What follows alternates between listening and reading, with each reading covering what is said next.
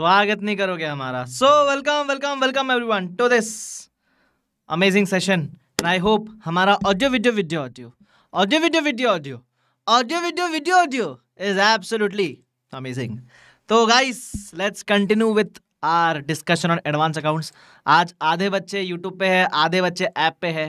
अच्छी बात है, आप ऐप यूज़ करना भी सीख जाओगे right so is it it is a good thing okay तो फटाफट से एक बार आप अपनी किताबें खोल लो। एक मिनट देना मुझे।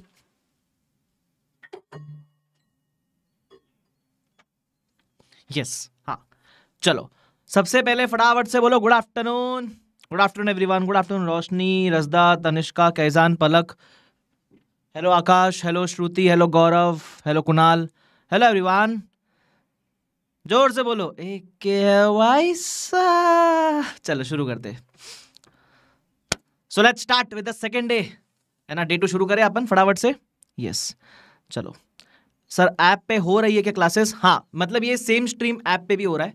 तो अगर आपने एनरोल कर लिया तो आप ऐप पे भी जाकर देख सकते हो। ठीक है? मतलब कैसे हम फ़र्स्ट थ्री डेज़ तो यूट्यूब पे रहेंगे और उसके बाद ऐप पे शिफ्ट हो जाएँगे। तो ध्यान रखना उस बात का ओके चलो। गुड आफ्टरनून पहले मुझे ये बताओ, कल का रिविजन किया? बोलो फटाफट से यस और नो कल मैंने बैलेंस शीट फॉर्मेट डिस्कस किया था। सब लोग मुझे बताएँगे, सर, हमने रिविजन किया कि नहीं किया? जल्दी से। बताओ। आम, किसने किसने रिवीजन किया? चलो नमन रोशनी कहते किया सर विशाखा कहते किया सर तनिष्का कहते किया सर। बाकी बाकी बाकी लोग? मुरारी कहते किया ओके बाकी? मिहिर यस और? कैजान यस और? पलक यस और? जयंती ठाकुर यस और? कुणाल यस राहुल बोलते हैं यस श्रुति बोलते हैं यस ये देखो ये इतने अच्छे बच्चे लोग हैं ना भाई। जिसने यस लिखा है ना you are basically getting one step closer to clearing मैं मज़ाक भी नहीं कर रहा हूँ, मैं ना ही तुमको ऐसे हवे में बिठा बिठा रहा हूँ। सच बोल रहा हूँ। दिस इज़ अ हैबिट जो आपने कर ली तो मज़ा आ जाएगा। और ज़्यादा कुछ है, था नहीं, ठीक है? It would I hardly taken five seven minutes ठीक है? यस चलो। अब इसके अलावा मैंने आपसे कल आपका वाई पूछा था। कि कल डिस्कस करके ना वाई क्या है? लिखा सबने? लिखा सबने? मुझे नहीं जानना आपका वाई क्या है। It is okay if you don't tell me but आपने लिखा ना? आपने एक पेपर पे लिखा बुक के फ़र्स्ट पेज पे लिखना। हो सके तो जहाँ बैठ के पढ़ते हो, वहाँ चिपका देना आपका वाई बहुत ज़रूरी है वो चीज़। ठीक है? चलो। जिसका भी ऐप पे कोई दिक्कत आ रही है चलाने में, कोई बात नहीं आज यूट्यूब पे देख लो। फिर आप टेक्निकल टीम को कांटेक्ट कर लेना, वो आपको हेल्प कर देंगे ऐप को रिगार्डिंग जो भी है। ठीक है? चलो। शुरू करें अभी। आज आपने एक नया टॉपिक शुरू करने वाले गाइस देखो, अपन ने कल क्या देखा? अपना मेजोरिटी सिलेबस किस चीज़ को लेकर है? अपना मेजोरिटी सिलेबस है ना एएस को लेकर है अकाउंटिंग स्टैंडर्ड्स देखा था ना fifty five sixty percent syllabus तो वही है। थर्टी फोर्टी परसेंट सिलेबस बाकी टॉपिक्स है। बराबर? Of course both are important but मेरे को पहले एएस के रिगार्डिंग कुछ बैकग्राउंड देना है। ये अकाउंटिंग स्टैंडर्ड होते क्या है? किसको किसको एप्लीकेबल है? तो पहले एक दो दिन अपन थोड़ा बेस बिल्डिंग करेंगे। तो आपको लगेगा, सर, कितनी बेसिक चीज़ें हैं? ये हमको पढ़नी है क्या? अगर मैं कुछ इस क्लास में करा रहा हूँ मतलब वो पढ़नी है।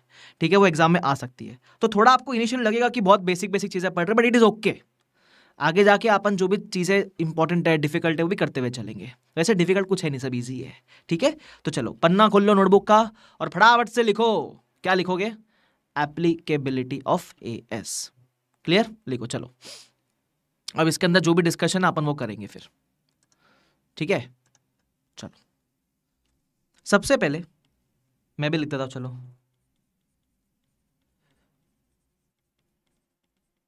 Applicability of A S A S माने पता है ना? मालूम पड़ा? फ़ोटो खींच के स्क्रीनशॉट भेज रहे। Sir full form of A S A S मतलब अकाउंट स्टैंडर्ड भाई, ये सब सवाल मत पूछना मेरे से। हाँ रो दूँगा मैं। एप्लीकेबिलिटी ऑफ़ ए एस ठीक है? अब सबसे पहली बात, ये जो ए एस है, इसकी नीड ही क्या थी? ज़रूरत क्या थी इसकी? तो पहले मैं थोड़ा बेस समझा रहा हूँ। ये नहीं लिखा तो भी चलेगा। जो मेन पार्ट लिखने को रहेगा, बता दूँगा मैं आपको, ठीक है? ये ए एस की ज़रूरत क्या पहले ये समझने का ट्राई करो। सपोज़ चार पाँच कंपनी का नाम लेते हैं, ठीक है? सपोज़ एक नाम ले लेते हैं अपन विनीत लिमिटेड, ठीक है? ये कंपनी है, विनीत लिमिटेड, छोटी कंपनी है। सपोज़ एक कंपनी है ए के लिमिटेड, ठीक है? फिर एक कंपनी अपन लेते कैजान लिमिटेड, ठीक है? और और और अपन लेते राहुल लिमिटेड, ठीक है? ये अपन ने चार कंपनी ले ली भाई, बढ़िया बढ़िया, ठीक है? अब आप सोचो, ये चारों कंपनीज़ है। अगर आप कंपनी हो तो फिनेंशियल्स प्रिपेयर करोगे? मतलब ये सारी कंपनी अपने बैलेंस शीट बनाएगी प्लस अपना प्रॉफिट एंड लॉस बनाएगी प्लस और भी चीज़ें बनती है बट फ़िलहाल के लिए अपने को ये दो चीज़ पता है कि ये दो तो बनता ही बनता है। बराबर? ये दो चीज़ें बना रही है। अब आप बताओ, इनको बैलेंस शीट अगर ये बोला कि तू अपने हिसाब से बना दे, तेरे को जो चीज़ ठीक लगे, उसको तू असेट बोल दे, तेरे को जो चीज़ ठीक लगे, उसको तू एक्सपेंस बोल दे, अगर इनके ऊपर छोड़ दिया कि अपनी मन मर्ज़ी पे चीज़ों को रिकॉर्ड करो तो ये तो फिर कुछ भी रिकॉर्ड करेंगे ना। ये तो फिर कुछ भी रिकॉर्ड करेंगे। ये कैसे भी अकाउंटिंग करेंगे? जैसे मैं मैं अच्छा आदमी हूँ तो मैं सब कुछ सच सच दिखाऊँगा। ये विनीत अच्छा आदमी नहीं है। ये अच्छा आदमी नहीं है। ये किसी भी असेट को खरीदेगा तो उसको असेट नहीं, खर्चा करके एक्सपेंस करके दिखा देगा। ये अच्छा आदमी नहीं है ना? तो इन लोग में से सिर्फ़ आकाश कंदो ही अच्छा आदमी है। बाकी ये तीन बड़े बुरे लोग हैं। तो इन लोग तो अपने हिसाब से कुछ भी करेंगे।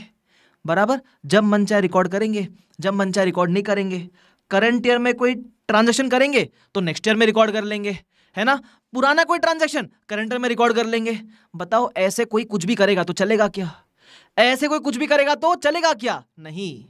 बराबर? तो अपने को लानी पड़ती है standardisation what is the meaning of standardisation हर कोई सेम चीज़ को सेम तरीके से रिकॉर्ड करे। हर कोई सेम चीज़ को सेम तरीके से रिकॉर्ड करे। बराबर? तो उसके लिए दिए गए अकाउंटिंग के स्टैंडर्ड्स आपको बोला कि भाई, तू तू तू और तू, ये चारों अकाउंटिंग कैसे करनी है? उसके लिए हमने स्टैंडर्डाइजेशन लाने के लिए स्टैंडर्ड दे रखे कोई भी दिक्कत आई स्टैंडर्ड देख, उसको फॉलो कर। नहीं समझ रहा कैसे अकाउंटिंग करनी है स्टैंडर्ड देख, उसको फॉलो कर। तुमको समझा अकाउंटिंग स्टैंडर्ड पिक्चर में क्यों आया? कल कोट के बोलना मत कहा आया? हाँ जयंती ने अच्छा एक जवाब भी दिया यूनिफॉर्मिटी लाने के लिए। कल को अपने को देखना ना सबके फिनेंशियल कंपेयर करने। तो दे शुड बी यूनिफॉर्म ना। सबने सेम चीज़ फॉलो किया रहेगा, सबने सेम चीज़ को सेम तरीके से रिकॉर्ड किया रहेगा। तो कंपेयर करने में इजी होता है ना। तुम समझ रहे कि नहीं समझ रहे? यस तो मैं बोलता हूँ, ये सिर्फ़ अंडरस्टैंडिंग के लिए, ठीक है? ये आप नहीं लिखोगे तो भी चलेगा, लिखना तो लिख लो।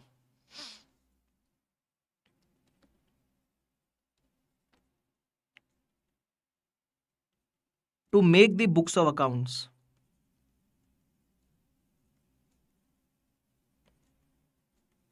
Comparable and uniform. And to bring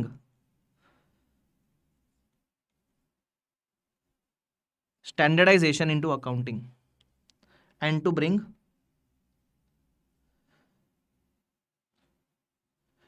standardization. And to bring standardization in accounting of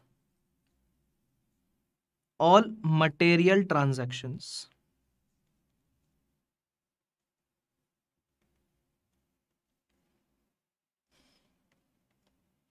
and to bring a standardization in accounting of all material transactions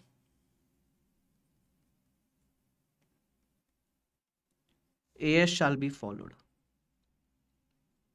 as follow करना पड़ेगा तुम समझे ना कितना बेसिक सा चीज़ है कितना लॉजिकल चीज़ है है ना? अरे जैसे आईसीएआई ने भी क्या कर रखा है? वो चाहते तुम एडवांस अकाउंट्स में सब लोग एक बराबर तैयारी करो। तो ऐसा नहीं बोला एडवांस अकाउंट से, अब अकाउंट्स में जो भी सब पढ़ के आना। तुम सबको ये बताने के लिए कि हम पेपर किस बेसिस पर पूछेंगे? किताब रिलीज़ की ना, कि ये एडवांस अकाउंट्स है, यही राहुल पढ़ेगा, यही विनीत पढ़ेगा, यही कैजान पढ़ेगा या आकाश पढ़ेगा। बराबर? ताकि सबकी प्रिपरेशन एक बराबर हो सके, क्योंकि सब लोग सेम एग्ज़ाम के लिए प्रिपेयर कर रहे हैं।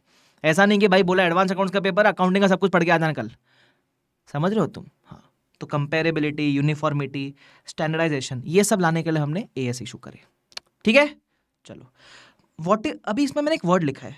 In accounting of all material transaction ये मटेरियल का मतलब क्या होता है सर अभी के लिए ऐसा समझ लो मटेरियल मतलब जो भी इंपॉर्टेंट ट्रांजेक्शन्स है। बेसिकली मटेरियल का मतलब होता है जो आपके धंधे में इंपॉर्टेंट है।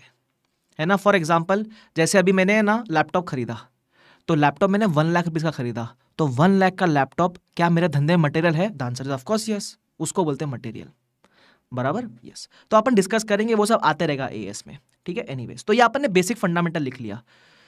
क्लियर है वाला पार्ट ठीक है सर चलो, मैं आगे बढ़ रहा हूँ। अब है ना, आपके मन में एक और सवाल आना चाहिए। ये ए एस एप्लीकेबल किसको है? ये ए एस एप्लीकेबल किसको है? क्योंकि आपने देखा रहेगा। तो मैंने आपको कल बताया था ना कि आप सी ए इंटर में तो ए एस पढ़ते हो। लेकिन हम सी ए फाइनल में क्या पढ़ते हैं? सी ए फाइनल में हम इंडेस पढ़ते हैं। तो ई ससुरी का नाती ए एस किसको एप्लीकेबल है? तो ये भी जानना पड़ेगा ना। तो अब हम मेन चैप्टर हम शुरू कर रहे हैं। Now we are starting discussion of main chapter ठीक है? तो इधर लाइन मार लो। देखो बुक में टाइम से लाइन मारते रहा करो। क्यों? लाइन मारने की क्षमता तुम्हारे अंदर क्लास के अंदर ही है। ठीक है? ज़िंदगी में तो लाइन मार पाओगे नहीं तुम। क्यों? सीए स्टूडेंट है भाई टाइम नहीं मिलेगा लाइन मारने का। तो यहाँ मार लो जो भी है। सर देखो पर्सनल अटैक मत करो हाँ? मैं तो करूँगा। मार लो भाई लाइन, सुनो। चलो तो अपन दिखते, इधर आओ। एप्लीकेबिलिटी ऑफ़ ए एस आपको पता है, इसके ऊपर है ना, अगर आप मॉड्यूल खोलोगे तो बहुत बड़े बड़े पेजेस देख रखे, बहुत थियोरी दे रखी है बहुत सारी। पहली बार में देखने में मज़ा आता है कि अरे वाह, इतना सारा ज्ञान दिया हुआ है। लेकिन उस ज्ञान में से अपने को समराइजेशन कैसे करनी है, वो आपको नहीं करना, वो मैं करके दूँगा। इसलिए मैं क्लास में सारे नोट्स लिखा रहा हूँ। आपको इतनी बढ़िया समरी बना के दूँगा ना, आपका दिमाग खराब हो जाएगा। मतलब खुश हो जाओगे। दिमाग खराब मतलब ऐसा हो जाएगा। ठीक है। एप्लीकेबिलिटी ऑफ़ ए एस अब इसको दो पार्ट में बांट दो। ठीक है। इस दुनिया में ना, इस दुनिया में दो टाइप की एंटिटीज होती है। दो टाइप की क्या होती है? एंटिटीज एक होती है कंपनीज़ एक होती है कंपनीज़ कंपनीज़ मतलब जिसके आगे लिखा होता है लिमिटेड प्राइवेट लिमिटेड है ना? या लिमिटेड ऐसा। उसको कंपनीज़ बोलते हैं। ठीक है? वो रजिस्टर्ड होती है एज ए कंपनी अब कंपनी क्या होती है? कैसे बनती है? ये आप लॉ में सीखोगे। बट आप मान लो, मैं मानता हूँ, चलो आपको पता है कंपनी क्या होती है। और एक होती है other than company sir other than company में क्या आता है? कोई गैस करेगा अदर देन कंपनी में? वेरी गुड वो पार्टनरशिप फर्म्स हो गया एलएलपी हो गया एचयूएफ हो गया को ऑपरेटिव सोसाइटीज हो गया सोल प्रोपाइटरशिप हो गया ट्रस्ट हो गया, ये सब आता है other than company other than company को मैं पता है प्यार से क्या बोलता हूँ? प्यार से। प्यार से मैं कहता हूँ नॉन कॉरपोरेट एंटिटी जैसे कंपनी को हम कह सकते हैं कॉरपोरेट एंटिटी कंपनी को लिख देता हूँ। कॉरपोरेट एंटिटी और अदर देन कंपनी को हम कहेंगे नॉन कॉरपोरेट एंटिटी जैसे हमारा फॉर एग्ज़ाम्पल ये बीबी वर्चुअल्स है। पता है, पहले ये पार्टनरशिप फर्म था। अब इसको हमने कंपनी में कन्वर्ट कर दिया बीबी वर्चुअल प्राइवेट लिमिटेड तो अभी कंपनी बन गया। बराबर तो आपको देखना है। चलो अदर देन कंपनी का एग्ज़ाम्पल लिखे थोड़े से लिख देते एग्ज़ाम्पल चलो। मेरा बाबू नादान है, भूल जाएगा। लिखो example partnership firms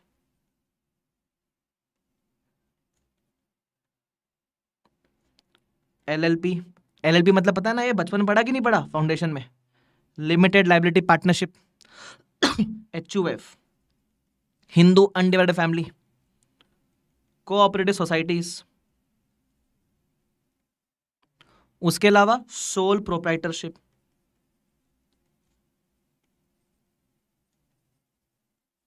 उसके अलावा ट्रस्ट एक्सेट्रा ऐसा खेला कूदी तुम ज़िंदगी भर कर सकते हो।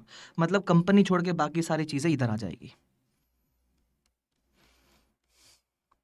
क्लियर है क्या? यस क्लियर एकदम क्लियर सर अब है ना, मैं कंपनीज़ की बात कर रहा हूँ। क्या ए कंपनी को एप्लीकेबल है क्या? The answer is yes companies को एप्लीकेबल है। अब कंपनी को भी इन्होंने दो पार्ट में बांट दिया है।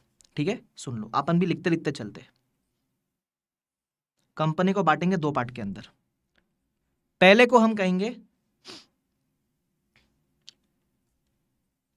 नॉन एस एम सी और दूसरे को हम कहेंगे एस एम सी सर, ये एस एम सी क्या होता है? चलो फुल फॉर्म लिख देता हूँ। एस एम सी का मतलब होता है small and medium sized company small and medium sized company इसको कहते हैं एसएमसी बराबर? किसी ने कहा साइंस मीडियम ए?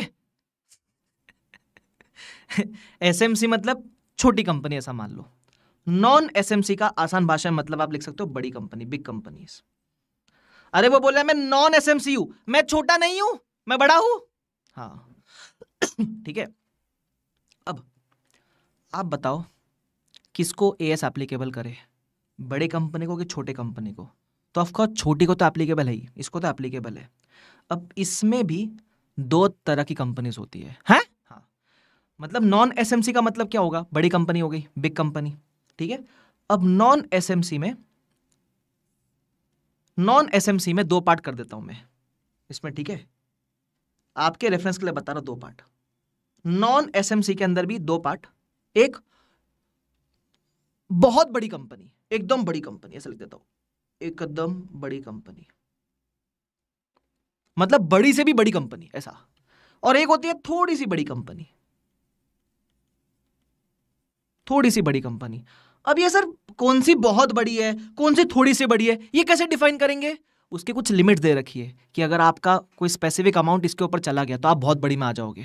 अगर आपका अमाउंट इसके ऊपर नहीं गया तो आप यहाँ आ जाओगे। एकदम ही कम अमाउंट है तो आप यहाँ आ जाओगे। ऐसा। बराबर वो लिमिट्स क्या है? अपन पढ़ेंगे धीरे धीरे करके।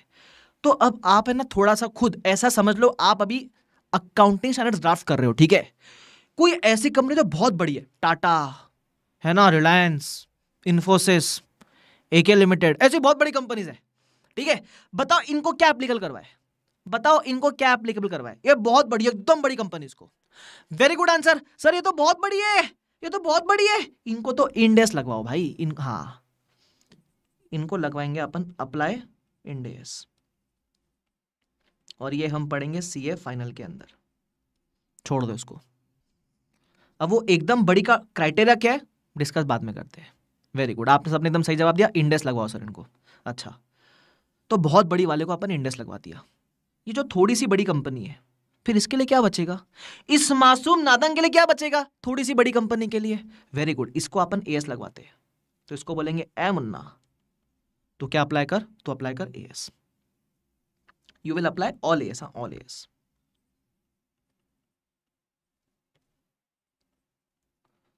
all S अच्छा बाय द वे टोटल कितने ए एस थे? याद है, मैंने बताया था ए एस वन से लेकर ए एस ट्वेंटी नाइन तक है। वो दो डिलीट हो चुके सिक्स और एट डिलीट हो चुके, वो मैंने आपको कल लिखाया था। बट वैसे देखा था ट्वेंटी सेवन ए है है ना? सिक्स एंड एट डिलीट हो चुके हैं ना? ये दो छोड़ के बाकी सारे तो टोटल ट्वेंटी सेवन है ऐसे सारे अप्लाई करेंगे। वेरी गुड तुमको पता है? बहुत बढ़िया। Very good Pooja, Siddharth, Akash Bhave very good clear yes very good Tarun Thakur. Correct ठीक है? तो इनको थोड़ी बड़ी को आपने बोला, चल तू ए लगाना। ठीक है? अब बात करते ये small and medium size company देखो, अभी तक मैं किसकी बात कर रहा था? मैं बड़ी कंपनी की बात कर रहा था। बड़ी में भी दो, एकदम बड़ी और थोड़ी सी बड़ी। बराबर? एकदम बड़ी को बोला, इंडेस, थोड़ी सी बड़ी को बोला ए एस अब जो small and medium size company है छोटी छोटी कंपनियाँ, जैसे BB virtual private limited we are S M C है ना? छोटी कंपनी। बराबर? तो इधर मैं लिख देता हूँ कि ए एस वन से ट्वेंटी नाइन वैसे total there are twenty seven A S क्यों? Six and eight are deleted ना, इसलिए। तो कंफ्यूज मत होना उसके लिए। ठीक है? ओके अब ये जो एस एम सी है इनको हम क्या अप्लाई करने बोलेंगे? तो इनको बोलेंगे, तुम भी ए एस ही अप्लाई करो। You will also apply A S but इनको पता है क्या बोला? तू छोटी कंपनी है ना, चल तेको कुछ ए एस माफ़ कर देंगे, वापस से। क्या बोला इनको? कि तू छोटी कंपनी है ना, तू ए एस लगा।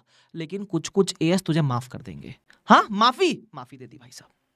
माफ़ी दे दी भाई साहब। जैसे जो डायरेक्ट एंट्री से आता है सीए के अंदर, उसको क्या बोलते हैं? तू बीकॉम पास करके आया ना चल, तेरे को फाउंडेशन माफ़ किया। ऐसा इनको भी थोड़ा माफ़ी दे दिया भाई साहब। छोटी छोटी कंपनी को। तो मैं लिख देता हूँ इधर, लिखना इधर। Apply S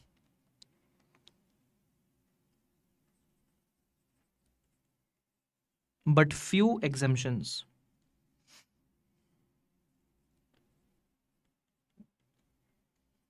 and relaxation.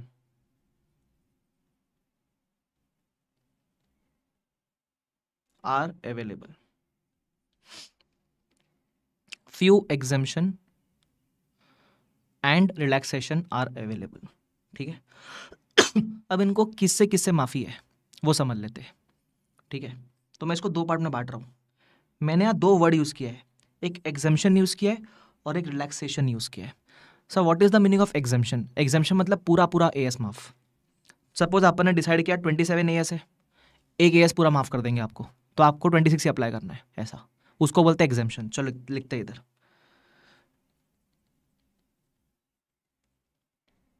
एग्जामेशन exemption का मतलब होता है फुल ए एस माफ़। पूरा का पूरा एक ए एस माफ़ हो जाएगा आपको। तो लिख दो हिंदी में। ऐसे हिंदी में लिखा करूँगा उससे आपको अंडरस्टैंडिंग आएगा। फुल ए एस माफ़ कर दिया। ऐसा कौन सा ए एस इनको माफ़ है? एक ही ए एस इनको माफ़ है। That is A S seventeen उसका नाम है सेगमेंट रिपोर्टिंग नाम चाहिए तो आपको इंडेक्स में जाके मिल जाएगा। ठीक है, नाम मत लिखो फ़िलहाल, बड़ा हो जाएगा बहुत वो। ए एस सेवनटीन हो जाएगा। फुल ए एस माफ़ हो जाएगा यहाँ। ठीक है, बचा हुआ। फिर मैंने एक और शब्द यूज़ किया था रिलैक्सेशन रिलैक्सेशन का मतलब पता है क्या होता है? आपको पूरा ए एस माफ़ नहीं करेंगे। ए एस के कुछ कंसेप्ट माफ़ कर लेंगे। ऐसा मान लो चलो ए एस um, ऐसा मान लो ए एस फिफ्टीन है। A S fifteen is employee benefits अभी आपको नाम याद नहीं होगा इट इज़ ओके ठीक है छोड़ दो तो सपोज़ ए एस फिफ्टीन में देर आर टेन कंसेप्ट दस कंसेप्ट है इसमें। तो दस में से आपको बोला चलो दो तेको माफ़ आठ अप्लाई करने अब वो कौन से दो माफे बताया हुआ रहेगा इसके अंदर? ठीक है? तो थोड़ा सा माफ़ करेंगे मतलब पूरा पूरा एस माफ़ नहीं करेंगे। उस पूरे एस में कुछ कुछ चीज़ें बोलेंगे आपको माफ़। हाँ। तो लिखो इधर? लिखो इधर रिलैक्सेशन रिलैक्सेशन लिखो एएस के कुछ पार्ट्स से छुट्टी। मतलब एएस के कुछ कुछ कंसेप्ट आपको अप्लाई करने पे छुट्टी मिल जाएगी। सर हमको इतना सब याद रखना पड़ेगा कि कौन से एएस के कौन से पार्ट से। देखो प्रैक्टिकल इट इज़ इम्पॉसिबल याद नहीं रखना पॉसिबल है। आपसे फुल एग्जामेशन वाली चीज़ें याद रखना कि पूरा पूरा कौन सा ए एस माफ़ था। ये रिलैक्सेशन में बहुत सारे ए एस है। और वो बहुत सारे ए एस के कौन से कौन से कंसेप्ट माफ़ है। उतना डिटेल में आपको जाने का ज़रूरत नहीं है, ना ही एग्जामिनर आपसे एक्सपेक्ट करता है। आप सिर्फ़ पूरा वाला कौन सा माफ़ है वो याद रख लेना इसमें। ठीक है? चलो, फिर भी मैं लिखा देता हूँ, इधर आ जाओ। ऐसे कौन से कौन से ए एस के पार्ट से माफ़ी है? तो ए एस फिफ्टीन ठीक है? A S nineteen A S twenty okay A S twenty eight A S twenty nine और एक और है A S twenty five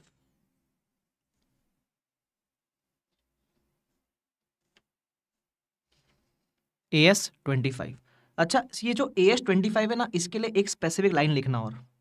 ये जो ए एस ट्वेंटी फाइव है, इसके लिए एक और चीज़ लिखना। Apply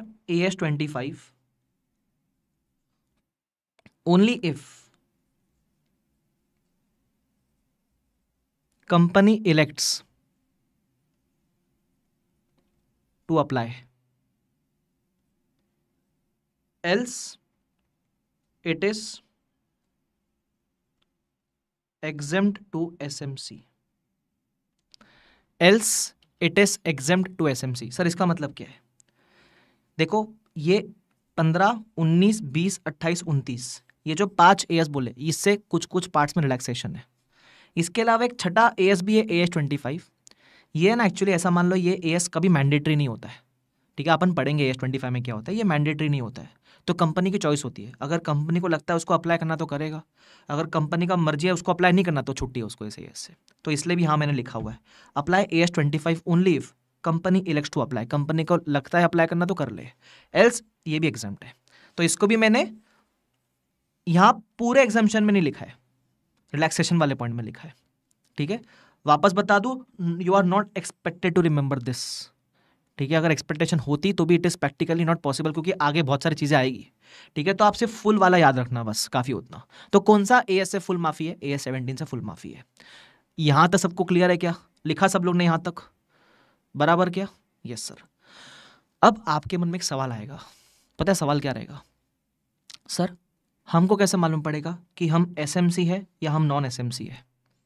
हमको कैसे मालूम पड़ेगा, सर, कि हम एसएमसी है कि नॉन एस है? हमको कैसे मालूम पड़ेगा कि हम छोटे छोटे कंपनी है या बड़े बड़े कंपनी है? तो इसका क्राइटेरिया भी देना पड़ेगा ना भाई। इसका, इन्होंने क्राइटेरिया डिफाइन कर दिया कि भाई हम एक लिमिट्स दे रहे चार पॉइंटर्स दे रहे अगर आप इस चार पॉइंटर में फॉल कर गए तो आप एसएमसी माने जाओगे। हाँ तो इसकी लिमिट पढ़नी पड़ेगी। ठीक है? मैं इसकी आपको लिमिट पढ़ाता हूँ, फिर मैं वापस एक बार पूरा रिवाइज करा दूँगा ये वाला पार्ट ठीक है? चलो। तो हम अभी क्या पढ़ने वाले कि हम एसएमसी कब बनेंगे? हमको कब छोटा कंपनी बोलेंगे इन लोग? ठीक है? आप बोलोगे, सर, ऐसा लग रहा है एसएमसी बनने में फ़ायदा है। ठीक है? तो हेडिंग देते ना S M C full form small and medium sized company small and medium size company आ जाओ। इसमें टोटल चार कंडीशन है, चारों में से अपने को कितना मीट करना है? ऑल सॉरी चार नहीं, पाँच कंडीशन है। पाँचों मीट करना है अपने को, ठीक है? पाँचों all five are to be met सबसे पहली कंडीशन पहला it should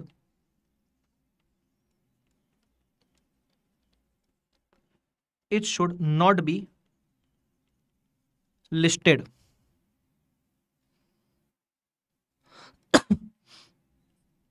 Nor in the process of list, listing. Nor in the process of listing on any stock exchange.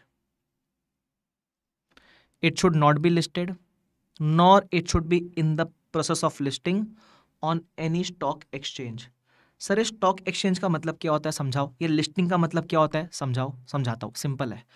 आपको पता है, आपने ऐसा सुनना रहेगा, लोग स्टॉक मार्केट में ट्रेडिंग करते हैं, इस कंपनी के शेयर खरीदे, उस कंपनी के शेयर बेचे, है ना? तो सपोज़ ये आकाश जो कंदोई है, इसने रिलायंस के शेयर्स खरीदे स्टॉक मार्केट से। स्टॉक मार्केट नाम तो सुना ही होगा ना? हाँ। तो सपोज़ मैंने रिलायंस के शेयर खरीदे स्टॉक मार्केट से तो मैं किसी भी कंपनी के शेयर कब खरीद सकता हूँ? जब यह कंपनी स्टॉक मार्केट में लिस्टेड है। लिस्टेड मतलब ऐसा मान लो स्टॉक मार्केट में ये कंपनी रजिस्टर्ड होगी। ठीक है? तो अगर आप स्टॉक मार्केट में रजिस्टर्ड हो, तब तो आप बड़ी कंपनी हो गए ना यार। इसलिए वो बोलता है, आपको छोटी कंपनी कहलाने के लिए you should not be listed nor आप लिस्टिंग के प्रोसेस में होने चाहिए। मतलब लिस्टेड भी नहीं होने चाहिए और लिस्टिंग के प्रोसेस में भी नहीं होने चाहिए। क्योंकि अगर आप इतने बड़े स्टॉक मार्केट में लिस्टेड हो, तब तो आप बड़ी कंपनी हो गए ना यार। तुम समझ रहे हो क्या? यस तो ये लिस्ट एनएससी बीएससी के स्टॉक मार्केट का नाम है। National Stock Exchange Bombay Stock Exchange बराबर वहाँ लिस्टेड नहीं होने चाहिए आप। ठीक है सर और भी बहुत सारे होते हैं स्टॉक एक्सचेंजेस मैं बेसिक बेसिक बड़े बड़े वाले की बात कर रहा हूँ। एनीवेज तो आप लिस्टेड नहीं होने चाहिए। और लिस्टिंग के प्रोसेस में भी नहीं होने चाहिए। तो आप छोटी कंपनी कहलाए जाओगे आगे। सेकेंड और क्या इसके अंदर? It should not be a bank it should not be a bank slash comma insurance company comma financial institution आप कोई भी बैंक इंश्योरेंस या फाइनेंशियल इंस्टीट्यूशन नहीं होने चाहिए। नहीं होने चाहिए। अगर आप हो, तब तो आप बड़े बड़े लोग हो ना भाई। अरे बैंक है भाई, बहुत बड़ा आदमी है फिर तो तू। तो फिर छोटे कैसे बोले तुझे? छोटा कहलाने के लिए तू इसमें से कुछ भी नहीं होना चाहिए। ओ, ठीक है सर। उसके अलावा उसके अलावा। टर्नओवर तुमको समझता what is the meaning of turnover मैं समझाता हूँ। टर्नओवर लिखना। Excluding other income excluding other income.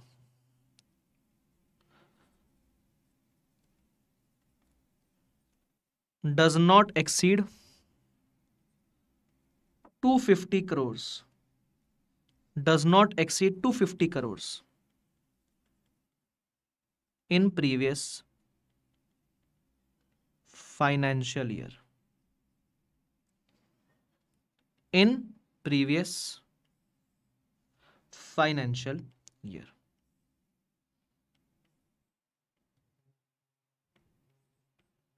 in previous financial year बराबर? अब आपके मन में सवाल आएगा ई टर्नओवर का मतलब क्या होता है?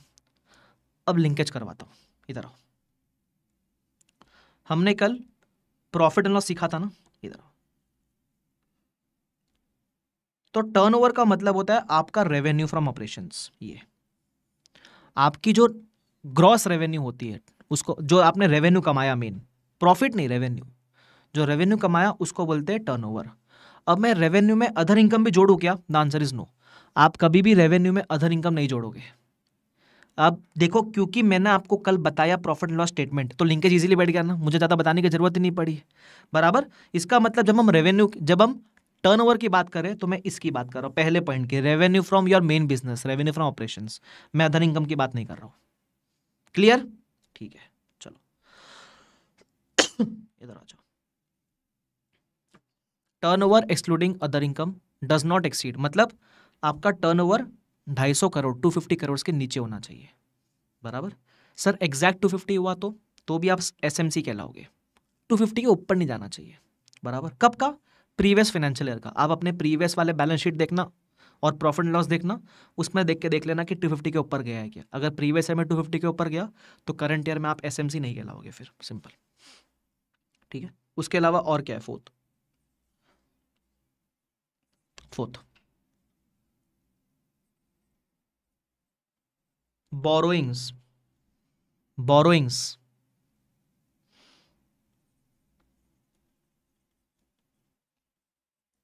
does not exceed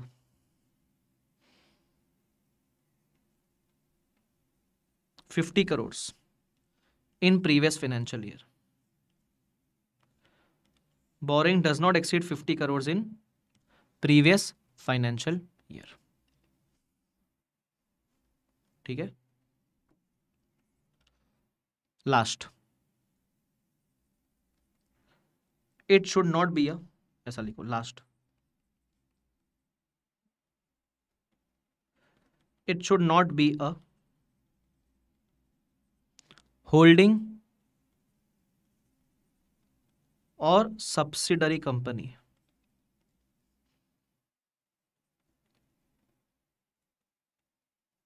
of non SMC. It should not be a holding or subsidiary company of C ठीक है ये फोर्थ और फिफ्थ लिख लो मैं साथ में एक्सप्लेन करूँगा दोनों को लिखा? चलो, अब बोरिंग्स की बात करता हूँ। बोरिंग का मतलब क्या होता है? जब आप मार्केट से लोन लेते हो, उसको बोलते हैं बोरिंग लोन आप बैंक से ले सकते हो। लोन आप डिवेंचर्स के फॉर्म में ले सकते हो। That loan can be short term that loan can be long term बराबर? आपके जो कंपनी में लोन है, वो फिफ्टी करोड़ के ऊपर नहीं होना चाहिए। It should be less than fifty crore बराबर? सिंपल अगर आपको बोरिंग नहीं समझता है तो again what you can do is you can just check out the balance sheet balance sheet में आपको शब्द दिखेगा बोरिंग मैं दिखाता हूँ। चलो आपको इधर। कहाँ दिख रहा है बोरिंग बोरिंग बोरिंग लाइबिलिटी में देखो। देखो दो, तरह की बोरिंग होती है। ये लॉन्ग टर्म शॉर्ट टर्म दोनों। दोनों बोरिंग का आप जोड़ोगे और देखना it should not be more than fifty crore simple बराबर? Yes yes. उसके बाद फिफ्थ पॉइंट ये इंटरेस्टिंग पॉइंट है। It should not be a holding or subsidiary company of non SMC sir ये क्या है? ये होल्डिंग सब्सिडरी क्या होता है? चलो मैं समझाने का ट्राई करता हूँ। ठीक है, थोड़ा होल्डिंग सब्सिडी समझाने का ट्राई करता हूँ। अगर आपको पता है वेरी गुड मैं मानता हूँ आपको नहीं पता है, ठीक है? बेसिक आइडिया देने का ट्राई करता हूँ। चलो, ऐसा मान लो एक कंपनी लेते हैं अपन। कंपनी का नाम लेते हैं अपन नमन लिमिटेड चलो। एक कंपनी है, नमन लिमिटेड ठीक है? ठीक है सर अब इस कंपनी का, ऐसा मान लो सेवेंटी परसेंट स्टेक मेरे पास है, ठीक है? Seventy percent share holding seventy percent share मतलब सपोज़ नमन के वन लाख शेयर्स है तो उसमें से सेवेंटी थाउज़ेंड शेयर्स मेरे पास है, मैंने खरीद लिए इसके शेयर्स तो सेवेंटी परसेंट शेयर्स ए के लिमिटेड के पास है. बराबर? मतलब नमन के अंदर मैक्सिमम ओनरशिप मेरे पास हो गई ना? नमन के पास सपोज़ वन लाख शेयर्स थे, नमन ने वन लाख शेयर्स मार्केट में इशू करे, उसके वन लाख में से सेवेंटी परसेंट मैंने खरीद लिए. बराबर? तो जब भी भी आपका किसी कंपनी में फिफ्टी परसेंट से ज़्यादा स्टेक होता है। तो आप उसके माई बाप बन जाते हो पेरेंट बन जाते हो। जैसे आकाश कंदोई का नमन में, क्या फिफ्टी परसेंट से ऊपर स्टेक है? हाँ सेवेंटी परसेंट स्टेक है मेरा। नमन के सेवेंटी परसेंट शेयर मेरे पास है। तो मैं बन गया नमन का पप्पा। अरे पप्पा मतलब पेरेंट मैं बन गया नमन का पप्पा। और नमन कौन हो गया? मेरा बच्चा, उसको बोलते सब्सिडरी। क्या बोलते उसको? प्यार से इसको बोलते सब्सिडरी बराबर? Yes yes. काफ़ी लोगों ने जवाब दिया वेरी गुड तो बेसिकली अगर कोई भी कंपनी सपोज़ ऐसा मान लो मेरा बीबी वर्चुअल में पता है कितना स्टेक है? सेवेंटी फाइव परसेंट मतलब बीबी वर्चुअल के सेवेंटी फाइव परसेंट शेयर मेरे पास है।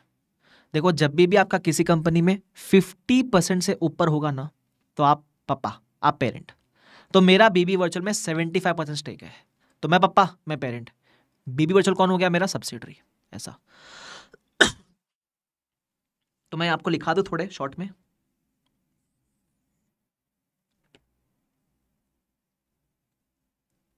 Whenever any company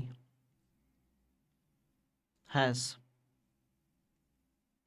more than fifty percent stake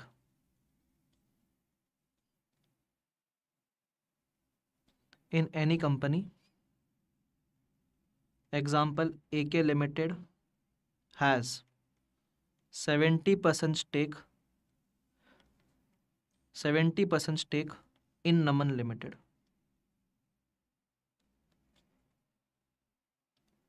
then A K हो जाएगी पेरेंट एंड नमन मेरी क्या हो जाएगी? सब्सिडरी ये मैंने आपको है ना बड़ा बेसिक सा बात बताया, ठीक है? इसमें हम बहुत सारी चर्चा करने वाले आगे। इसके ऊपर एक चैप्टर है। इसके ऊपर पूरा एक चैप्टर है। पता है एक चैप्टर कौन सा है इसके ऊपर? चलो दिखाता हूँ आपको। एक हमने चैप्टर लिखा था बिग चैप्टर्स के अंदर। कंसोलिडेटेड फाइनेंशियल स्टेटमेंट्स ये हम पूरे चैप्टर में यही बात करेंगे। कौन पेरेंट कौन सब्सिडरी अकाउंटिंग कैसे करेंगे दोनों, वो सब की बात। ठीक है? तो अभी अपन बाकी डिस्कशन उस चैप्टर के लिए छोड़ देते हैं। या हम रुक जाते हैं। समझा हीरो लोग मैंने क्या बोला? यस सर ठीक है। तो अब इसमें क्या लिखा है, ये इंटरप्रेट करने का अपन ट्राई करते हैं। वो बोलते हैं it should not be a holding और subsidiary company of non SMC sir इसका क्या मतलब हुआ? अब समझने का ट्राई करते हैं और मज़ा आएगा। ठीक है? एग्ज़ाम्पल लेता हूँ। सपोज़ ए के लिमिटेड है पेरेंट बराबर? मैं बोलता हूँ, ये बड़ी कंपनी है, ये नॉन एसएमसी है। ये नॉन एसएमसी है बिग कंपनी क्यों? मान लो इसका turnover is five thousand crore तो ये तो बड़ी कंपनी हो गई ना यार। ठीक है सर अब इसकी एक सब्सिडरी है।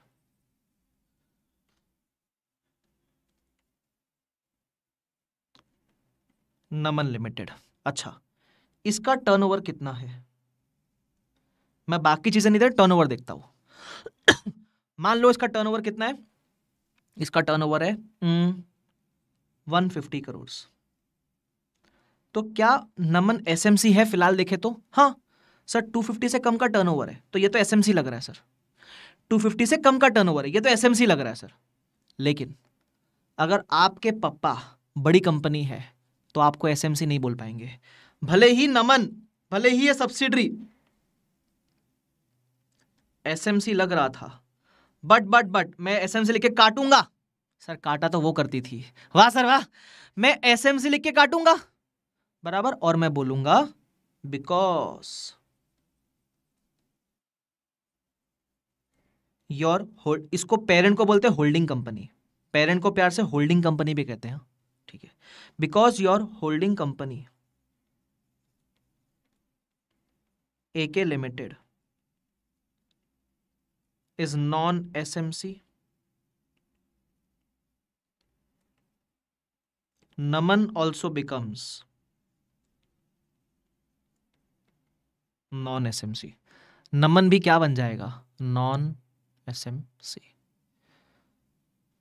बस इतना आपको समझने का ट्राई करना है। बोलो यस और नो अरे बोलो यस और नो यस सर टेंशन मत लो, जब भी अपन कोई चीज़ पढ़ेंगे जिसमें बहुत सारी चीज़ें आ गई, बैठ के शांति से दो मिनट भी रिवाइज भी कराऊँगा आपको पूरा। ठीक है? तो देखो, इसलिए ये बोला it should not be a holding और सब्सिडरी होल्डिंग का मतलब ब्रैकेट में लिख दो parent papa. It should not be a parent और सब्सिडरी ऑफ़ नॉन एसएमसी मतलब बीमारी की तरह है। आपकी अगर पेरेंट है सब्सिडी नॉन एसएमसी तो आप भी नॉन एसएमसी सिंपल ठीक है? चलो। तो ये पाँच कंडीशन है। मैं एक बार आपको है ना पूरा स्ट्रक्चर रिविजिट करवा रहा हूँ, ताकि आपके दिमाग के अंदर बैठ जाए, घाई मत करना किसी चीज़ को लेकर। ठीक है? इधर आ जाओ। सबसे पहले मैं कौन चैप्टर कौन सा अपना? एप्लीकेबिलिटी ऑफ़ एस ठीक है? यहाँ हम सबसे पहले बात कर रहे हैं दो तरह की एंटिटीज़ होती है। एक होती है कॉर्पोरेट एंटिटी जिसको हम कंपनीज़ कहेंगे, और एक होती है अदर देन कंपनी एक बार अदर देन कंपनी को छोड़ दो। हम कंपनीज़ की बात कर रहे हैं। ये पार्टनरशिप फॉर्म वगैरह छोड़ दो, भूल जाओ इसको। है? इधर आओ। कंपनीज़ कंपनी में दो, बड़ी कंपनी छोटी कंपनी बड़ी को बोलेंगे नॉन एसएमसी क्योंकि आप बड़ी कंपनी हो तो आप छोटी नहीं हो तो नॉन एसएमसी और छोटी को बोलेंगे एसएमसी ठीक है? अब बड़ी में जो बहुत बड़ी है, वो इंडेस अप्लाई करेगी, थोड़ी सी बड़ी है, वो एस अप्लाई करेगी. और जो छोटी कंपनी है एसएमसी उसको हम बोलेंगे तुम भी एस ही अप्लाई करना, लेकिन तुमको थोड़ी सी छुट्टी देते हैं, थोड़ी माफ़ी देते हैं. तो एक एस पूरा माफ़ है, और कुछ एस में रिलैक्सेशन है. ठीक है? ए एस सेवनटीन पूरा माफ़ है। ओके अब ससुरी का नाती, हमका कैसे मालूम पड़ेगा कि कौन सा कंपनी एसएमसी है? दिक्कत इधर ही है। हमको मालूम कैसा पड़ेगा कौन सा कंपनी एसएमसी है? क्राइटेरिया दिया। पाँच। सबसे पहला it should not be listed on any stock exchange ना ही वो लिस्टेड होना चाहिए, ना ही लिस्टिंग के प्रोसेस में होना चाहिए। पहला। दूसरा it should not be a bank insurance या कोई फाइनेंशियल इंस्टीट्यूशन जैसे एनबीएफसी सुना तुमने कभी? नॉन बैंकिंग फाइनेंशियल कंपनी उसको एनबीएफसी बोलते हैं। मतलब काम बैंकिंग वाले हैं, लेकिन आप बैंक की तरह रजिस्टर्ड नहीं हो। बराबर? इसमें एनबीएफसी आ जाती है, ऐसा मान लो। तो अगर आप बैंक इंश्योरेंस या एनबीएफसी वगैरह नहीं हो तो आपको एसएमसी बोलेंगे। आप नहीं होने चाहिए सब। उसके अलावा आपका टर्नओवर 250 के ऊपर नहीं जाना चाहिए। टर्नओवर मतलब revenue from main operation borrowings should not exceed 50 crore sir ये याद कैसे रहेगा? टर्नओवर कितना बोरिंग कितना? सिर्फ़ डिवाइड बाय फाइव करके याद करना। बराबर? जैसे 250 करोड़ डिवाइड बाय फाइव कितना होता है? 50 सर डिवाइड बाय फाइव क्यों? याद रखने के लिए। ये बहुत जगह काम आने वाला डिवाइड बाय फाइव याद रखना है डिवाइड बाय फाइव ठीक है? तो 250 करोड़ डिवाइड बाय फाइव करोगे तो बोरिंग्स मिलेगा। बोरिंग्स 50 के ऊपर नहीं जानी चाहिए। और आप किसी भी नॉन एसएमसी के पेरेंट या सब्सिडरी नहीं होने चाहिए।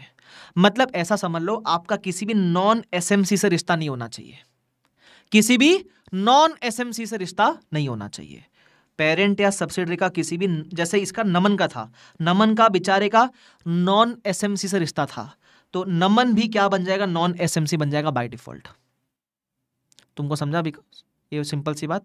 यस तो ये है पाँच कंडीशन मैं आगे बढ़ूँगा। सबको समझा? पहले ये बोलो यस और नो यार। मुझे इतना बताओ। यस और नो तुमको समझ आया कि नहीं आया? इसको याद रखने का टेंशन मत लेना। मैं समझ लो, पंद्रह मिनट के बाद एक ओरल टेस्ट लूँगा इसी को लेकर। मेरी गारंटी है तुमको याद हो जाएगा। मेरी गारंटी तुमको याद हो जाएगा। समझा ये मैंने क्या बोला? चलो, आधे घंटे का वेट क्यों करना? मुझे ना टेस्ट करना है आपको। मैं कर लूँ टेस्ट हल्का सा कर लूँ? करो ना सर पक्का कर लूँ? इधर बिना देखे। एसएमसी के कितने कंडीशन है पहले ये बताओ? एक, दो, तीन, चार की पाँच। वेरी गुड पाँच है। सिर्फ़ शॉर्ट में आंसर करो। सिंगल लेटर आंसर करो तो भी चलेगा, पाँच है। ठीक है? अपने को कोई भी एक मीट करना है या ऑल फाइव मीट करना है? All five are to meet सारे मीट करने हैं। ठीक है? अच्छा पहला कंडीशन क्या था? थोड़ा धुंधला धुंधला याद आएगा। पहला, वो क्या नहीं होना चाहिए? याद है वो स्टॉक मार्केट पे क्या नहीं होना चाहिए? हाँ वो लिस्टेड नहीं होना चाहिए और लिस्टिंग के प्रोसेस में होना चाहिए। सिर्फ़ एल लिख दो। बराबर एल लिखोगे समझ जाएगा। वो लिस्टेड नहीं होना चाहिए nor in the process of listing होना चाहिए। मतलब स्टॉक मार्केट से तुम्हारा कोई रिश्ता नहीं होना चाहिए। दूसरा, और क्या नहीं होना चाहिए? दूसरा, जहाँ से तुम पैसे निकालते हो बैंक हाँ बैंक इंश्योरेंस और फाइनेंशियल इंस्टीट्यूशन वो नहीं होना चाहिए। Bank insurance financial institution B I और एफ़ इतना आंसर करो समझ जाएगा। बराबर वो सब नहीं होना चाहिए ये। अच्छा तीसरा टर्नओवर को लेकर था। टर्नओवर किसके ऊपर नहीं होना चाहिए? टर्नओवर कितने अमाउंट के ऊपर नहीं होना चाहिए? वेरी गुड 250 के ऊपर नहीं होना चाहिए। टर्नओवर 250 के ऊपर नहीं होना चाहिए। अच्छा बोरोइंग्स किसके ऊपर नहीं जानी चाहिए? या तो डिवाइड बाय फाइव हाँ तो बोरिंग्स हाँ डिवाइड बाय फिफ्टी फिफ्टी के ऊपर नहीं जानी चाहिए बोरिंग्स बोरिंग्स फिफ्टी के ऊपर नहीं जानी चाहिए। बराबर? पांचवा क्या था? आपका रिश्ता, कौन सा रिश्ता? होल्डिंग और सब्सिडरी का रिश्ता। किसी भी नॉन एसएमसी से नहीं होना चाहिए। आपका रिश्ता किसी भी नॉन एसएमसी से नहीं होना चाहिए। मालूम पड़ा, देखो जैसे मेरा नाम आकाश कंदोई है। मालूम पड़ा वो मुकेश अंबानी मेरा चाचा है। तो ये नहीं बोलेगा, गरीब हूँ मैं। मैं गरीब हूँ। अरे चाचा इतना अमीर है तुम्हारा तो तुम भी अमीर हो जाओगे। तो अगर तुम्हारा होल्डिंग है सब्सिडरी नॉन एसएमसी तो तुम भी नॉन एसएमसी अब समझ में आ गया, सर। मज़ा आ गया। ये मुकेश वाला एग्ज़ाम्पल अच्छा था मुकिया मुकेश अंबानी वाला। ठीक है। देखो, तुमको याद हुआ कि नहीं हुआ? अच्छा मेरी गारंटी है। लेक्चर के एंड तक भी याद रहेगा। अच्छा एक गारंटी दू? तुमको एग्ज़ाम तक भी याद रहेगा।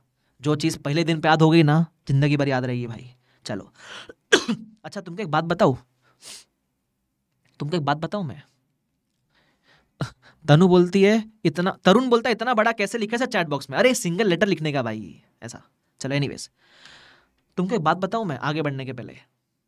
मैं मुकेश अंबानी की बात कर रहा था ना? मुकेश अंबानी काफ़ी मानता है मुझे। नहीं पता तुम लोग को? क्यों? अरे वो मुझे इतना मानता है मतलब वो जो मुकेश अंबानी है मैं उसको प्यार से मुकिया बोलता हूँ? He is very fond of me वो इतना मुझे मानता है कि उसने अपना जो बड़ा बेटा है, उसका नाम क्या है? मुकेश अंबानी के बड़े बेटे का नाम क्या है? क्या नाम है? आकाश अंबानी। पता है तुमको ये बात? क्यों रखा उसका नाम आकाश अंबानी? मेरे से पूछा पहले कि आकाश सर आकाश सर, मैं अपने बड़े बेटे का नाम आप पे रखना चाहता हूँ। मैंने काफ़ी सोचा, मैंने बोला ठीक है। अलाउ करता हूँ। उसने काफ़ी रिक्वेस्ट की मेरे से। देखो, मैं चाहता तो उसका वो जो है ना, उसका कौन सा घर है वो वन बी एच के वो है ना छोटा सा, वो छोटा घर है उसका, एंटीलिया। हाँ वो छोटा सा, सबसे सस्ता घर है दुनिया का, वही। तो मैं चाहता उससे वो मांग सकता था। मांगा। उसने मुझे बोला भी कि आप आप आप मुझे अलाउ कर रहे हो अपने बेटे का नाम सेम रखने के लिए। है ना, वो छोटा वाला। मैंने फिर भी बोला, यार, जाने दे अपना छोटे भाई जैसा मुखिया। मैं बोला कीप द चेंज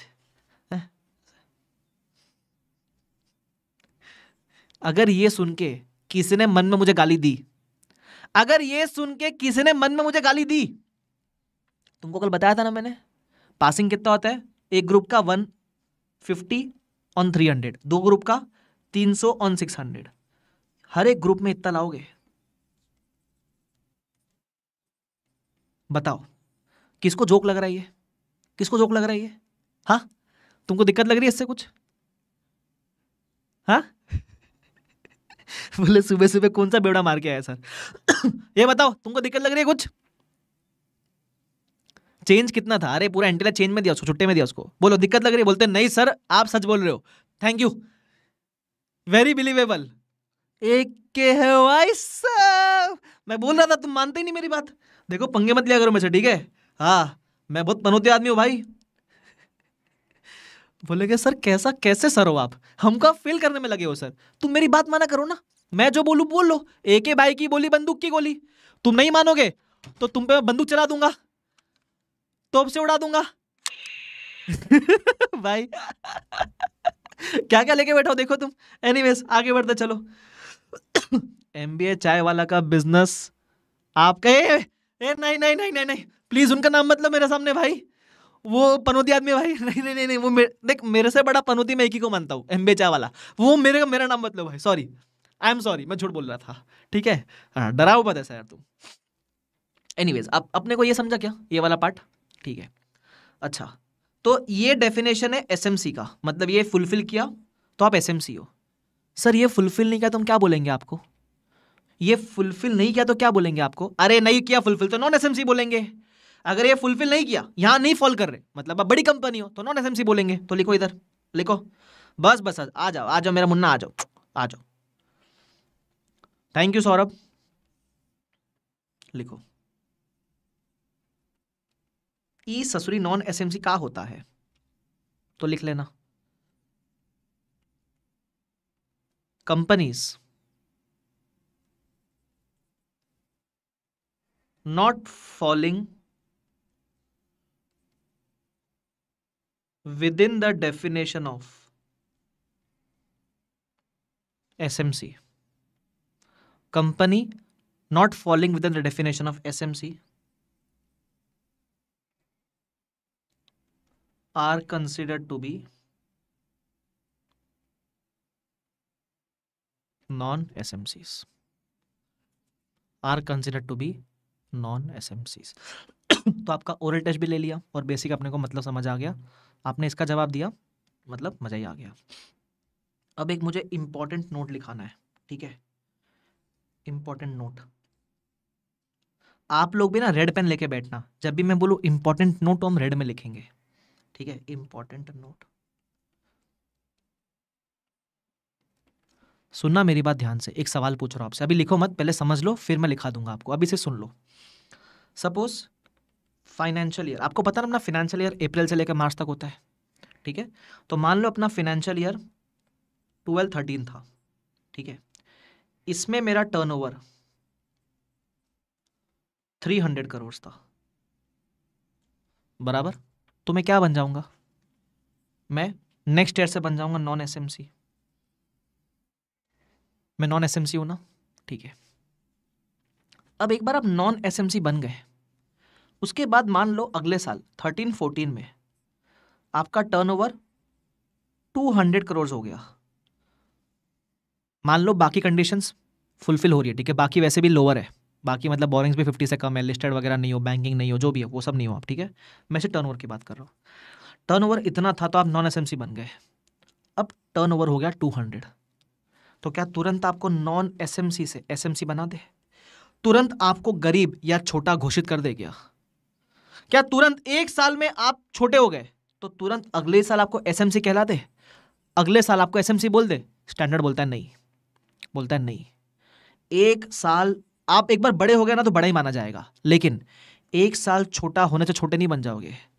अगर सपोज़ दो साल तक ऐसा हो गया तो? सपोज़ नेक्स्ट ईयर भी टर्नओवर 150 करोड़ हो गया। तो अगर आपको बड़े कंपनी से छोटे कंपनी में आना है तो दो साल तक छोटा बन के दिखाना पड़ेगा। वापस से।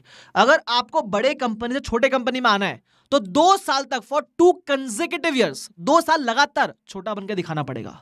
बराबर क्या? तो इसको एसएमसी कब बोलेंगे? मैं इधर लिखूँगा। नॉन एसएमसी कैन बिकम चलो, मैं ना एक काम करो नोट में लिखो इधर इधर लिखो इधर। इंपॉर्टेंट नोट में अब रेड पेन से लिखो, फिर आप नीचे कंक्लूजन लिख देंगे। इंपॉर्टेंट नोट लिखना। An existing company which was previously non SMC मतलब जो पहले बड़ी कंपनी थी which was previously non SMC can become SMC only if only if it meets the definition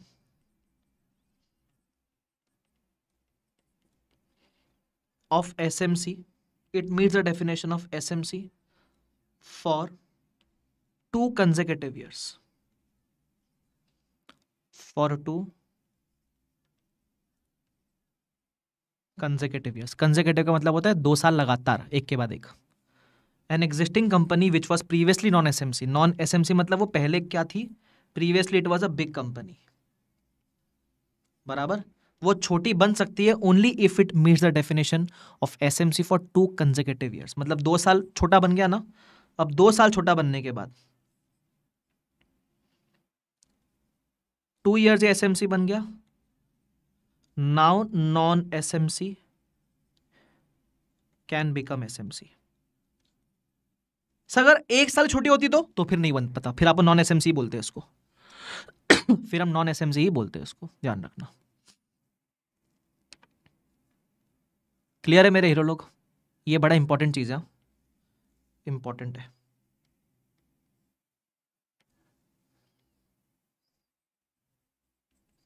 Important I hope this is clear to everyone simple है। ये same चीज़ question में आएगी तो ध्यान रखना। एक क्वेश्चन में आएगा ये चीज़। आगे बढ़ू, आगे बढ़ रहा हूँ मैं। अब मैं इधर आ रहा हूँ। अदर देन कंपनी को लेकर। ये S M C non S M C वाला सब हिसाब हो गया, ठीक है?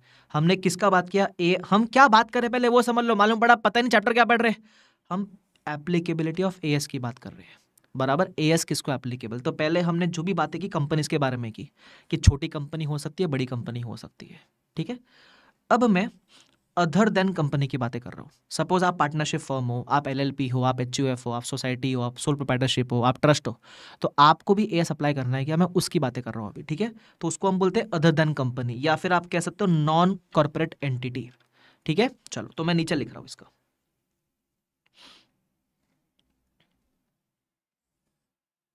कंपनीज़ का हो गया कंपनी को छोड़ दो अभी, ठीक है? आगे।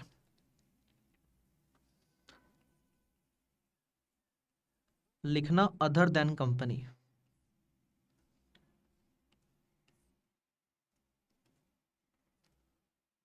basically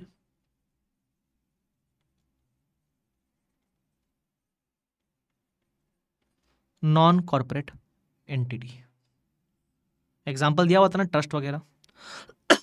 अब ये अदर देन कंपनी में ना total there are four levels चार लेवल है इसके अंदर।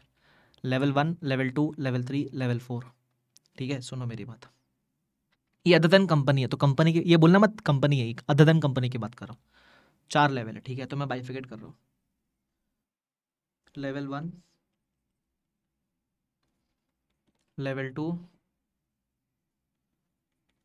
level three level four ठीक है? अब ये क्या लेवल्स क्या है? मैं समझाने का ट्राई करता हूँ।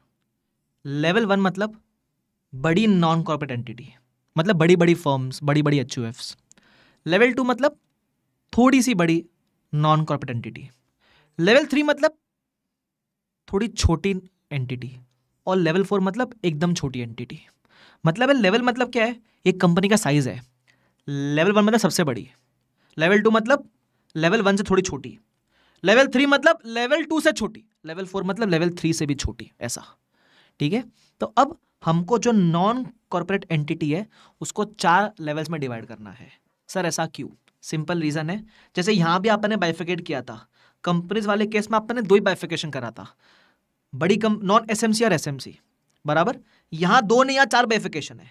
Level one level two level three level four ऐसा। बराबर? अब ऐसा क्यों? हमने क्या किया था? अगर नॉन एसएमसी है तो बोला तुमको सब अप्लाई करना है। और एसएमसी को क्या बोला? कि तुमको एक पूरा माफ़ है। बाकी में रिलैक्सेशन है। ऐसा बोला था ना सेम इनको बोलेंगे कि तू लेवल वन है, तू बहुत बड़ा है, तेरे को कोई माफ़ी नहीं है। लेवल टू है, तेरे को थोड़ी माफ़ी देंगे। लेवल थ्री है, तेरे को बहुत सारी माफ़ी देंगे। लेवल फोर है, तेरे को ढेर सारी माफ़ी देंगे।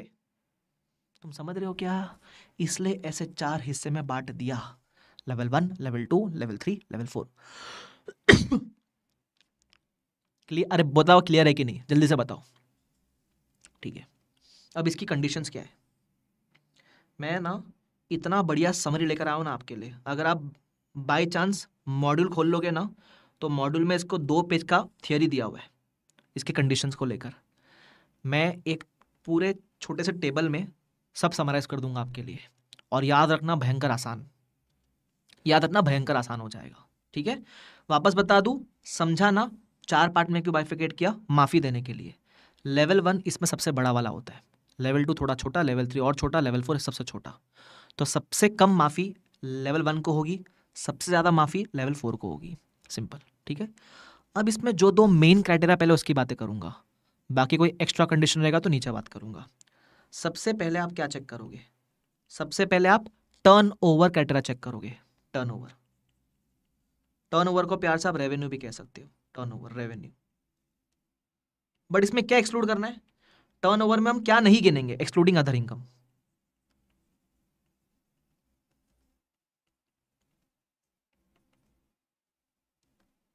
excluding other income अच्छा ये टर्नओवर कब का चेक करना है? In previous financial year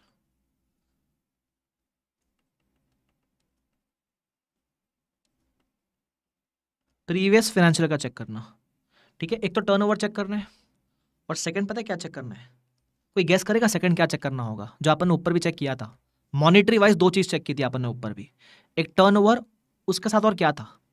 very good borings यहाँ भी वो चेक करेंगे। Borrowings in previous financial year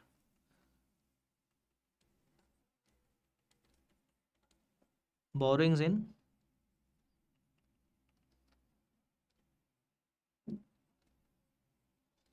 previous financial year ये दो चीज़ चेक करनी है अपने को। ठीक है? अच्छा अब टर्नओवर लेवल वन में कब आएगा? जब आपका टर्नओवर 250 से ज़्यादा है, when it exceeds, लिख देता हूँ, exceeds 250 करोड़ मतलब टर्नओवर 250 के ऊपर है। जैसे ऊपर कैसा था? इधर।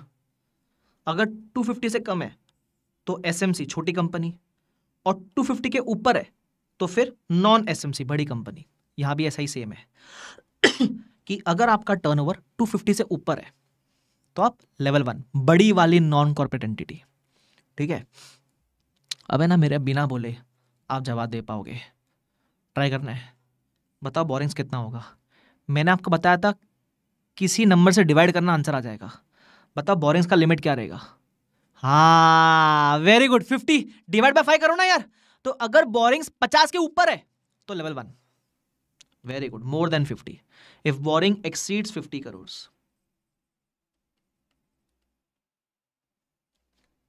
क्या? देखो, मैं बोला था ना, काम आएगा। मेरे बिना बोले जवाब दे पा रहे हो भाई फील आनी चाहिए तुमको। ठीक है? मेरे बिना बोले जवाब दे दिया तुमने, मज़ा आ गया भाई साहब। तो अगर टर्न ओवर टू फिफ्टी के ऊपर लेवल वन बोरिंग फिफ्टी के ऊपर लेवल वन ठीक है? उसके अलावा, एक और चीज़ लिखना।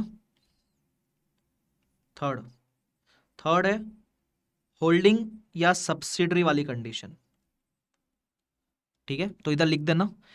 अगर आप किस, अगर सपोज़ आप लेवल वन नहीं हो, लेकिन आपकी अगर पेरेंट या सब्सिडी लेवल वन है तो आपको भी लेवल वन मान लेंगे। यहाँ, जैसे यहाँ देखा था अपन ने।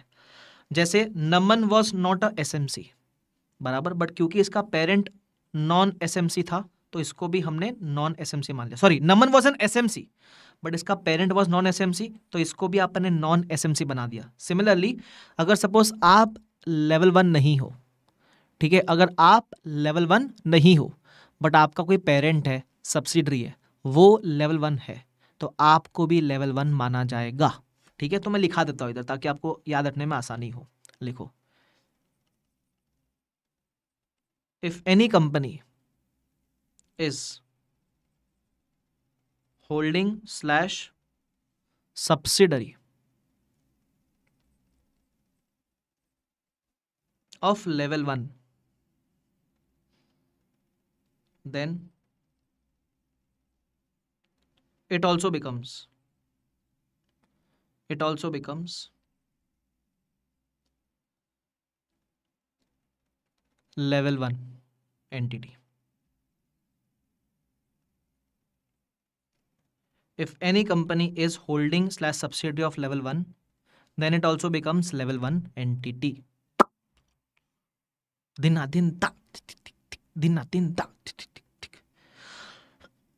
Actually मुझे एनी कंपनी नहीं बोलना चाहिए एनी एंटिटी बोल दू? एक एनी एंटिटी बोल दू कंपनी तो फिर ऊपर हो जाएगा ना कंफ्यूजन हो जाएगा आपको। तो एनी एंटिटी लिख दो उसको काट के। बराबर? एग्ज़ाम्पल वही सिंपल अगर आपका माई बाप लेवल वन तो आप भी लेवल वन। ठीक है? यस चलो। आगे बढ़ो आगे बढ़ो। मेन बताओ मेन दो ही कंडीशन है। बाकी की जो कंडीशन आपने ने लिखी, वो ये तो ठीक है। मेन यहाँ चेक करना है आपको। ठीक है? कोई अदर कंडीशंस भी है क्या? अदर कंडीशंस भी है। अब है ना अदर कंडीशन में एक लफड़ा है। मैं बताऊँगा आपको क्या लफड़ा है। मैं पहले आपको अदर कंडीशंस लिखा देता हूँ।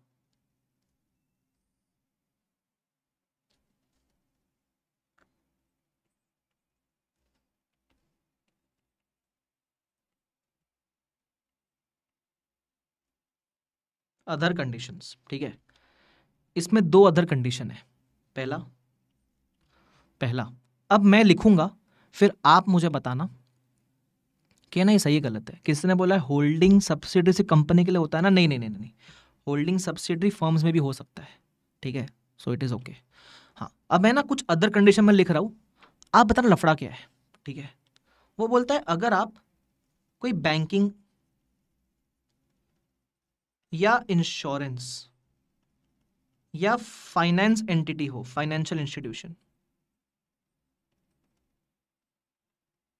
क्या लिखा है? बैंकिंग इंश्योरेंस आईएनएस मतलब इंश्योरेंस या फिर फाइनेंशियल इंस्टीट्यूशन हो। तो आपको अप्लाई कर, आप लेवल वन में आ जाओगे। अब आप बोलोगे, सर बैंकिंग हो तो कंपनी हो गया ना आप? नहीं नहीं नहीं नहीं। आपने सुना है there are some cooperative banks जैसे ना मेरा मेरा एक अकाउंट है बैंक में greater cooperate greater bank cooperative ऐसा कुछ तो है। फिर जन कल्याण कोऑपरेटिव बैंक बराबर तो वो कंपनी नहीं है, वो नॉन कॉपरेट एंटिटीज़ है, वो registered as a societies cooperative banks तो वो आ सकती है इसके अंदर। ठीक है तो अगर आप कोई बैंकिंग कोऑपरेट सोसाइटी हो, कोई इंश्योरेंस हो, कोई फाइनेंशियल इंस्टीट्यूशन हो, इसमें आती है कोऑपरेट एग्ज़ाम्पल लिख दो एग्ज़ाम्पल कोऑपरेटिव बैंक्स देखा रहेगा, तुम्हारे घर के बगल में किधर मिलेगा तुमको? कभी घूमोगे फिर देखना। बैंक कहाँ लिखा रहेगा? This bank is cooperative bank ऐसा करके। बराबर तो कोऑपरेटिव बैंक है। तो वो भी लेवल वन में आ जाएगी। Please don't say that sir bank तो कंपनी हो गई ना? नहीं नहीं नहीं। बैंक अदर देन कंपनी भी होती है। ठीक है? थैंक यू ध्रुवी चलो, एक और बताओ। एक और लिख रहा हूँ। अब इसमें क्या गफला है? तुम आइडेंटिफाई करोगे। मैं अदर कंडीशन लिख रहा हूँ, ठीक है? अगर बैंक वगैरह हो तो लेवल वन उसके अलावा उसके अलावा। पता है इसमें क्या लिखा है? बोलते हैं, अगर आप लिस्टेड हो या लिस्टिंग के प्रोसेस में हो ऑन एनी स्टॉक एक्सचेंज अगर आप लिस्टेड हो या फिर लिस्टिंग के प्रोसेस में हो ऑन एनी स्टॉक एक्सचेंज एक सेकेंड इसको क्या हो गया भाई? रुको जरा। एक मिनट दे देना। मुझे वापस लिखना पड़ेगा, रुको। लिस्टेड हो स्लैश लिस्टिंग के प्रोसेस में हो। On any stock exchange. हाँ स्क्रीन वापस आ गई। हाँ। अब मुझे बताओ, ये सेकेंड कंडीशन में दिक्कत क्या है? सोच समझ के बताना। आपको कोई दिक्कत फील हो रही है? मैं बेसिकली आपसे क्यों पूछ रहा हूँ? ताकि आपके इंटरप्रिटेशन स्किल्स थोड़े से बढ़ जाए, अच्छे हो जाए थोड़े, और कुछ नहीं, और कोई मोटिव नहीं है मेरा। बताओ, क्या दिक्कत लग रही है सेकंड वाले कंडीशन में? सोच समझ के बताओ। वेरी गुड आंसर ये जो लिस्टिंग विस्टिंग होता है, ये लिस्टिंग तो कंपनी का होता है। भाई, अगर तुमको स्टॉक मार्केट में लिस्टेड होना है तो तुमको कंपनी बनना पड़ेगा। ये कंडीशन एक्चुअल में यहाँ आनी नहीं चाहिए। कभी भी तुमने देखा पार्टनरशिप फॉर्म लिस्ट हो गई। वो कभी हो ही नहीं सकती। लिस्टिंग होने का सबसे पहला क्राइटेरिया है अगर तुम फर्म भी हो तो तुमको पहले फर्म से कंपनी बनना पड़ेगा और फिर तुम लिस्टिंग का प्रोसेस में जा सकते हो। तो एक्चुअली ये कंपनी ये जो ये जो कंडीशन है ये कंपनी की होनी चाहिए। एकदम सही बोला एकदम सही बोल रहे हो। पूजा निशिका निश, निशिका नमन सुशील दिशा माही सबने सही बोला कि सर ये तो होना ही नहीं चाहिए। मैं भी कह रहा हूँ नहीं होना चाहिए। है। कहा है? मॉडल में है। बराबर? तो आइडियली लॉजिकली देखे तो ये नहीं आना चाहिए।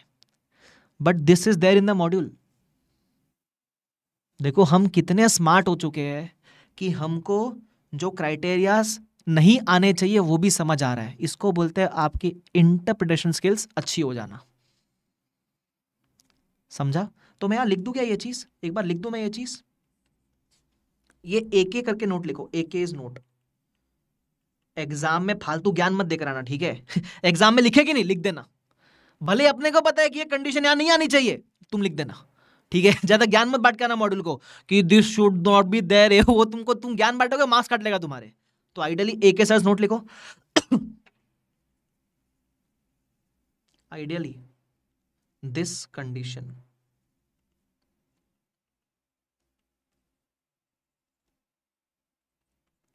should not be there.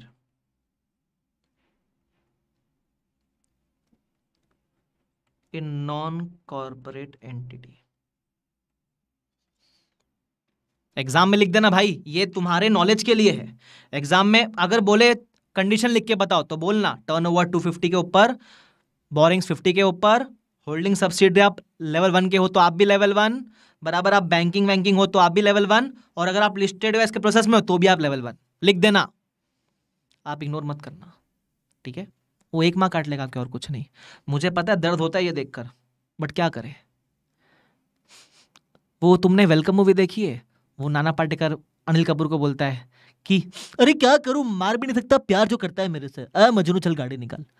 Welcome movie देखना कभी, बड़ी कॉमेडी मूवी है। अ मजनू, चल गाड़ी निकाल फटाफट अच्छा है। बड़े आगे ये तुमको समझा क्या? देखो तुम जैसे समझदार बच्चे को मुझे पढ़ाना आसान हो जाता है, पता है क्यों? तुम लोग खुद समझदार हो ना इसलिए। चलो।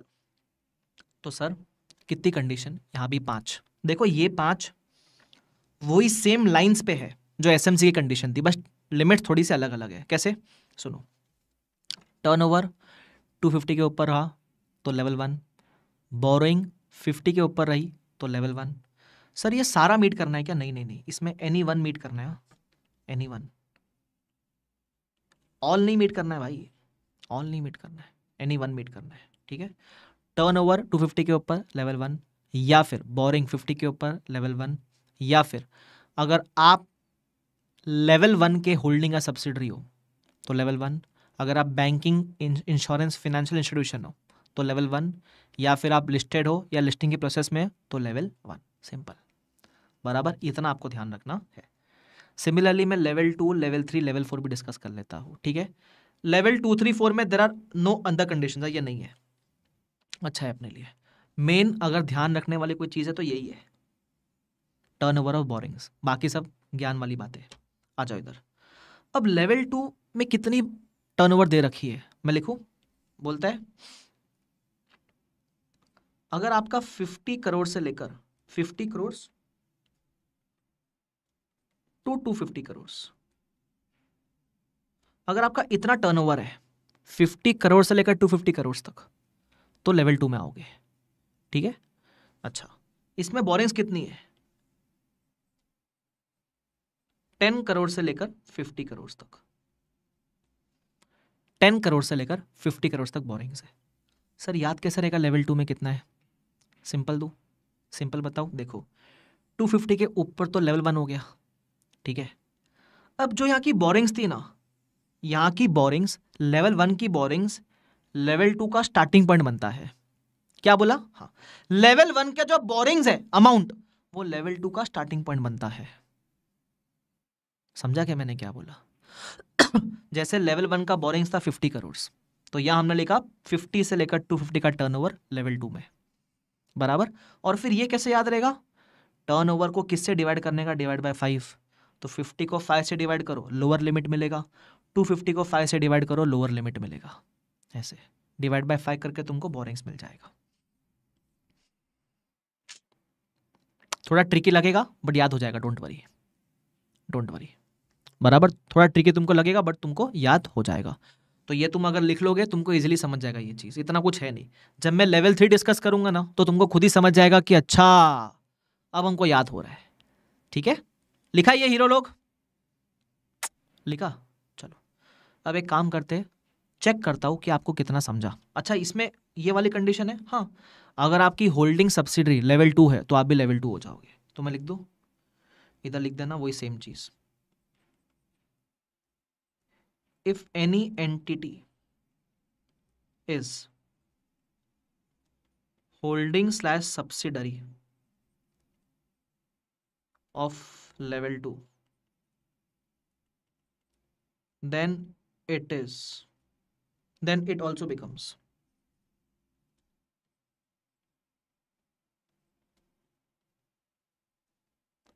level 2 entity if any entity is holding subsidy of level 2 then it also becomes level 2 entity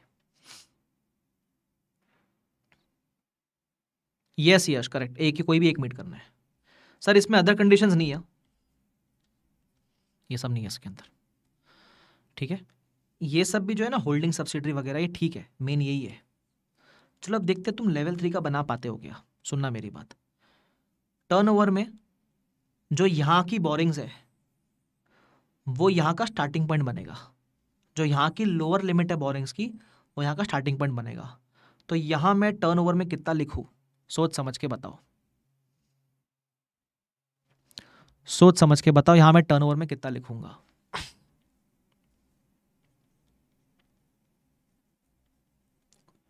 ten crore से लेकर fifty crore very good answer कितना लिखेंगे अपन?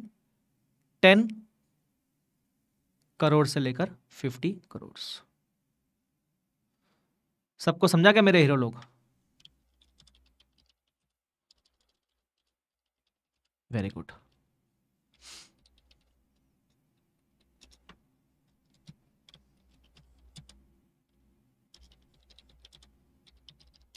अच्छा एक बात बताओ। तुमसे एक सवाल पूछो क्या? एक सेकेंड चला गया। हाँ। सवाल पूछो तुमसे एक? आएगा। बोरिंग्स ट्राई करोगे बोरिंग्स बोरिंग ट्राई करोगे डिवाइड बाय फाइव का रूल लगाओ। डिवाइड बाय फाइव का रूल लगाओ बोरिंग्स ट्राई करो भाई। ये डिवाइड बाय फाइव तो कितना आ जाएगा? टू करोड़ और ये divide by five ten crore A, hey sir, रहा नहीं जाता राइट आंसर आ गया, सर। तो कभी भी तकलीफ़ लगे ना, लिख लिया करो। ठीक है? कभी भी तकलीफ़ लगे तो लिख लिया करो बस। अच्छा। डिवाइड बाय फाइव का रूल सिंपल अब यहाँ का जो लोअर लिमिट है, वो यहाँ का टर्नओवर क्राइटेरिया बनेगा। अब ये लास्ट लेवल है, ठीक है? तो जो भी लेस देन टू करोड़ वाले sorry less than ten crore वाले, वो अपन टर्नओवर में ले लेंगे। ऐसा मान लो up to ten crore up to ten crore मतलब यहाँ भी टू से टेन मत बोलो। आप बोलोगे टू से लेकर टेन तक इधर लिखो सर। टू से टेन बोले गलत हो जाओगे। क्यों? अबे लेवल फाइव है ही नहीं ना। लेस देन टू वाले कहाँ जाएँगे? तो यहाँ बोलो अप टू टेन करोड़ वापस यहाँ ये डी की तरह टू से लेकर टेन मत बोलना भाई। लेस देन टू वाले कहाँ जाएँगे? इसके आगे कोई लेवल ही नहीं है। ये लास्ट लेवल है। तो बोलना जो भी है टेन तक up to ten crore up to ten crore इधर आ जाना। अप टू टेन यहाँ आ जाना। बराबर? अच्छा बोरिंग्स में।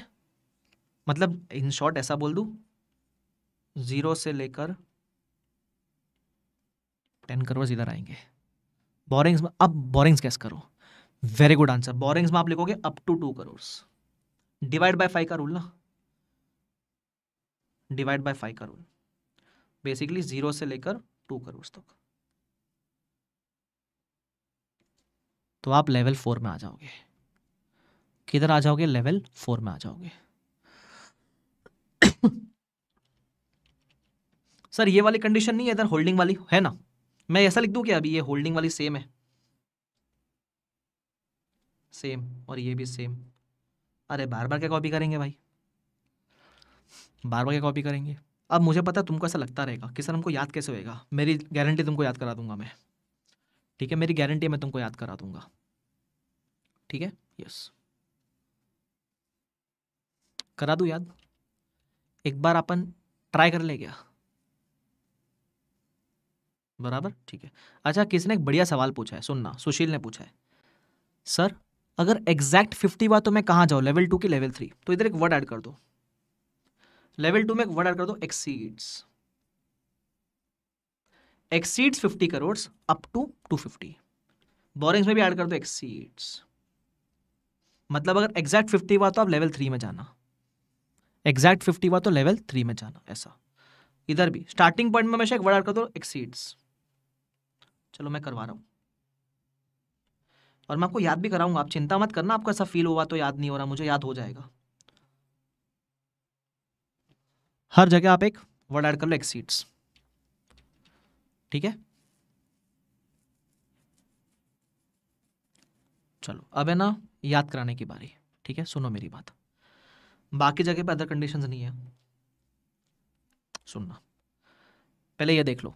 लेवल वन में कितना है? टू फिफ्टी फिफ्टी बराबर, यहाँ का एंड पॉइंट बनता है, यहाँ का स्टार्टिंग पॉइंट फिफ्टी से टू फिफ्टी बराबर और डिवाइड बाय फाइव फिर यहाँ का एंड पॉइंट बनता है, यहाँ का स्टार्टिंग पॉइंट तो यही टेन से फिफ्टी फिर डिवाइड बाय फाइव बराबर, फिर जो बचा कुचा टर्न है, वो यहाँ, और डिवाइड बाय फाइव उतनी बोरिंग्स ये बेसिक याद रखो, अब आओ. अब आओ हीरो लोग, आ जाओ. किसी ने लिखा है, सर आप हीरो लोग क्यों बोलते हो? हीरोइन लोग भी बोलो.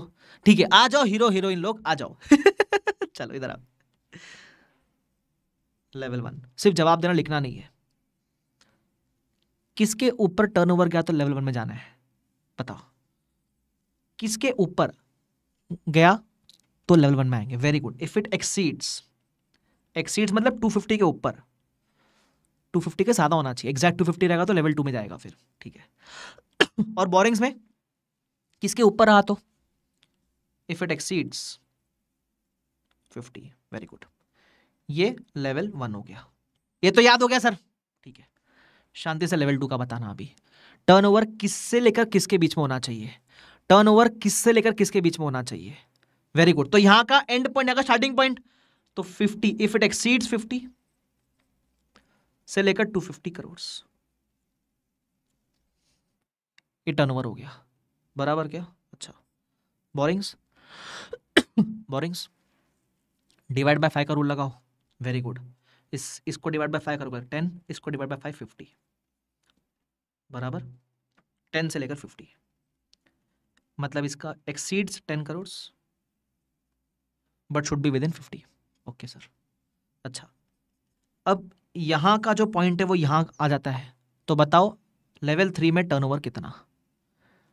क्या बात है यार. लेवल थ्री में टर्नओवर एग्जैक्टली ये हो जाएगा. तो मैं बोलूँ टेन से लेकर फिफ्टी मतलब exceeds ten crore and it should be within fifty crore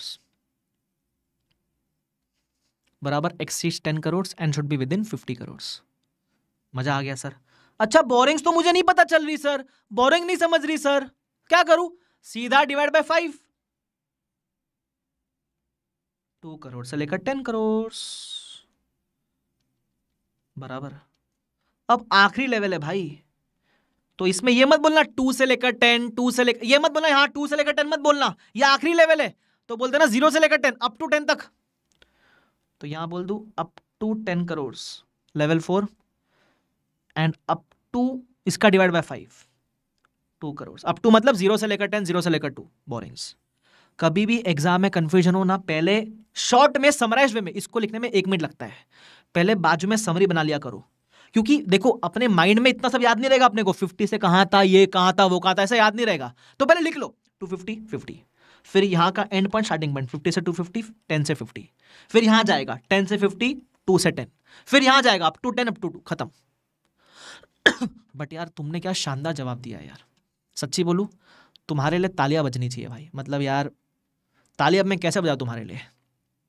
You are you are worth मतलब तुमने क्या एफर्ट मारा है? ताली बजाता रुको। वाह सर ताली बजवा दी सर। बजवा दी भाई साहब। मज़ा आ गया सर जी। ठीक है so good job very good every तुमको समझ आ रहा है? ऐसा लग रहा है थोड़ा बहुत तो याद हुआ। अरे अभी तक तो, तुमने घर पे किताब खोली भी नहीं है फिर भी हल्का फुल्का तो याद हो गया ना? और जहाँ गलती कर रहे थे वो भी समझ गया रहेगा अभी। वेरी गुड बोलो यस सर जल्दी से बोलो यस सर तो मैं आगे बढ़ूँगा फिर। मैं बोलूँ ये चैप्टर खत्म होने को आ रहा है भाई। ये चैप्टर खत्म होने को आ रहा है। हाँ। मैं आपके लिए भी बजा देता हूँ। मेरे लिए मेरे लिए बंदूक बजाएँगे। चलो। ये पता बंदूक आवाज़ भी करती है, सुने को आई आवाज़? ये मुझे, मेरे स्टूडेंट ने गिफ्ट किया है भाई। उनको पता है मेरी हरकतें ऐसी है तो बोलते सर, आपके लिए क्लास में यूज़ करना। मैंने बोला, ओके। चलो हाँ। क्लियर ठीक है। अब ना कुछ कुछ बातें और कर रहा हूँ, ये तो आपने लिख लिया। अब वैसे खत्म होने को आ गया, लेकिन मुझे कुछ बताना है आपको। अब ये हमने क्यों बाइफिकेट किया भाई? ये level one level two level three level four के मिला क्या तुमको? अरे हम एग्जामेशन डिस्कस करेंगे। अब लेवल वन को कौन सा एग्जामेशन है पूरे पूरे? लेवल टू को कौन सा एग्जामेशन है पूरे पूरे? और कौन सा एग्जामेशन है पार्शल याद है ना, एक होता है एग्जामेशन और एक होता है रिलैक्सेशन इनको भी यही है। अब सर उतनी लिस्ट हम याद करेंगे क्या? नहीं। तुम्हारे किताब में है तो मैं लिखा रहा हूँ। You are not expected to remember so much आप सिर्फ़ ऊपर नॉन जो एस एम सी था ना S M C S M C का एग्जामेशन बस याद रखना। बाकी जो मैं अभी लिखाने वाला हूँ, मैं, आपको मैं बोल भी दूँगा ना, याद कर लेना। It is practically not possible for you guys to remember it so मैं बोलूँगा, मत फोकस करना उस पर ठीक है? बस लिखा कर रखना ताकि दिखे तो याद आ जाएगा। तो एक बार लिख लेते हैं। आ जाओ। आ जाओ। फटाफट लिखो। तो अब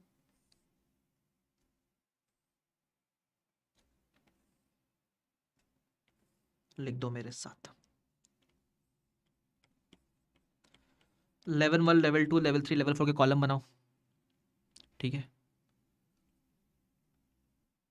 हेडिंग दे देना exemptions and relaxation to non corporate entities सब लोग लिखेंगे हाँ? ज़्यादा ओवर स्मार्ट मत बनना। सर, मैं तो प्रिंट आउट ले लूँगा। एग्ज़ाम में रिटर्न प्रैक्टिस बहुत ज़रूरी होती है भाई। प्लीज़ अपने करियर से मत खिलवाड़ करो। प्लीज़ लिख लेना। ठीक है? गोली बेटा, मस्ती ना आई हाँ। चलो। अब हम पहले लिख देते particulars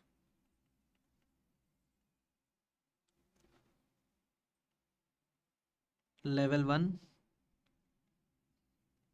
level two level three level four तुमको पता है भाई दवे तुमको ये याद कैसे हो रहा है? थोड़ा सा आसानी से याद पता है कैसे हो रहा है? क्योंकि तुम लिख रहे हो मेरे साथ साथ में। तुम मानो ना मानो लिखते लिखते चीज़ें थोड़ी थोड़ी याद हो जाती है। ठीक है? हाँ चलो। अब सबसे पहले हम डिस्कस करेंगे फुल एग्जेप्शन फुल एग्जेम्पन मतलब समझता ना पूरी पूरी माफ़ी। बराबर, पहले वो लिखूँगा, दो लाइन छोड़ के मैं लिखाऊँगा रिलैक्सेशन या पार्शियल एग्जामेशन चलो ऐसा लिखो रिलैक्सेशन ब्रैकेट में लिखना पार्शियल एग्जामेशन मतलब पूरा एएस माफ़ नहीं है थोड़ा थोड़ा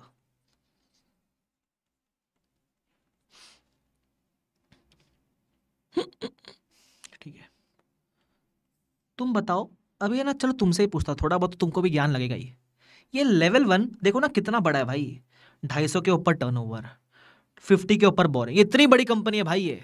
है ना लिस्टिंग विस्टिंग की बातें कर रहे हैं इन लोग, है ना बैंकिंग वगैरह है। इसको कुछ माफ़ी देनी चाहिए क्या?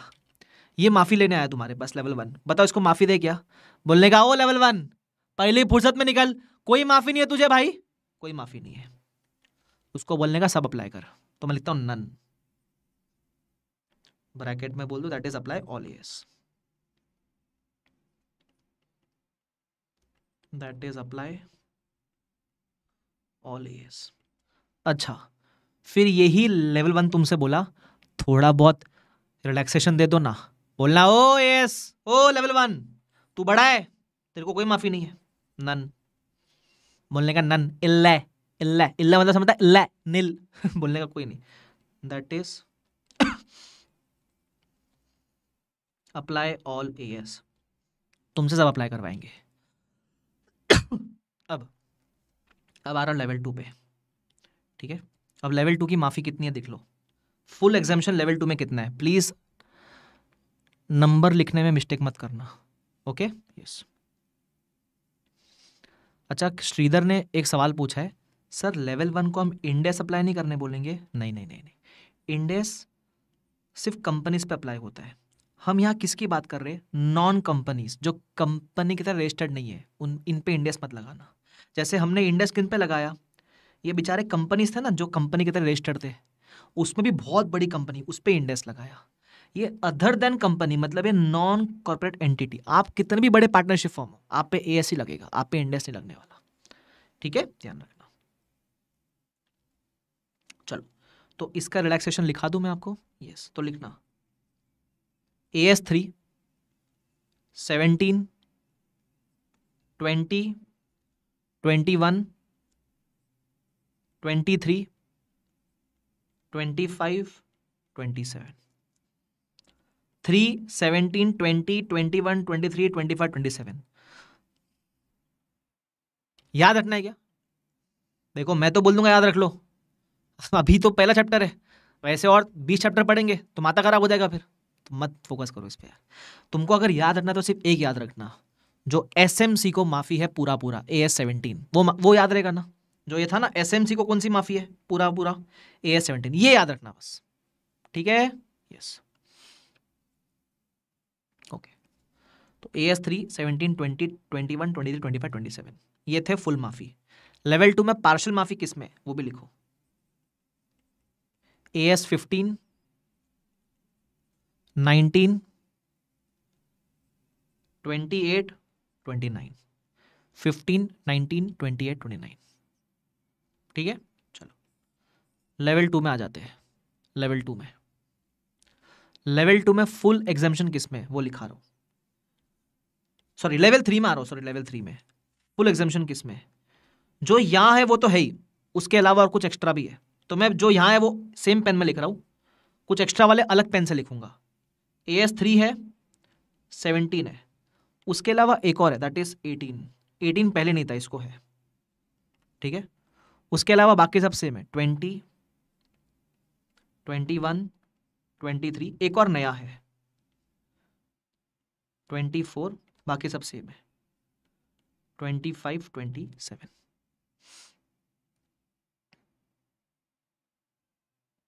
बराबर? Yes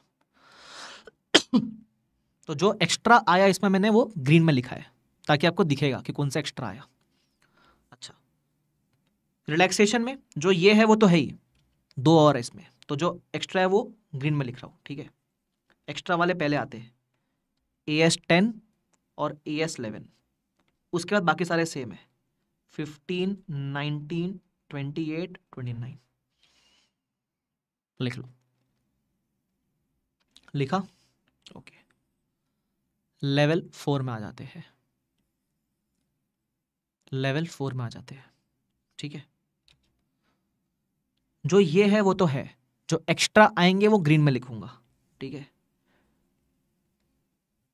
A S three A S three seventeen अच्छा एक में एक मिस हो गया। ए एस फोर्टीन आएगा पहले इसमें। ए एस फोर्टीन थ्री के बाद फोर्टीन हाँ फिर लिखना।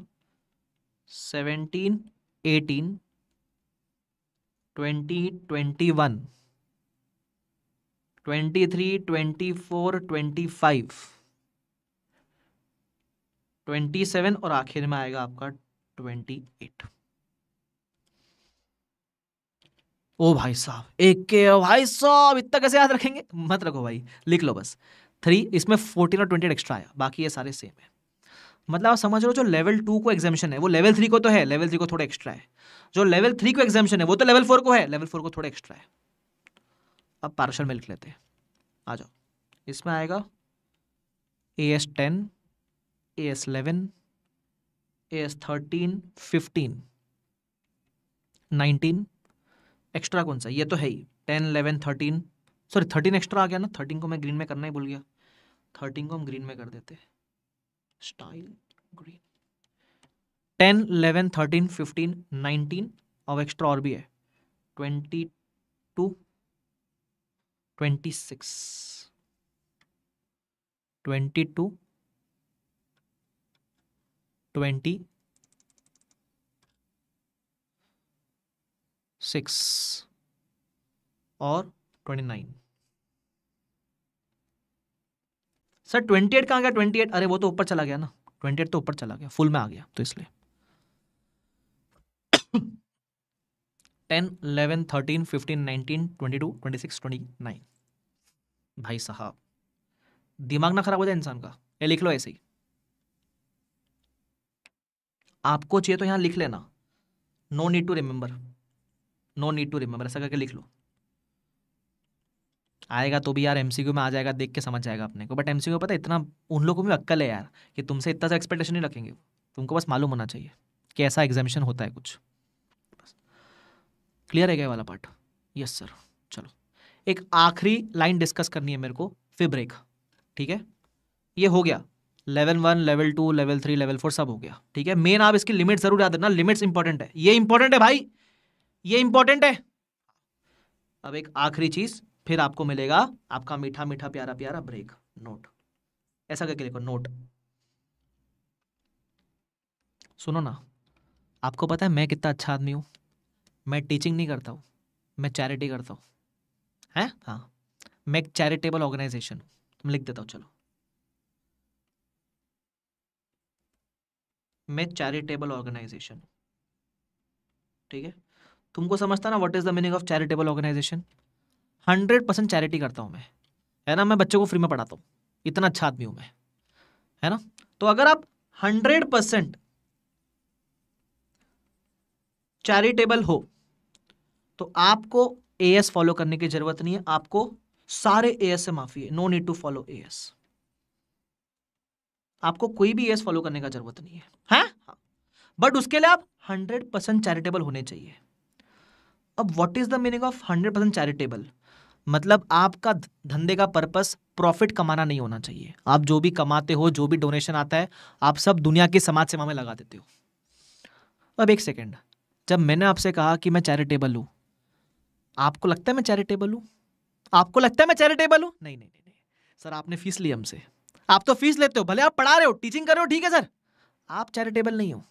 मतलब कभी कभी क्या होता है, कोई एनजीओ के अंदर थोड़ा बहुत बिज़नेस ट्रांजेक्शन भी होता है to earn profits not to help others to earn profits for the company तो अगर आपका वन परसेंट भी वन परसेंट भी आपका अगर बिज़नेस वाला काम है मतलब पूरे धंधे के अंदर एक परसेंट भी अगर आप प्रॉफिट मोटिव से काम कर रहे हो चैरिटेबल नहीं हो even one percent.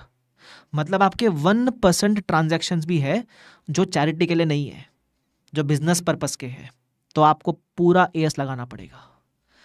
Charitable organisation normally section eight companies बोलते हैं इसको। है ना? आपने सिखा रहेगा एनपीओ वगैरह नॉट फॉर प्रॉफिट ऑर्गेनाइजेशन बराबर? तो मैं लिखता हूँ even if even if one percent one percent business activities are commercial.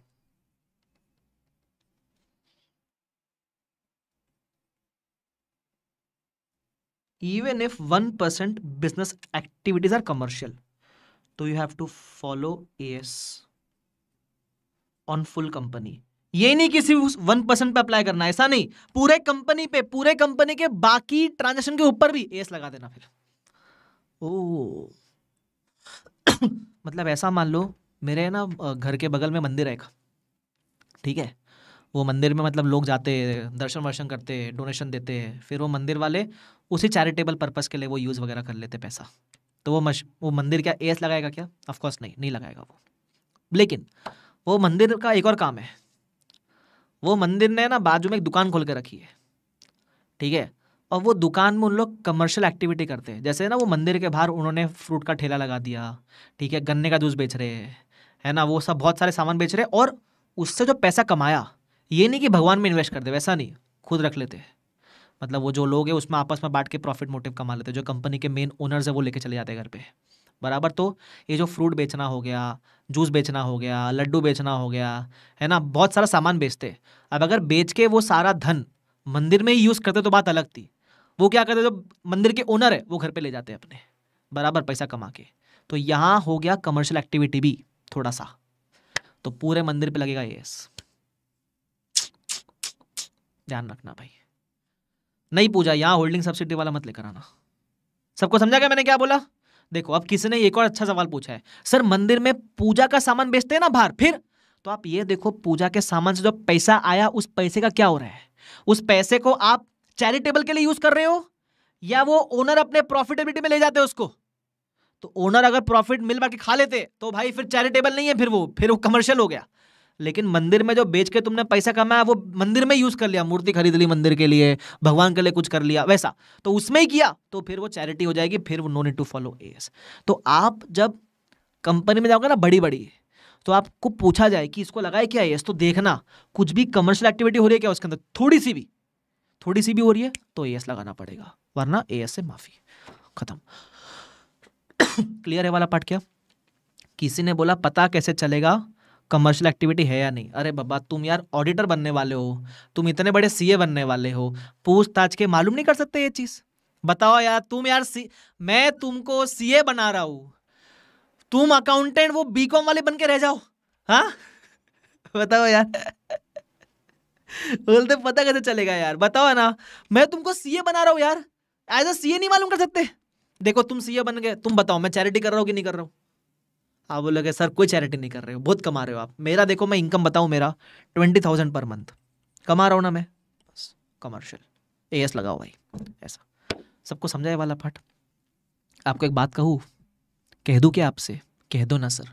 कह दूँ आपसे? कह दो ना, सर। ये चैप्टर का कंसेप्चुअल पार्ट हो गया। है? हाँ। ये चैप्टर है ना, आप चाहिए तो ना मॉड्यूल में खोल के देख लेना, ठीक है? इतना फैला फैला के दे रखा है। एक ही चीज़ को चार पाँच बार लिख के दे रखी है। मैंने वो सब समेट दिया रेपिटेटिव चीज़ एलिमिनेट कर दी और लगभग कितना? एक, दो, तीन पेज में चैप्टर ख़त्म। तीन पेज में चैप्टर ख़त्म। और मेरी गारंटी है, मैंने एक भी पॉइंट मिस नहीं किया है। हर एक पॉइंट कवर किया है। मैंने सिर्फ़ रेपिटेटिव चीज़ें निकाली। चीज़ों को टेबुलर फॉर्म में प्रेजेंट किया तो अपने लिए याद रखना भी आसान हो गया। बराबर? बस यही किया मैंने आपके लिए। चार्ट फॉर्म में बना के दिया, अच्छी तरीके से एग्ज़ाम्पल वगैरह दिया। तो इतना बढ़िया काम हो गया। तुम समझ रहे हो? तो conceptual part is over sir, आप सिर्फ़ कंसेप्ट कराओगे क्वेश्चन नहीं। किसने बोला? क्वेश्चन के बिना एग्ज़ाम में कभी पास हुए क्या अपन? नहीं। तो इस चैप्टर के सारे क्वेश्चन भी कराऊँगा आपको। ठीक है? बट वो ब्रेक के बाद। तो now you guys deserve a cutie cutie sweetie sweetie break break के बाद इसी चैप्टर के क्वेश्चंस करेंगे। ठीक है? एग्ज़ाम में क्वेश्चन आ सकते हैं। हाँ एमसीक्यू फॉर्म में आएगा, दो मार्क का आएगा। क्वेश्चन फॉर्म में आएगा, चार से पाँच मार्क का आ सकता है। ठीक है? बट जो भी हो, अपन उसको कंप्लीट कर लेंगे पूरी तरीके से आफ्टर द ब्रेक तो ब्रेक लो बढ़िया सा ब्रेक के बाद मिलते हैं। Thank you so much bye everyone take care see all bye see after the break bye bye कितने बजे आओगे भाई? फोर इलेवन हो रहा है। Four twenty six P M आ जाना। ठीक है? फोर ट्वेंटी सिक्स पंद्रह मिनट। रोज अपन पंद्रह मिनट का ब्रेक लेंगे। That is sufficient for you चलो, तुम, मैं अच्छा आदमी हूँ। तुमको चलो पूरे एक मिनट एक्स्ट्रा ब्रेक दिया। ट्वेंटी सेवन पे आ जाना। देखो कितना बड़ा दिल है भाई अपना। दिल दरिया है अपना। हाँ? चलो जाओ। बाय बाय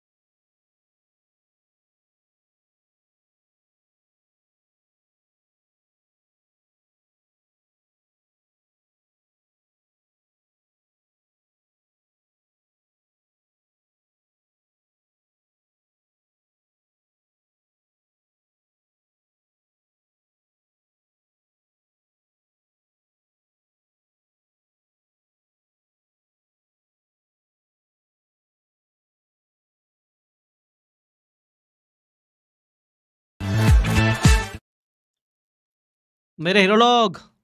अच्छा हीरो हीरोइन लोग भाई मालूम पड़ा बुरा मान जाएँगे। बताओ। कंटिन्यू करें।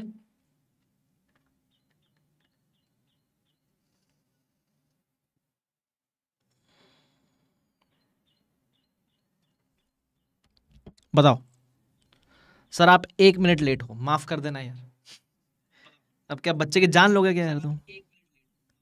हाँ, जान लोगे बच्चे की? चलो, जल्दी से बोलो एक बार, सब कुछ है प्रॉपर आ गए सब लोग?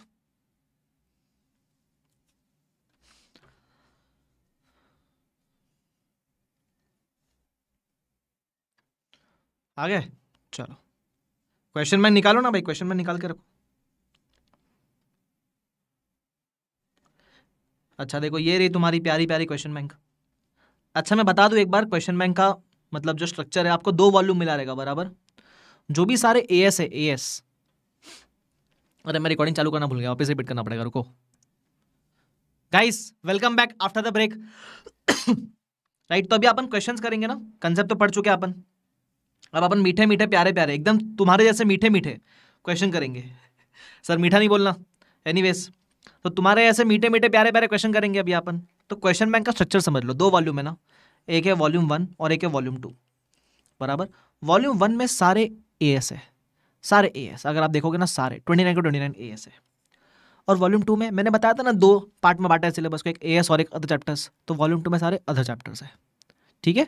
किसी के पास अब तक बुक नहीं आई है डोंट वरी ड्राइव पे इसका फ़र्स्ट चैप्टर का जो मैं करवा रहा हूँ उसका पीडीएफ डाल रखा है मैंने। ठीक है? तो अभी नहीं आई तो कोई बात नहीं मुझे देख देख के सुन लेना और जब आ जाएगी तब मार्किंग कर लेना। ठीक है? डोंट वरी चलो। um, यश अपने को, देखो सुनो मेरी बात, जब हम level one level two level three level four की कंडीशंस की बात कर रहे हैं यश तो हमको कोई भी एक लेवल मीट करना है, ठीक है? अब यश ने क्या पूछा है? सर, मेरा टर्नओवर यहाँ मीट हो रहा है टू फिफ्टी के ऊपर है, लेकिन मेरी बोरिंग्स यहाँ आ रही है। अरे बाबा, तू लेवल वन का कोई भी एक कंडीशन मीट कर गया ना तो तू पहले लेवल वन में आएगा। समझ हो? अगर तुम यहाँ का कुछ भी मीट कर गया तो पहले यहाँ आओगे। यहाँ नहीं आ रहे कहीं भी तो फिर यहाँ देखेंगे। यहाँ नहीं आ रहे कहीं भी तो फिर यहाँ देखेंगे, ऐसा। ठीक है यश? चलो। अपन क्वेश्चन करते हैं अभी। ये applicability of A S one point one के आसपास कुछ रहेगा वो। अच्छा यही है। ज़्यादा बड़ा है नहीं। चार से पाँच मार्क तक आ सकता है, वो भी हर अटेम्प में नहीं आएगा। कभी कभी पूछना रहेगा तो पूछ लेगा। ठीक है, ध्यान रखना। चलो। अरे, तुमको पता है क्या? मैंने आ, मैं अभी ब्रेक में गया था ना तो मुझे एक मतलब अभी मैं तुमको पढ़ा रहा हूँ इंटर वाले केस में। तो मुझे ना एक इंसिडेंट याद आया कि मैंने इंटर में क्या हरकत करी थी। जानना है क्या तुमको? टाइम पास है। दो मिनट लगेगा तुम्हारा थोड़ा ऐसा माइंड फ्रेश हो जाएगा और कुछ नहीं। मैं बताता हूँ मैंने मेरे को ऐसा लग रहा है यार नहीं करना चाहिए था यार। सुनो क्या हुआ था। तो है ना मैं इंटर में फेस टू फेस क्लासेस में था। तभी इतना ऑनलाइन चलता नहीं था तभी फेस टू फेस ज़्यादा होता था। ठीक है? तो फेस टू फेस में ना 200 250 200 स्टूडेंट्स बैठते थे एक बैच के अंदर, ठीक है? तो हमारे इसमें एक सब्जेक्ट था जो तुम्हारे इसमें भी निकल चुका है, ठीक है? एंड दैट वाज आईटी और एसएम एसएम तुमको है, बराबर आईटी तुमको नहीं है अभी। आईटी मतलब इंफॉर्मेशन टेक्नोलॉजी ठीक है? सब्जेक्ट था ये। तो है ना, इसके सर आए। इसके सर आए। First day of the class ठीक है? मतलब ये ग्रुप टू में आता था। तो पहले ग्रुप वन के सब्जेक्ट खत्म हुए, फिर ये शुरू हुआ बीच में किधर। है ना? जो बाद में जाके ई एस एस एम भी बन गया था। एनी वो छोड़ो। तो ये जो आईटी वाले सर थे फ़र्स्ट डे आए। अब है ना, तुम सोचो, मैं तो प्रोफेसर ऐसा हूँ मस्ती खोर तो मैं स्टूडेंट कैसा रहूँगा? तो मैं स्टूडेंट तो इससे भी ज़्यादा मस्ती खोर था भाई। तो जैसे ही सर आए ना तो वो सर की एक आदत थी, वो मेरी तरह ऐसे पीछे मारते थे। ठीक है? गंदे गंदे जोक मारते थे। तो उन्होंने आके पहले एक जोक मारा, दो जोक मारा थर्ड जोक मारा तो मेरा पेशेंस खत्म हो गया। और क्लास में कोई नहीं हंस रहा उनके जोक पे, ठीक है? मेरे ऐसे गंदे गंदे जोक मारते थे एकदम। तो वो थर्ड जोक मारे और मेरा दिमाग खराब हो गया। तो मैं एकदम सरकास्टिक में कैसे हँसते? है है, ऐसे करके ऐसा ऐसे करके एकदम पूरे क्लास में अकेले मेरी आवाज़ आई है, ठीक है? ऐसे करके ऐसा मैं। तो वो सर भड़क गया। सर बोलता है, किसने किया? कौन हंसा? तो पूरी क्लास देख रही एक दूसरे को। अब मैं डर के, मेरा नाम नहीं ले रहा किसी का भाई। ऐसे ऐसे देख रहे दूसरे को। तो सर भड़क गए, सर बोलते, अगर जिसने किया, वो नहीं उठा। सर को पता था कि पीछे के रो में से कहीं आया है। तो सर बोले, जिसने किया, अगर वो नहीं उठा तो पीछे की तीन रो बाहर चले जाएगी। मैं पूरी तीन रो को बाहर निकाल दूँगा पीछे की। अब मैं ऑफकोर्स पीछे ही बैठता था ना। तो उनको ये तो मालूम था, पीछे से आवाज़ आई। अब किसने किया, ये नहीं पता। तो बोला कि जिसने किया, वो नहीं उठेगा तो पीछे की तीन रो को बाहर जाना पड़ेगा। अब मैंने बोला, कोई बात नहीं I will take one for the team मैं खड़ा हो गया। मैं बोला, सर, मैंने किया। सर बोलते गेट आउट मैंने बोला सर आपने जोक मारा मैंने हंसा गलत किया उसमें. सर बोलते ऐसे कोई हंसता है क्या? है है. मैंने बोला सर मैं तो ऐसे ही हंसता हूँ मैं बचपन से ऐसे हंसता हूँ है, है। ये मैंने किया। सर का दिमाग खराब। सर बोले गेट आउट भाई बाहर निकाल दिया। तो मैं बाहर चला गया। तो फिर और वो सर जाते आते मुझे पता क्या बोला आज के बाद मेरी क्लास में दिख मत जाना। पूरा आईटी वाले क्लास में उसने बैठने नहीं दिया भाई मुझे। तो दो तीन दिन बाद तो जैसे ही आईटी का लेक्चर होता था, मुझे बाहर जाकर बैठना पड़ता था आधा एक घंटा। बैठने नहीं दिया उसने मुझे। तो मैं तो वो जो क्लासेस का ऑफ़िस था, वहाँ गया और मैंने तीन चार दिन बाद बोली दिया कि जब बैठने नहीं दे रहे हो तो फ़ीस तो रिफंड दे दो आईटी की। वो फ़ीस भी रिफंड नहीं दे रहे भाई। वो फ़ीस भी रिफंड नहीं दे रहे। अब चार पाँच दिन बाद क्या हुआ? वो लेक्चर चलता था रोज आधा घंटा, आधा पौना घंटा, एक घंटा।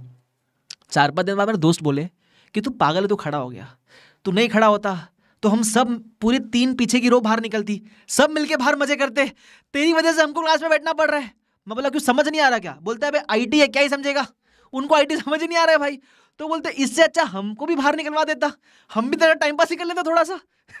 तो मेरे को है ना, अभी वो चीज़ याद आई। तो मुझे ऐसा लगा, यार, मैं कितना बुरा स्टूडेंट था कि मैंने ऐसे कैसे कैसे अभी मैं खुद फैकल्टी बन गया ना यार। तो मेरे को लगता है, यार, आकाश कंदो, तू बड़ा गलत आदमी है, ठीक है? ये नहीं करना चाहिए। देखिए लेकिन यार तभी के प्रोफेसर भी थोड़े खड़ूस होते थे यार? थोड़ा सा कुछ किया तो बुरा मान जाते थे। अब मेरे को तुम करोगे मैं तो चार मस्ती और करूँगा तुम्हारे साथ। ठीक है तो यार ऐसा थोड़ा बहुत माहौल लेना चाहिए ना। क्या बोलते हो गाइस नहीं क्या? एनी anyway, जाने दो। चलो। मुझे वो सर याद आ गया भाई। कहा खड़ू सर थे भगा ही दिया। बोला गड़ा उठ। मैं भी चला गया उठ के। एनीवेज सर मुझे प्लीज़ क्लास से मत निकालना। अरे ऑनलाइन क्लास से तुमको कैसा निकालेगा भाई? हाँ? चलो एनीवेज मैं क्या बोल रहा हूँ? आ जाओ, अपन पढ़ते एक अभी सुनो, जिस क्वेश्चन को लिखने लायक रहेगा, उसको अपन लिखेंगे। और जो क्वेश्चन ऐसा है कि जहाँ अपन यही डिस्कस कर सकते हैं, वो अपन यही डिस्कस कर लेंगे। ठीक है? चलो, सबसे पहला जो इलस्ट्रेशन है what are the issues with which accounting standards deal ये अभी आपको नहीं समझेगा। क्यों? हमने अब तक तो कोई भी एस पढ़ा। हमने सिर्फ़ एप्लीकेबिलिटी पढ़ी। उन्होंने एक क्वेश्चन थोड़ा बात का पूछ लिया कि एस में क्या क्या होता है। तो एस में चार चीज़ें होती है मेनली एस में होता है रिकग्निशन मेज़रमेंट प्रेजेंटेशन और डिस्क्लोजर अब ये सब अभी नहीं पड़ेगा अभी नहीं समझेगा तुमको यार। मैं अभी रट्टा मरवा दूँगा आपको, लेकिन मज़ा नहीं आएगा। इसके बारे में जब हम कोई एएस पढ़ेंगे तो समझ जाएगा। तो तो मैं ऐसा लिख दू we will automatically understand this after studying few S आपको इंटरलिंकेज करवा दूँगा ना मैं? बराबर इंटरलिंकेज करवा दूँगा मैं। तो we will automatically understand this after studying few S तो कुछ एएस पढ़ने का समझ जाएगा। तो इस क्वेश्चन को माफ़ी कर देना, अभी माफ़ कर देना इस क्वेश्चन को फ़िलहाल के लिए। आप भी लिख देना ये चीज़। नहीं लिखो तो ठीक है पेंडिंग करके लिख दो यार पी पी मतलब पेंडिंग ठीक है? यस अच्छा मैं आगे बढ़ूँ उसके पहले ना, मेरे क्वेश्चन बैंक का स्ट्रक्चर समझ लो थोड़ा सा मेरे क्वेश्चन बैंक में दो सेक्शन होते हैं। कोई भी चैप्टर में there will be two sections पहले में रहेंगे illustration illustration one two three four five ऐसा। What is the meaning of illustration illustration मतलब मॉड्यूल के क्वेश्चन मॉडल में पाँच क्वेश्चन मेरे किताब में पाँच क्वेश्चन मॉडल में पंद्रह क्वेश्चन मेरे किताब में पंद्रह क्वेश्चन ठीक है? मतलब मॉड्यूल को मैंने पूरा कवर किया है। इसके अलावा कुछ करने का ज़रूरत नहीं है। पहला, ठीक है? सेकेंड इसी चैप्टर के जब मॉड्यूल वाले क्वेश्चन खत्म हो जाएँगे तो एक और सेक्शन शुरू होएगा M T P R T P past exam मतलब ऐसे क्वेश्चन एम मतलब मॉक टेस्ट पेपर आर मतलब revision test paper past exam मतलब पुराने एग्ज़ाम के क्वेश्चन तो इस चैप्टर में से इनमें ऐसे कोई क्वेश्चन आए हैं क्या? बराबर? जो मॉड्यूल में नहीं है मतलब अगर सपोज़ पास्ट एग्ज़ाम में मॉड्यूल वाला कोई क्वेश्चन आया तो मैंने उसको वापस से इंक्लूड नहीं किया हुआ है। मतलब इस सेक्शन में, इसी चैप्टर के कुछ ऐसे क्वेश्चन जो मॉडल में नहीं है बट एम टी या पास्ट एग्ज़ाम में आए हैं। बराबर? तो वो यहाँ कवर हो जाते हैं। तो मैंने बेसिकली होलसम पूरा कवरेज कर रखा है। तो इस कंसेप्ट इस क्वेश्चन बैंक के बाहर किधर जाने का ज़रूरत नहीं है। ठीक है? सर कंसेप्ट कंसेप्ट लिखा देना नोटबुक के अंदर। बस उतना। तो बेसिकली हमको मॉड्यूल पढ़ने का ज़रूरत है क्या? नहीं। हाँ तुमको अलग चुल मचता है, तुम बोलोगे, नहीं नहीं, मैं तो पढ़ेगा तो पढ़ ले। कुछ नया मिलने वाला है नहीं उसके अंदर। बट ज़रूरत नहीं है। टाइम खोटी मत करना। एक नहीं छः सब्जेक्ट है। ठीक है? और मैंने पहले दिन में क्या बोला था? ट्रस्ट मी भरोसा रखना पड़ेगा भाई। ठीक है? चलो।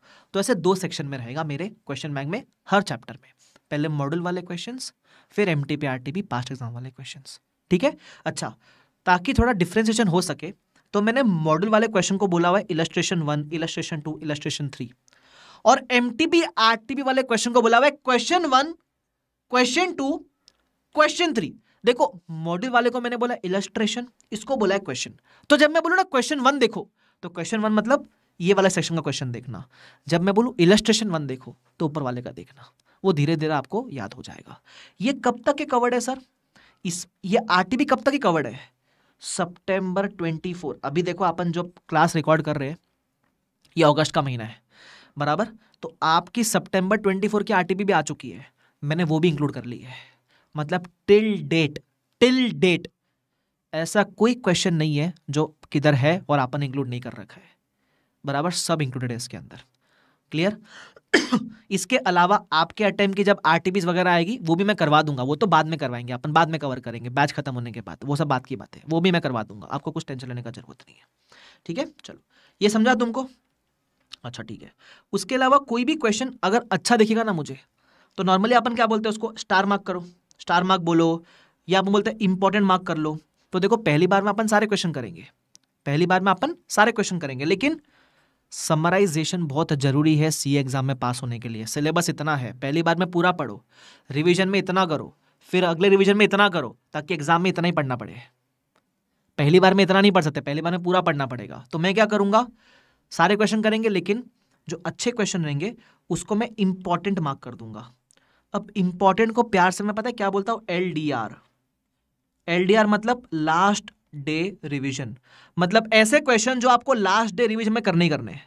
उसको मैं एलडीआर बोलता हूँ। तो पहली बार में सारे करेंगे, फिर मैं एलडीआर मार्क कराऊँगा। तो जब आप मल्टीपल रिवीजन करोगे तो you will focus more on this L D question बाकी पढ़ लेना। बट एलडीआर जो मैं बोलूँ, वो तो करना ही करना है। बराबर? ध्यान रखना। क्लियर है वाला पार्ट क्या हीरो लोग? ठीक है बेसिक आइडिया दे दिया। पहला क्वेश्चन जैसे मैंने बोला, बाद में समझेगा। दो चार एस पढ़ने के बाद, अभी नहीं समझेगा। कोई बात नहीं। इलस्ट्रेशन नंबर टू अब देखो, ये अपना ऑलरेडी हो चुका है। क्या बोलता है, सुनो। List the criteria to be applied for rating a non corporate entity S level one and level two कोई भी नॉन देखो, दो तरह की होती है एंटिटीज एक होती है कॉर्पोरेट एक होती है नॉन कॉर्पोरेट ये नॉन कॉर्पोरेट की बात कर रहे हैं। नॉन कॉर्पोरेट में हम level one level two level three level four खेलते हैं। बराबर क्या? तो बोलता है, कोई भी एंटिटी लेवल वन कब होगी? क्या हमने इसकी कंडीशंस नोटबुक में लिखी है? मुझे आप ऐसे वर्बली बता दोगे लेवल वन का टर्नओवर का क्राइटेरिया कितना था? Very good if it exceeds two fifty borrowing वाला कितना था?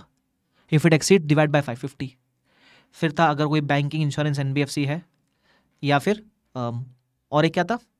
लिस्टेड लिस्टेड या प्रोसेस ऑफ़ लिस्टिंग में है तो। वो आना नीचे था बट था उसके अंदर। याद है वो चार कंडीशन तो मैं बोलूँगा इसको हम नोटबुक में लिख चुके हैं। नोटबुक में लिख चुके लिख चुके ना नोटबुक के अंदर? लेवल वन का क्राइटेरिया क्या है? सिमिलरली हम लेवल टू का भी लिख चुके हैं ना? तो अब देखो जो हो चुका, जो डायरेक्ट डायरेक्ट क्वेश्चन है, उसमें टाइम खोटी नहीं करने का। एनबी एनबी मतलब नोटबुक में लिख चुके हैं अपन इसको। तो नोटबुक से रीड कर लेना उसको। हो गया सर ये तो मज़ा आ गया। बराबर सेम इलेस्ट्रेशन नंबर थ्री में क्या पूछा है? लेवल फोर का क्राइटेरिया लेवल फोर में क्या था? अरे up to ten crore turnover होना चाहिए। बराबर? और up to two crore borrowing होना चाहिए। ये दो मेन है। उसके अलावा होल्डिंग सब्सिडरी भी अगर रहेगा, अगर आप लेवल फोर के होल्डिंग सब्सिडी तो आप भी होल्डिंग सब्सिडी आप भी वो हो जाओगे। क्या बोलते हैं? लेवल फोर हो जाओगे। तो बेसिकली इसको भी आपने कहा लिख रखा है? नोटबुक में। तो सर हमने कंसेप्ट ही इतने अच्छे से पढ़ लिए कि आधे क्वेश्चन तो ऐसे नहीं पढ़ जाएँगे, ऐसे नहीं पढ़ जाएँगे सर ठीक है? अब आएगा मज़ाक इलस्ट्रेशन नंबर फोर में। ठीक है? हम पढ़ेंगे साथ में, जवाब आप मुझे दोगे। ठीक है? जवाब आप मुझे दोगे। इलस्ट्रेशन नंबर फोर ओके क्या बोलता है, सुन लो. X Y Z limited with a turn over of fifty crore during previous year अच्छा एक सेकेंड लिमिटेड है लिमिटेड अब इंटरप्रेट करते हैं. लिमिटेड है तो मैं कौन से वाले केस में जाऊँगा? मैं इसको कॉर्पोरेट एंटिटी बोलूँ या नॉन कॉर्पोरेट एंटिटी बोलूँ? सोच समझ के बताना. क्या मैं कॉर्पोरेट एंटिटी बोलूँ या नॉन कॉर्पोरेट एंटिटी बोलूँ? Very good answer corporate entity बोलेंगे, ये तो कंपनी है। कंपनी में क्या लेवल वन लेवल टू होता है? क्या ना मुन्ना ना? कंपनी में होता है। या तो तुम एसएमसी हो, छोटी कंपनी या फिर नॉन एस हो, बड़ी कंपनी यही होता है कंपनी में। यही होता है ना? यस सर यही होता है। अब वो क्या बोल रहा है, सुनना। बोलता है, इसका टर्नओवर कितना है? पचास crore. During previous financial year and borrowings कितनी है? वन करोड़ ठीक है? Okay wants to avail exemption available in adoption of A इसको कुछ एग्जेम्पन चाहिए। एग्जेम्पन किसको थे? एस को थे। तो अगर ये एस है तो एस को there are exemption available S को देर आर एग्जेम्पन अवेलेबल बराबर? अब वो बोलता है advise the management on the exemption that are available as per the companies rule ठीक है? तो हम बोल देंगे दो तरह के होते हैं फुल या पार्शल पहले ये बताओ, क्या ये एसएमसी है क्या? क्या ये एसएमसी है क्या? तो है ना, चलो, एक आंसर में लिख के दिखाओ कैसे लिखना है अपने को? एक आंसर लिख के दिखाओ ठीक है। तो एक आंसर लिख देता हूँ। ताकि आपको डाउट रहेगा ना प्रेजेंटेशन कैसे करना है सर एग्ज़ाम में। सैंपल बेस पे एक क्वेश्चन लिखा के दे रहा हूँ। एक क्वेश्चन लिखाऊँगा तो इसी बेस पर बाकी क्वेश्चन आंसर करना। आपको एज इट इज़ रेप्लीकेट करने का ज़रूरत नहीं है। डोंट थिंक दैट हमको एग्जैक्टली सेम वर्ड्स में लिखना नहीं। ओन वर्ड्स में लिखो meaning of the answer same होना चाहिए भाई, ठीक है? तो चलो, मैं थोड़ा लिखा देता हूँ आपको। इलस्ट्रेशन नंबर फोर ठीक है?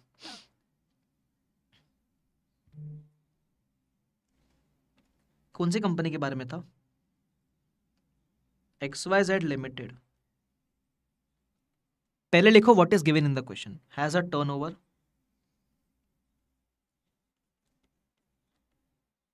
of 50 crores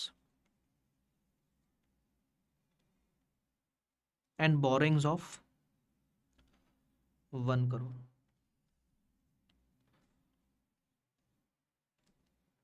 लिखना आगे. For X Y Z to avail exemptions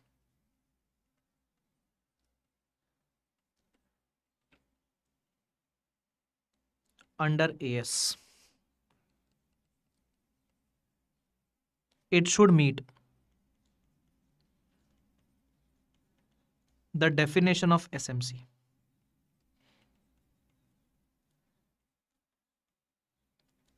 it should meet the definition of S M C आप भी लिखोगे मेरे साथ, ठीक है? X Y Z has a turn over of fifty borrowings of one C R for X Y Z to avail exemption under A S it should meet the definition of S M C any company will be SMC if it meets all of the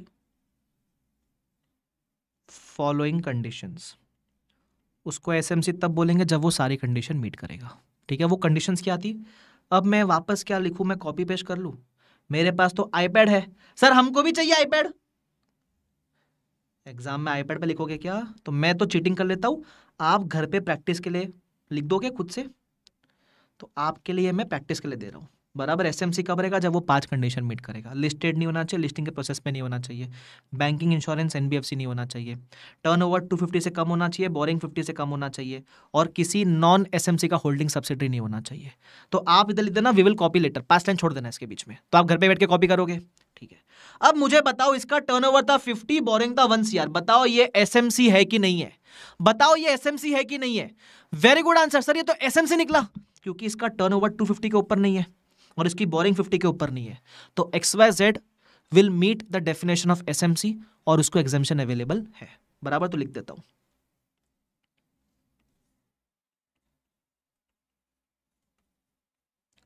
In the above case xyz limited will meet the definition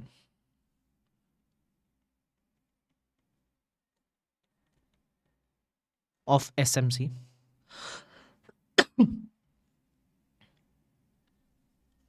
and it can avail.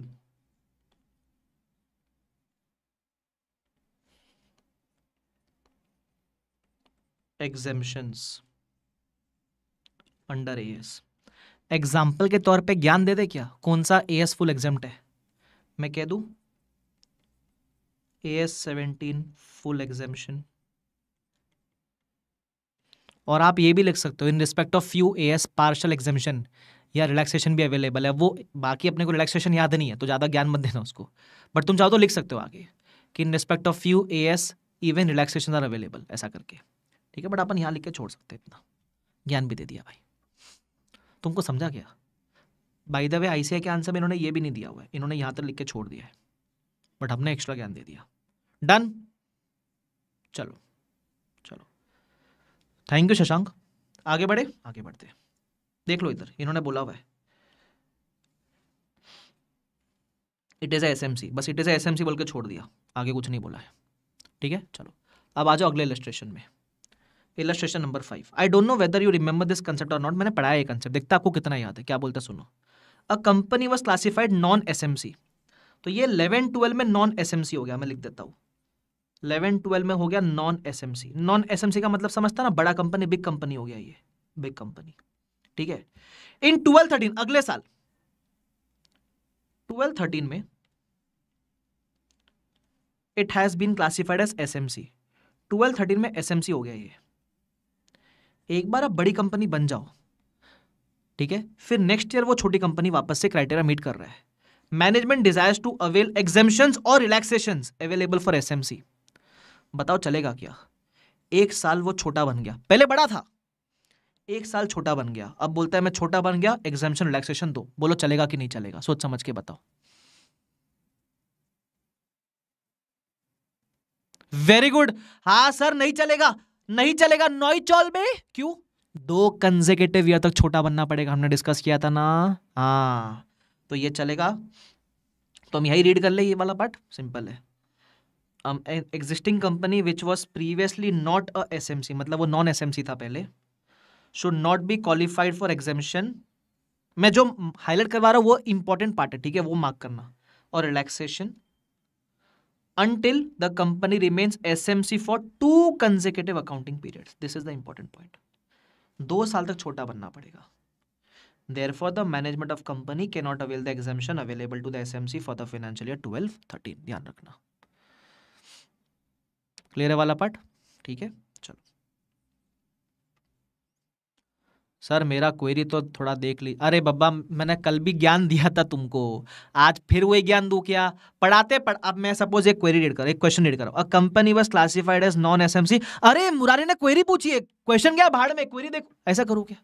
थोड़ा यार बुद्धि लगाओ ना, मेरे को करने दो ना पूरा। करने ही नहीं दे क्वेरी देख लो क्वेरी देख लो, कर रहे भाई। बोलते नहीं नहीं नहीं क्वेश्चन थोड़ी ना पढ़ने उनकी क्वेरी क्वेरी देखो जरा बेचारे की। आओ इधर, आगे बढ़ो। ये सिंपल है, समझा ना? तो तुमने जवाब दिया था अच्छा जवाब दिया तुमने। सर, हमको हर क्वेश्चन रट्टा मारना है ना ए टू जेड मैंने क्या बताया, रट्टा मारने का ज़रूरत नहीं है। आप सिर्फ़ कंक्लूजन याद रखना। जैसे ये आपको कैसे याद आया, दो साल तक मीट करना चाहिए, वो याद रखना। फ्रेमिंग के लिए हम थोड़े क्वेश्चन लिखेंगे भी और फ्रेमिंग एग्ज़ाम में हो जाती है। हो जाती है फ्रेमिंग और बाकी मैं प्रिपेयर भी करवाऊँगा, जैसे आपने कैसा लिखा इधर, एक आध क्वेश्चन लिखेंगे, अपने को अच्छा भी लगेगा सैंपल बेसिस पे। समझा? Yes yes. और जितने भी प्रैक्टिकल क्वेश्चन होंगे सॉल्व करने वाले, वो तो मैं सारे क्लास में लिखा के करवाऊँगा। वो मैं टिकी नहीं करवाता, सारे क्लास में लिखाता हूँ। ठीक है? चलो, आगे बढ़ जाते हैं। अब ये थोड़ा विचित्र क्वेश्चन है। नॉर्मली मैं क्या बोलता हूँ कि आपको वो लिमिट्स याद नहीं रखनी है। फुल एग्जामेशन किसको है? पार्शल एग्जामेशन किसको है? इन्होंने वहाँ दे रखा है। बट ये एग्ज़ाम में नहीं आया मॉक टेस्ट में आया हुआ है। सर एग्ज़ाम में आ गया तो? तो अगर आपको याद है तो ठीक। नहीं याद तो बेसिक बेसिक चीज़ें लिख के आ जाना बस। बेसिक बेसिक मतलब लिमिट्स वगैरह लिख कर आ जाना। देखो क्या बोलता है? मेसर्स एक्सन कंपनी अब पार्टनरशिप फर्म अच्छा एक फर्म है। तो पहले ये बताओ फर्म को मैं S M C non S M C में क्लासीफाई करूँ या level one level two level three level four में क्लासीफाई करूँ? सोच समझ के बताओ। पहले ये बताओ। फर्म है। वेरी गुड फर्म है तो इसके साथ अपन level one two three, four, ये वाली खेला कूदी करेंगे। बराबर ये वाली खेला कूदी करेंगे level one two three four वाली। लेवल्स इसके लेवल निकलेंगे भाई। आगे। टर्नओवर कितना है? पाँच करोड़। एक्सक्लूडिंग अदर इनकम अपने को एक्सक्लूडिंग अदर इनकम ही चाहिए होता है। बोरिंग कितना है? बोरिंग है one point five crore. Okay अब लिमिट थोड़ी सी याद रखो।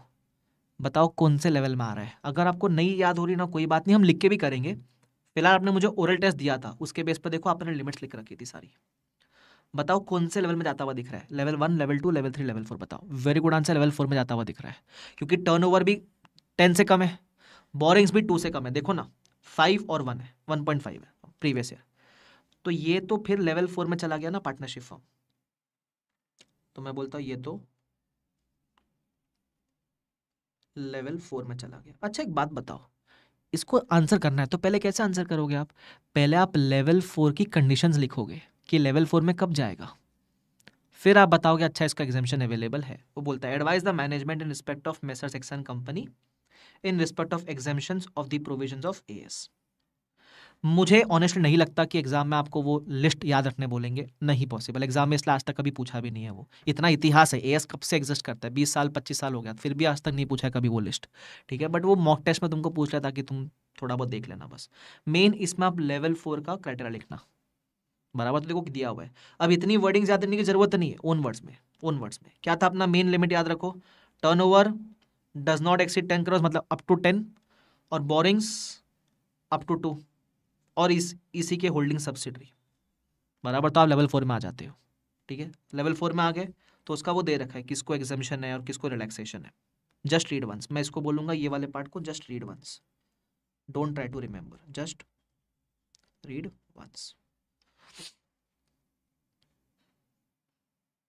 आपको याद रखना है, बैठ के घर पे बैठ के करना तो कर लो भाई, कोई दिक्कत नहीं है। क्लियर आपको समझा ना लेवल वन इसमें इन लोग पता है, ये चैप्टर जो है ना एप्लीकेबिलिटी वाले में, इसमें पहले ये देखो कंपनी है या कि अदर देन कंपनी है? कंपनी है तो एस नॉन एस खेल लेना। अदर देन कंपनी है तो level one level two level three level four खेल लेना। सिंपल इतना याद रखना है बस आपको। ठीक है? चलो। नहीं तरुण इट इज़ ओके आगे। Question number two a company with a turnover of two twenty five crore and a borrowings of fifty one crore अच्छा अच्छा अच्छा अच्छा अच्छा। टर्नओवर 225 है। ये कंपनी है कंपनी कंपनी है। कंपनी में क्या खेले? एसएमसी नॉन एसएमसी खेले या लेवल्स लेवल्स खेले? वेरी गुड आंसर कंपनी है तो हम एसएमसी नॉन एसएमसी खेलेंगे। ठीक है? एसएमसी होने के लिए टर्नओवर लिमिट में होना चाहिए बोरिंग भी लिमिट में होना चाहिए। अब ये देखो, इसकी टर्नओवर 225 है बोरोइंग्स भाई साहब की 51 करोड़ है। एसएमसी की कंडीशन देख लो। अभी आप फ़र्स्ट डे है ना तो इधर देखो कंडीशंस ये देखो, ये रही कंडीशन एसएमसी की। सोच समझ के बताओ टर्नओवर 225 है बोरिंग 51 है। बताओ एसएमसी बोले कि नॉन एसएमसी बोले? सोच समझ के बताओ। बताओ। मुझे श्रद्धा, सुशील, मिहिर कार्तिकेय, तरुण सबने आंसर किया है। बताओ, कुणाल ने आंसर किया है, पूजा ने आंसर किया है, जेके ने आंसर किया है। क्या बोला हुआ है? सबने बोला नॉन एसएमसी सबका सेम आंसर सब लोग नॉन एसएमसी बोल रहे? भवय व्रज ने भी नॉन एसएमसी मज़ा ही नहीं आया। मुझे लगा थोड़े लोग नॉन एसएमसी बोलेंगे, थोड़े एसएमसी बोलेंगे। गलत जवाब दोगे तो खेला कूदी में मज़ा आएगा। मज़ा ही नहीं आया। पूरा मूड ही खराब कर दिया भाई। देखो, अपने को चाहिए थोड़े रॉन्ग आंसर तो ज़िंदगी में आए मज़ा। ठीक है? हाँ। जाने दो यार, मज़ा है, पूरा मूड ही खराब कर दिया है। बोलो नॉन एसएमसी क्यों है? क्योंकि इसकी बोरिंग हो गई ना फिफ्टी के ऊपर। बोरिंग की लिमिट फिफ्टी थी फिफ्टी के ऊपर चले गई तो ये नॉन एसएमसी बन गया। मज़ा ही नहीं आया यार, अच्छी। बोलते हैं वॉन्ट्स टू अवेल एग्जामेशन बोलते ना कोई एग्जामेशन नहीं है। ठीक है? यहाँ भी सेम देखो, पहले वही ज्ञान, फिर एसएमसी का डेफिनेशन बराबर क्या? एसएमसी का पूरा डेफिनेशन दिया हुआ है। जो मेन पार्ट है वो मार्क करा रहा हूँ। ठीक है? Turnover does not exceed two fifty but borrowings are more than fifty not a small company exemption are not available not available simple सबको समझा? Yes yes. मैं पता है आपको समरी क्यों मार्क करवा रहा हूँ ऐसे? हाईलाइट क्यों करवा रहा हूँ? मैं आपको आज के लिए मार्क नहीं करवा रहा हूँ ये। आप एक बात समझो। एग्ज़ाम के पहले इतना समय नहीं होता है, हर एक वर्ड पढ़ो बैठ के। Won't be able to read this आपको मालूम होना चाहिए, आंसर की फ्रेमिंग ऐसे निकलनी चाहिए आपके माइंड में कि चल एसएमसी का पूछा है तो कंडीशन लिखूँगा कंक्लूजन दे दूँगा, बस। इतना ही पढ़ने का समय होता है। ध्यान रखना। क्लियर वाला पार्ट मेरे हीरो लोग? हीरो हीरोइन लोग? बोलेंगे हीरोइन नहीं बोला सर एनीवेज चलो बी वाला पार्ट पढ़ते an organisation whose objects are charitable और religious believes that accounting standards are not applicable to sins. To it since a very small portion of activities are business in nature एक second वो charitable तो है religious भी है, ठीक है? अच्छी ऑर्गेनाइजेशन है, लेकिन small portion of activities are business in nature business मतलब कमर्शियल थोड़ा थोड़ा हल्का हल्का कमर्शियल ए सर रहा नहीं जाता। बताओ ए एस एग्ज़ाम है अप्लाई करना पड़ेगा इसको। हाँ वेरी गुड कोई एग्जामेशन नहीं है भाई साहब even if one percent is business या कमर्शियल तो एप्लीकेबल हो जाएगा ए एस तो बोलो, इनको जो लग रहा है, वो सही लग रहा है क्या? बोल देना, गलत गलत लग रहा है भाई साहब, इनको बोलो, गलत किया देवसेना। बाहुबली देखिए, बाहुबली बोलता है ना, गलत किया देवसेना। गलत गलत करने वाले के साथ उसकी उंगली नहीं काटते। काटते उसका गला। ऐसा तो बोला, गलत किया देवसेना। गलत किया। तो इसका ज्ञान दिया हुआ है। वापस से पूछता हूँ। हमको ज्ञान एज इट इज़ लिखना है ना एग्ज़ाम में। ऐसे एज इट इज़ लिखेंगे ना ज्ञान एग्ज़ाम में। ए लिख मत देना। एज इट इज़ लिख पाओगे भी नहीं। ओन वर्ड्स में, बोलने का। A S are exam to कौन से कंपनीज़ चैरिटेबल ऑर्गेनाइजेशन जो हंड्रेड परसेंट चैरिटेबल है। ऐसे इंग्लिश में लिखने का। बराबर? इंग्लिश उन वो ग्रामेटिकली चेक नहीं करते। ठीक है? ये नहीं कि ग्रामेटिकल एकदम साउंड होने चाहिए आप। बेसिक इंग्लिश बराबर? बोलने का। यहाँ few activities a very small portion is business in nature that is commercial in nature so India should become applicable to such companies so there is no exemption available ले, मज़ा आ गया भाई दो मार्क लगता काफ़ी और कितना लिखेंगे? काम की बात मार्क करा रहा हूँ, सुनो। Even if a very small portion of activities work consider to be commercial accounting standards would apply to all its activities, including those which are not commercial. सब पे अप्लाई करना पड़ेगा फिर। ठीक है? यस क्लियर आगे। अब ये सेम क्वेश्चन है यार। देखो एग्ज़ाम में आया हुआ भाई। चार मार्क का। मज़ा ही आ गया भाई। मैं तो बोलता हूँ एग्ज़ाम में चार क्या सौ मार्क का ये पूछने बोलो ना इनको। गाइस क्या पूछा सुनो? बोलते क्राइटेरिया बताओ। लेवल वन एंटिटीज का। अरे डिस्कस कर चुके ना यार लेवल वन के बारे में। ये रहा level one turnover two fifty के ऊपर बोरिंग उसका डिवाइड बाय फाइव फिफ्टी के ऊपर. अगर आप होल्डिंग सब्सिडरी हो लेवल वन के तो आप भी लेवल वन हो जाओगे. आप बैंकिंग इंश्योरेंस हो तो आप लेवल वन हो जाओगे. एक ऐसी कंडीशन जो नहीं आनी चाहिए फिर भी है. लिस्टेड या लिस्टिंग के प्रोसेस में तो आप हो जाओगे लेवल वन तो वो यार चार मार्क का पूछा है भाई. मैं तो बोलता हूँ, उसको बोलते हिम्मत है तो चार क्या सौ मार्क का पूछ के दिखाना. देखो, अगर तुम मुझे आई का प्रेसिडेंट बना रहे हो तो मैं पूछता हूँ सौ मार्क का। बताओ। तुम मुझे बना रहे हो क्या प्रेसिडेंट आईसीआई का? तो मैं सौ मार्क का पूछता ये क्वेश्चन नहीं बना रहे? मत बनाओ, जाओ। इधर लिखना नोटबुक एनबी मतलब नोटबुक रिफर करो भाई रिफर नोटबुक लिख चुके ना अपन। वही दिया हुआ है। इसमें ना ऐसा लिखा रहेगा एज पर अमेंडमेंट ये अमेंडमेंट क्या है? अरे पहले है ना, आपकी लिमिट टू फिफ्टी नहीं थी ये टर्नओवर की। पहले कम थी, वो बाद में बढ़ाई है। बराबर तो ये जब क्वेश्चन पूछा ना, उसके बाद अमेंडमेंट आया था। एनीवेज तो आप तो नया वाला याद रखा है अपन ने तो पुराना वाला भूल ही जाना। ठीक है? एनीवेज तो इसलिए ये मत देखना, मेरा नोटबुक का देख लेना ईजी पड़ेगा समझने के लिए। बना रहे हो प्रेसिडेंट वोट कहाँ करना ये बताओ सर। तो मैं रिश्ता पक्का समझू? समझो सर, पक्का का ही नहीं समझ रहे हो। इधर समझ लो। ये question number three time pass था भाई। Question number four list down applicable criteria to classify S M C ओहो, बोलता है एस एम सी का क्राइटेरिया बताओ सर। अरे, ई तो है पाँच। पाँच मतलब छोटा कोक एक काम करो ना यार। बहुत टाइम से तुमको पूछा नहीं है ये भी पाँच मार्क का क्वेश्चन है भाई एग्ज़ाम का। मैं तो बोलता हूँ पाँच का सौ मार्क का पूछ के दिखाओ ना। ताज़ा ताज़ा नवंबर तेईस में पूछा था। डेफिनेशन ऑफ़ एसएमसी लिखना पाँच कंडीशन के साथ। एक काम करते सुनो ना। मेरे को ना ऐसा मज़ा नहीं आ रहा है। मुझे आप पाँच कंडीशन बताओगे क्या एक बार यार? ठीक है? सबसे पहले पाँच था ठीक है? एसएमसी कब होगा? जब वो पाँच मीट करेगा। सबसे पहला पहले लिस्टिंग वाला चालू करें लिस्टिंग या प्रोसेस ऑफ़ लिस्टिंग में नहीं होना चाहिए वैसे। तो पहला, क्या नहीं होना चाहिए? लिस्टेड नहीं होना चाहिए या लिस्टिंग के प्रोसेस में नहीं होना चाहिए? शॉर्ट फॉर्म में बताने का। बराबर नॉन लिस्टेड होना चाहिए बेसिकली सेकेंड नहीं होना। क्रॉस मतलब नहीं होना चाहिए। सेकेंड क्या नहीं होना चाहिए?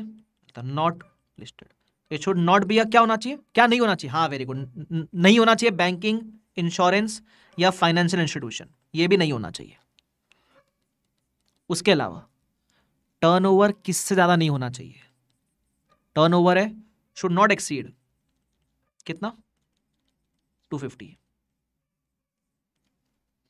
अच्छा वेरी गुड यार। बोरिंग्स बताओगे? बोरिंग्स बोरिंग्स नॉट एक्सीड ये बैलेंस शीट का लिखा है बोरिंग्स बोरिंग्स नॉट एक्सीड इसका डिवाइड बाय फाइव करने का। ये डिवाइड बाय फाइव बड़ा मस्त चीज़ है भाई, याद रह जाता है इससे। फिफ्टी और तुम्हारा जो बच्चा या माँ बाप है वो खुद नॉन एसएमसी नहीं होना चाहिए, बराबर?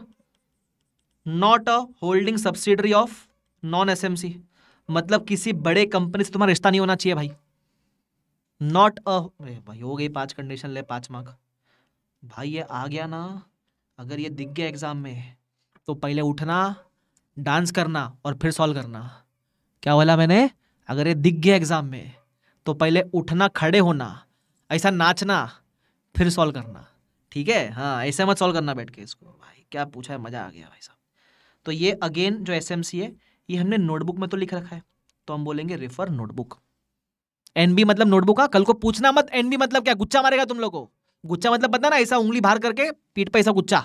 गुच्छा मारेगा तुम लोग को, ठीक है? पूछना मत क्या होता है? हाँ। आगे बढ़ू, आगे बढ़ो सर इसके एग्जामेशन के बारे में नहीं पूछा, इसको क्या माफ़ी होगा? फिर वो सब पूछा नहीं सिर्फ़ एस का डेफिनेशन पूछा, बता देना। ठीक है। अब इसमें अगर कोई ढंग का क्वेश्चन है तो ये है, इसको एल मार्क करना। देखो, एक तो ये एल मार्क कर लो, एक ये एल मार्क कर लो। उसके अलावा एक और क्वेश्चन करवा चुका वो भी एलडीआर मार्क करना, बता दो कौन सा। ये एस वाला बहुत बार आ रहा है। तो ये जो इलेस्ट्रेशन फोर था ना इलेस्ट्रेशन नंबर फोर ये भी एल इलेस्ट्रेशन नंबर फोर को एलडीआर मार्क करना। पहली बार कोई इतना मस्त अकाउंटिंग टीचर देखा है। थैंक यू अभी तो अपन थोड़ा कंफर्टेबल हो रहे हैं। धीरे धीरे और कंफर्टेबल हो जाएँगे। और उसके बाद जब भी कोई क्वेश्चन खुद से लिखेंगे तो बोलेंगे एक के है हाँ? चलो ठीक है। इलेस्ट्रेशन नंबर फोर अपन कर चुके मार्क कराया उसको एलडीआर और एक इसको। क्वेश्चन नंबर फाइव को। ये एलडीआर है। ठीक है? अब है ना, मैं आपके साथ नहीं पढ़ रहा हूँ, सुनना। ये सारी की सारी नॉन कॉरपोरेट एंटिटी है, ठीक है, सारी की सारी। सब की सब नॉन कॉरपोरेट है, ठीक है? पाँच है। पाँचों सॉरी छः है, छः। एक, दो, तीन, चार, पाँच, छः। खुद पढ़ना है और बताना। पहला वाला लेवल वन है, या लेवल टू है, या लेवल थ्री है, या लेवल फोर है, या लेवल बस इधर बाजू में शॉर्ट में लिख देना पेंसिल वगैरह से या पेन से जो भी है। अगर लिमिट्स याद नहीं है तो एक बार अपन लिमिट डिस्कस कर लेंगे, जब मैं कराऊँगा उसके पहले, ठीक है? बट पहले आप सब लोग ट्राई करेंगे। नहीं याद लिमिट तो देख लेना एक बार के लिए। बट देखने से अच्छा खुद रफ में लिखना और फिर ट्राई करना, ठीक है? ये सब आप ट्राई करोगे, मैं आप सबको दो मिनट दे रहा हूँ, ठीक है? सबको। जो रिकॉर्डेड देख रहा है, वो भी ट्राई करेगा, चीटिंग कोई नहीं करेगा, लाइन में आना। टाइम स्टार्ट करो। करो। तुमको पूरा क्वेश्चन दिखाता रुको।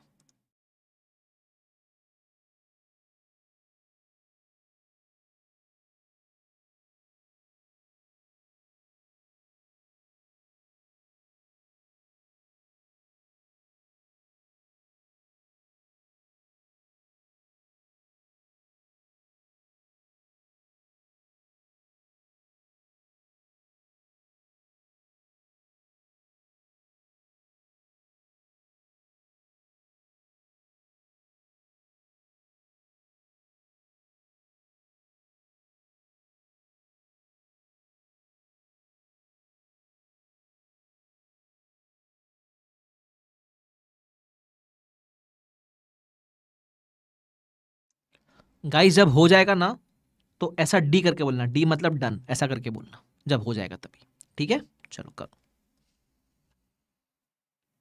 जो रिकॉर्ड वाले पॉज करके ट्राई करो। प्लीज़ ट्राई करो।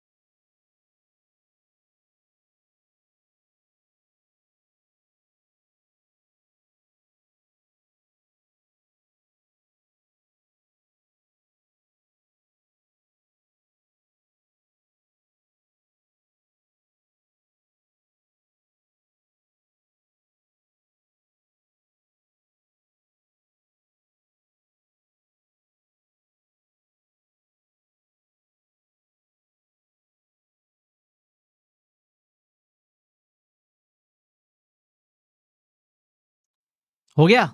सब लोग बोलते हैं डन डन डन डन। हुआ क्या तुम्हारा? सब लोग बोलते हैं डन। नमन, ऋतिक, सेजल, पूजा, कनिष्क, वंशिका, ध्रुव, निखिल, तरुण, क्या बात है? सोमिल, क्या बात है? सबका डन? चलो, एक काम करते मैं ना पहले जवाब नहीं पूछ रहा आपसे। पहले हम लिमिट्स याद करते हैं। वो याद करना बहुत ज़रूरी है, ठीक है? क्योंकि उससे एक बार लिमिट्स लिख लेंगे ना आप, एग्ज़ाम में भी ऐसे करना। हमेशा रफ में लिख लिया करना पहले। तो मैं लिख लूँगा यहाँ रफ में। ठीक है? टर्नओवर की लिमिट और बोरिंग्स की लिमिट किसकी? लेवल वन की लेवल टू की लेवल थ्री और लेवल फोर की। वन टू छोटा पड़ेगा ना? रुको। अरे, ये तो मिट गया भाई, रुको। ये मेरा कभी कभी है ना आईपैड थोड़ा लैग कर जाता है। मैं यार, मेरे को तुम आईपैड गिफ्ट कर दो ना गाइस मैं गरीब हूँ ना। मेरे को आईपैड गिफ्ट कर देना। जिसको भी बुरा लग रहा है मेरे लिए आईपैड गिफ्ट करना मुझे। रुको जरा, वापस खोलना पड़ेगा पूरा। इतना मेहनत से चार्ट बनाया था मैंने। अरे चार्ट क्या? सुनो level one level two level three level four ले, खत्म। टर्न ओवर बोरिंग्स आप चाहिए तो प्रैक्टिस के लिए बताते हुए चलना मुझे, ठीक है? सबसे पहला, इसमें क्या था? एक्सीड्स कितने के ऊपर रहेगा तो लेवल वन में जाएँगे? पहला कौन सा है? वेरी गुड चलो पूजा ने मेरे को आंसर किया ये टू फिफ्टी और ये exceeds divide by five fifty इतना बेसिक बेसिक याद रखो। चलो, ये मुझे सेम घना शक्ति ने भी आंसर किया। वेरी गुड राहुल ने भी आंसर किया। ठीक है। अगला अगला बोलो। अब जो यहाँ का क्लोजिंग है, वो यहाँ का ऐसा मान लो लोअर लिमिट बनेगा। तो इफ़ इट एक्सीड्स फिफ्टी से लेकर टू फिफ्टी बराबर ऑफकोर्स इन करोड्स ये सब करोड्स में है। ठीक है? अच्छा। और बोरिंग्स का याद नहीं आ रहा मुझे तो डिवाइड बाय फाइव करने का। फिफ्टी डिवाइड बाय फाइव कितना हो जाएगा? टेन और two fifty divide by five हो जाएगा फिफ्टी तो यहाँ पे लिख देना exceeds exceeds ten but up to fifty ठीक है? फिर यहाँ का क्लोजिंग यहाँ ले जाना आप बेसिकली यहाँ आएगा सेम एक्सीड्स टेन से लेकर फिफ्टी करोड़। भाई, इतनी बार लिख लो, इतनी बार डिस्कस कर लो कि आपको याद ही हो जाए। और फिर borrowings divide by five ten divide by five आएगा टू करोड़ और ये डिवाइड बाय फाइव आएगा टेन करोड़ अब लेवल फोर में क्या आएगा गाइस अबे बचा कुचा लेवल फोर लेवल फोर बचा कुचा, बचा क्या?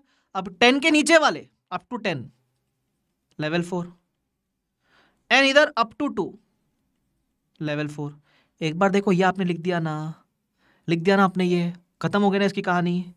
अब आप सीधा क्वेश्चन पढ़ना मज़ा ले आपको कोई जवाब ना है और सीधा सीधा लेवल वन में वो हर जगह ये भी है ना, अगर आप किसी की भी होल्डिंग सब्सिडरी हो तो आप भी वही बन जाओगे।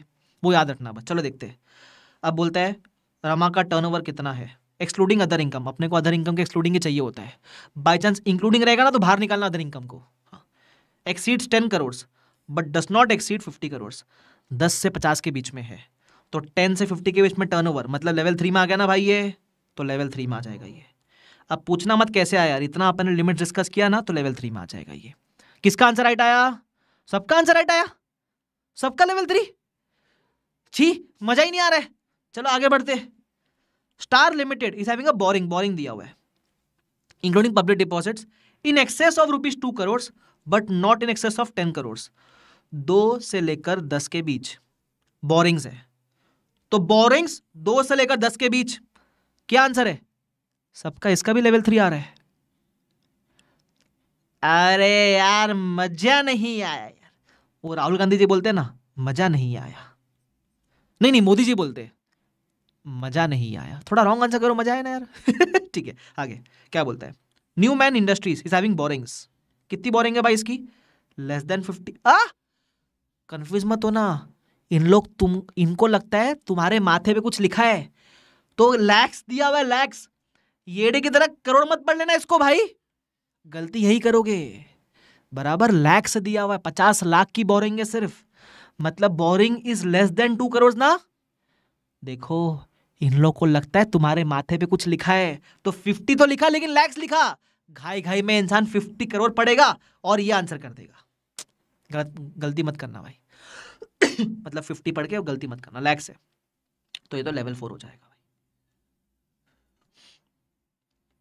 ठीक है, आगे। S S is a financial institution ये फाइनेंशियल इंस्टीट्यूशन है, मैंने एक चीज़ बताई थी। इसमें एक्स्ट्रा कंडीशंस भी थी ना लेवल वन में। अगर आप बैंकिंग फाइनेंशियल इंस्टीट्यूशन या फिर इंश्योरेंस भी हो तो लेवल वन तो ये तो बिना किसी लिमिट के लेवल वन बराबर? यस आगे। DD finance a holding company of SS आप लेवल वन के रिश्तेदार हो। आप लेवल वन वाली कंपनी के रिश्तेदार हो तो आप भी कौन हो जाओगे? आ क्या बात है लेवल वन हो जाओगे यार। क्या बात है, यश, आकाश, तृप्ति, सिद्धार्थ वेरी गुड आखिरी, बोलता है, मैं कोऑपरेटिव बैंक हूँ। अरे, तू बैंक है तो हम क्या करें? तू तो भी लेवल वन हो जाएगा ना? ले बेटे। ले खत्म। और सच्ची बात बोलूँ, मज़ा आ गया यार। तुमने, तुम क्या मस्त काम करता है मकसूद भाई? क्या जवाब दिया तुमने? तुम्हारा ढोल पीटता रुको। ये क्या बजाया सर? अपने यहाँ ऐसे ही होता है। ठीक है। गुड जॉब यार गाइस गुड जॉब मज़ा आ गया। देखो ये ना, दिखने में आसान लगता है, ठीक है? बट ये तुम तभी जवाब दे पाओगे जब क्लैरिटी हो तुम्हारे अंदर। और मैं ये नहीं बोल रहा तुमको सिक्स वन सिक्स राइट चाहिए थे। तुमने कोशिश की ना, तुम्हारे दो तीन भी राइट आ गए ना तो भी ठीक है भाई, तुम पहली बार पढ़ रहे हो। कुछ तो राइट आंसर क्या, मज़ा आना चाहिए तुमको। बराबर क्या? तो रॉन्ग आंसर क्लास में बिंदास करने का। शर्म नहीं आना चाहिए, सर, मेरा दो रॉन्ग आया, तीन रॉन्ग आया। अरे, आया तो आया, आज रॉन्ग आया एग्ज़ाम राइट आएगा मेरा। ठीक है, सर। चैप्टर खत्म। इसके एमसीक्यूज है। बराबर, ये एमसीक्यूज बड़े सिंपल सिंपल है यार। घर पे प्रैक्टिस करोगे? सिंपल नीचे हिंट भी दे रखा है। कुछ नहीं समझे तो मुझे कल पूछ लेना। तो ये मैं प्रैक्टिस के लिए दे रहा हूँ आपको। पहले सॉल्व करना, फिर आंसर देखना। मालूम पड़ा आंसर देख के सॉल्व कर रहे। पहले खुद ट्राई करना और फिर आंसर देखना। प्रैक्टिस करके आना कल एमसीक्यू मस्त नहा धो के एमसीक्यू प्रैक्टिस करके आना। ठीक है? चैप्टर ही खत्म हो गया भाई। तो इसी बात पे क्या बोलेंगे? एक के एक के भाई साहब हो गया सर जी। है ना? मज़ा आ गया। देखो, अपन कितने प्यार मोहब्बत से जा रहे तुमको पहले ये बताओ, समझ आया क्या? पक्का समझ आया ना? यस अच्छा एक बात बताओ। आपको पता है, इन्होंने क्या बदमाशी कर रखी है? तुम्हारे एएस के किताब में एक और चीज़ दे रखी है कि इंडेस किसको एप्लीकेबल है? ये भी दे रखा है। मतलब जैसे अपन ने एएस की लिमिट्स पढ़ी ना, कि नॉन एसएमसी की लिमिट क्या है एसएमसी की लिमिट क्या है नॉन कॉर्पोरेट में लेवल वन की लिमिट क्या है? लेवल टू की क्या है? लेवल थ्री की क्या है? लेवल फोर की क्या है? ऐसा लिमिट दे रखी है ना? वैसे इंडेस की भी दे रखी है कि इंडेस कौन सी बड़ी कंपनी अप्लाई करेगी। तो अब इसका पढ़े क्या हम लोग, सर? तो है ना, पता नहीं, मुझे इन पर भरोसा नहीं है, मुझे इन पर ये कभी पूछ लेंगे, वो सिर्फ़ लिमिट वाला पार्ट तो एक क्वेश्चन है नहीं इसके ऊपर फ़िलहाल बट इन्होंने कंसेप्ट में डाल रखा है उसको। तो मैं पता है क्या करता हूँ? एक बार लिखा दूँ it will hardly takes it will hardly take ten minutes ठीक है? दस मिनट लगेगा। लिखा देता हूँ और मैं याद भी करा दूँगा। ठीक है? सर, इतनी लिमिट्स याद रहेगी? अरे, मेरी गारंटी है। जब आज डे एंड करूँगा ना तो लास्ट में पूरा भी रिवाइज करवाऊँगा। सारी लिमिट जबान पे होगी तुम्हारे। मेरी गारंटी है। तो इंडेक्स की भी डिस्कस कर लेते हैं। अपने को रिक्स लेने का इच नहीं है। चार मार्क तो चार मार्क कभी आया तो। अब्बा डब्बा जब्बा होना चाहिए नहीं अपना। बराबर? तो आओ। अब मैं ये एक्स्ट्रा पार्ट करवा रहा हूँ, ठीक है? कोई चाहे किसको ऐसा है कि मेरे को नहीं पढ़ना, कोई बात नहीं you can take the risk but मैं बोलूँगा कर लो, है ना? लफड़ा नहीं चाहिए अपने को। आ जाओ। ये एक्स्ट्रा पार्ट है, ठीक है? मैं लिख देता हूँ। मतलब आप क्या करना, आज के दिन पढ़ लो। सब्सिक्वेंट रिवीजन में आप नहीं पढ़ तो भी ठीक है, आज पढ़ लेते हैं। क्या बोल रहे हो? यस चलो। मैं पढ़ा रहा हूँ। इंडेस की एप्लीकेबिलिटी। बराबर, मैं पढ़ा रहा हूँ इंडेस की एप्लीकेबिलिटी। इंडेस चार टाइप की कंपनीज़ को एप्लीकेबल है। मतलब मैं बड़ी कंपनीज़ की बात कर रहा हूँ, ठीक है? अब ऊपर वाला पूरा चैप्टर हटा दो, साइड कर दो उसको। अब मान लो अपन बहुत बड़ी कंपनी से डील करने वाले अभी, ठीक है? तो यहाँ मैं चार टाइप की कंपनीज़ का बात करूँगा। इन्होंने भी चार बाइफिकेशन दे रखा है। पहले नॉर्मल कंपनी कंपनी होना ज़रूरी है अगर आप फर्म हो वगैरह तो मत आना इधर, ठीक है? सेकंड एनबीएफसीज तीसरा बैंकिंग बैंकिंग कंपनी और चौथा इंश्योरेंस कंपनी सर, ये एनबीएफसी क्या होता है? एनबीएफसी का फुल फॉर्म लिख लो। Non banking financial company non banking financial company मतलब काम बैंकिंग वाले, लेकिन एक बैंक की तरह वो रजिस्टर्ड नहीं है तो नॉन बैंकिंग फाइनेंशियल कंपनी ऐसा। तो चार कंपनी के केस में अपन बात करेंगे इंडियस की, ठीक है? थोड़ा सा दस मिनट लगे ख़त्म भी हो जाएगा, ठीक है? सबसे पहले मैं किसकी बात कर रहा हूँ? First I will talk about normal company पहले हम लिख लेते, लिखते लिखते याद हो जाएगा, ठीक है? नॉर्मल कंपनी में दो पार्ट में बांट दो। दो पार्ट में बांट दो उसको। ठीक है? पहला है वॉलेंटरी बेसिस मतलब इंडेस ना भी एप्लीकेबल हो, आप चाहो तो वॉलेंट्री अप्लाई कर लेना। कब से दिया हुआ है? फ़र्स्ट अप्रैल 2015 तभी इंडेस आया था फ़र्स्ट कब से आया फ़र्स्ट अप्रैल 2015 ठीक है? फिर सेकंड आता है मैंडेटरी बेसिस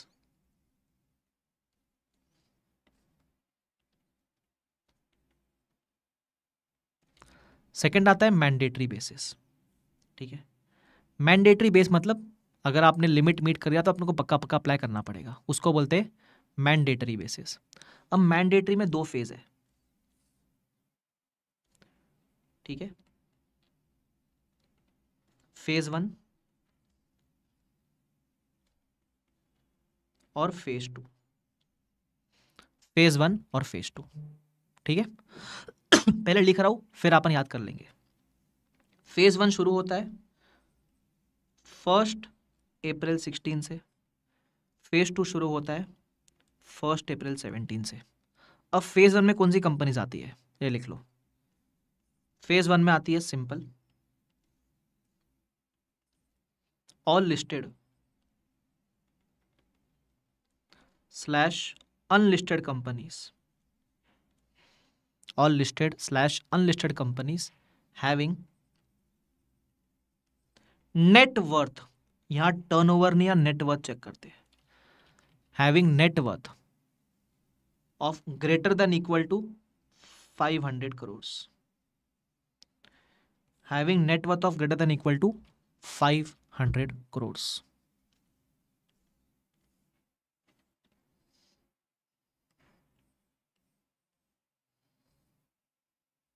clear? ठीक है, सर। अगर आपका नेटवर्थ 500 या उसके ऊपर है तो आप फ़ेज़ वन में आओगे।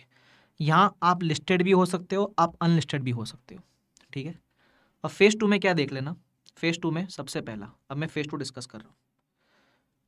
अगर आप लिस्टेड हो तो फ़ेज़ टू मतलब यहाँ कोई लिमिट नहीं है। All listed companies full stop done मतलब आप लिस्टेड हो तो आपका नेटवर्क कितना भी हो, दो रुपया भी क्यों ना हो, आपको अप्लाई करना है। दूसरा unlisted companies having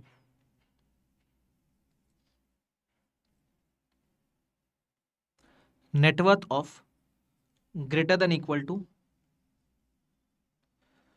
250 crores having net worth of greater than equal to 250 crores. ये मैंने किसका बात किया? नॉर्मल कंपनी का बात किया। लिख लो पहले ये। लिखा? लिखा? ठीक है। अब मेरी बात ध्यान से सुनना। मैंने आपको क्या बताया? इंडेक्स किसको एप्लीकेबल है? पहले वो शुरू हुआ फ़र्स्ट अप्रैल फिफ्टीन से। ये वॉलेंट्री है। मतलब आप चाहो तो तब से अप्लाई कर लेना। वैसे तो अभी रेलिवेंट नहीं अपन तो अभी कौन से साल में खड़े? पच्चीस, छब्बीस में खड़े, चौबीस, पच्चीस में खड़े। यहाँ रेलिवेंट नहीं होता बट एनी फिर आया मैंडेटरी बेसिस इसमें दो फ़ेज़ आए। एक आया फ़ेज़ वन एक आया फ़ेज़ टू फ़ेज़ वन में कौन? फ़ेज़ वन में भेदभाव नहीं किया। बोला लिस्टेड हो कि अनलिस्टेड हो? नेटवर्क देखेंगे फाइव हंड्रेड या उससे ऊपर हुआ तो आप फ़ेज़ वन में आ जाओगे। है ना? फ़ेज़ टू में कौन आएगा? यहाँ ऑल लिस्टेड कंपनीज़ मतलब अगर आप लिस्टेड हो नेटवर्क भले ही सौ करोड़ ही क्यों ना हो, आप यहाँ आ जाओगे फ़ेज़ टू में। अप्लाई करना पड़ेगा। और unlisted companies having net worth greater than equal to two fifty crore यहाँ हम टर्नओवर भी चेक नहीं कर रहे, हम बोरिंग्स भी चेक नहीं कर रहे नेटवर्थ चेक कर रहे ये नेटवर्थ क्या होता है? बैलेंस शीट में आओ। दिखाता हूँ नेटवर्क क्या होता है। हमने कल पढ़ी थी ना बैलेंस शीट देखो बैलेंस शीट पढ़ने का ये फ़ायदा होता है। एक एक चीज़ मैं इजीली बता पाऊँगा आपको। नेटवर्क दो तरीके से निकलता है। या तो आप असेट माइनस लाइबिलिटी कर लो, या फिर आसान भाषा में नेटवर्क का मतलब होता है शेयर होल्डर्स फंड ये जो पूरा शेयर होल्डर फंड है ना, इसको नेटवर्थ बोलते हैं। ये नेटवर्थ है तुम्हारी। Share capital plus reserve and surplus इसमें ये सब आता है क्या? आइडियली आना चाहिए बट मान लो अभी ये सब ज़ीरो है। तो ये आता है बेसिकली ये होती है नेटवर्थ ये होगा तो ये भी आ जाएगा। That is a net worth मतलब shareholder funds is a net worth basically ठीक है तो उसको नेटवर्क बोलते हैं। अब उसके डेप में नहीं जा रहा हूँ बिकॉज़ अपन यहाँ इंडेस पढ़ने को आए नहीं, अपन एस पढ़ने को आए। बस ये तो मैं ऐसे दे रहा हूँ क्योंकि तुम्हारे किताब के अंदर था। यहाँ प्रॉफिटेबिलिटी टर्नओवर बोरिंग से कोई फ़र्क नहीं पड़ता है। बराबर नेटवर्क का मतलब होता है शेयर होल्डर फंड्स ऐसा मैं लिख दूँ इधर बाजू में?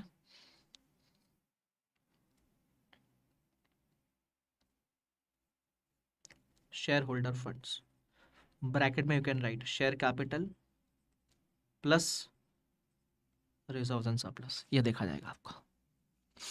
ठीक है? इसको याद कैसे रखेंगे सर? सिंपल है, सुनो। लाइन में जाने का। फिफ्टीन सिक्सटीन सेवनटीन लाइन से गए। फिफ्टीन सिक्सटीन सेवनटीन वापस लाइन से गए। फिफ्टीन सिक्सटीन सेवनटीन फिफ्टीन में आया वॉलेंट्री मतलब खुद से। सिक्सटीन में आया मैंडेटरी वाला। बराबर? अब मैंडेटरी में कौन? पाँच सौ, पाँच पाँच याद रखो, पाँच। बराबर? पाँच की शक्ति, पाँच सौ करोड़। इसमें भेदभाव नहीं है। All listed unlisted having network greater than equal to five hundred अच्छा फ़ेज़ टू में कौन आया? All listed full stop unlisted companies network greater than equal to two fifty crore simple बराबर? याद हो जाएगा टेंशन मतलब आपका रिविजन लूँगा मैं। अच्छा अगर आपकी होल्डिंग सब्सिडरी इंडेस फॉलो कर रही है तो आपको भी इंडेस फॉलो करना है। एक सिंपल सी बात ध्यान रखना। ओके मैं लिख देता हूँ। If if your parent slash subsidiary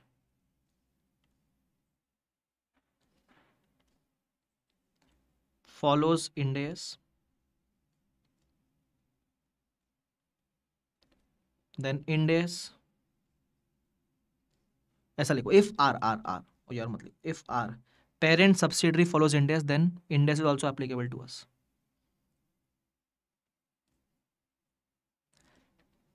final में इसके बहुत डेप्थ में जाएँगे, इधर इतना लिख के छोड़ देना। इधर इतना लिख के छोड़ देना।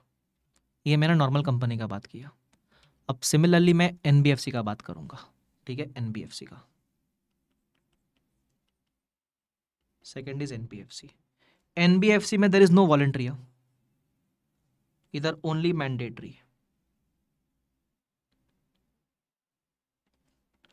voluntary not allowed तो इधर आएगा फ़ेज़ वन और phase two phase one phase two पहले लिख लो, फिर इसको भी याद कराने की ट्रिक है मेरे पास। बराबर क्या? ये पेरेंट का दूसरा मतलब होल्डिंग भी होता है you can also write holding same he word है वो। बराबर? होल्डिंग या सब्सिडरी जो भी है। एनबीएफसी में सिर्फ़ मैंडेटरी है देर इज़ नो वॉलेंटरी दो फ़ेज़ है फ़ेज़ वन फ़ेज़ टू इसको भी याद करा दूँगा, चिंता मत करना, सिर्फ़ लिख लो पहले। इधर कौन सा कौन सा फ़ेज़ वन में। First April eighteen phase two में फ़र्स्ट अप्रैल नाइनटीन ठीक है? क्राइटेरिया क्या है? सेम ये था ना all listed unlisted network greater than equal to five hundred वो फ़ेज़ वन में आएँगे तो लिख देता हूँ। All listed slash unlisted NBFCs बराबर having net worth greater than equal to 500 crore मतलब यहाँ फ़ेज़ में भेदभाव नहीं है कि तू लिस्टेड है कि तू अनलिस्टेड है। सबको सेम मान के नेटवर्थ ही चेक करेंगे। फ़ेज़ टू में, चलो मेरे बिना बताए ट्राई कर सकते हो, फेस टू में क्या आएगा? सेम है सेम बताओ फेस टू में क्या रहेगा? बिना बताए ट्राई करो। Very good all unlisted all listed पहले तो आएगा all listed N B F C full stop बराबर? फिर फिर फिर, अगर आप अनलिस्टेड हुए तो नेटवर्क चेक करेंगे। Greater than equal to two fifty होना चाहिए। वेरी गुड एकदम करेक्ट तो लिखो। Unlisted NBFCs having net worth greater than equal to 250 crores greater than equal to 250 crores clear इसमें भी होल्डिंग सब्सिडरी वाला पॉइंट है if our parent subsidiary follows Ind AS then Ind AS applicable to us also same point यहाँ भी है तो एक काम करता हूँ, ये पॉइंट को मैं नीचे लिख देता हूँ ना भाई। कॉपी कर लेता हूँ वापस से।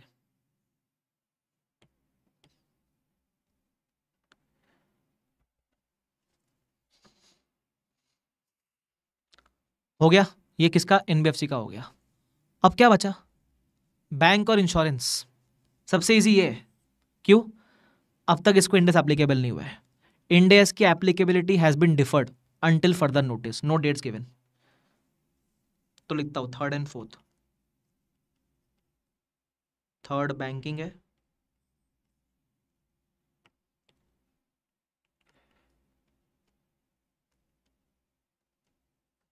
Insurance Ind AS implementation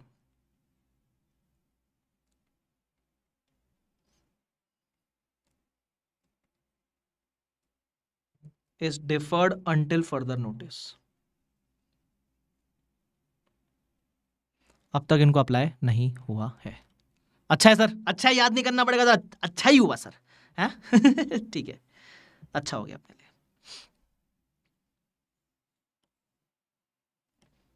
clear तो इनको एप्लीकेबल नहीं है। तो सर, जिनको इंडेस एप्लीकेबल नहीं वो क्या फॉलो करेंगे? ए एस फॉलो करेंगे। बराबर? If India not applicable.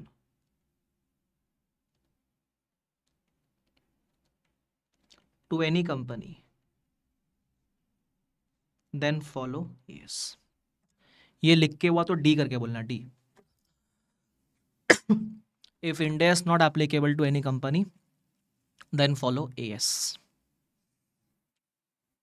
D करके बोलो, हो गया तो. मेरे हीरो हीरोइन लोग, हो गया? ठीक है। अब है ना, ये ना एक्चुअली लिमिट बड़ी पुरानी है।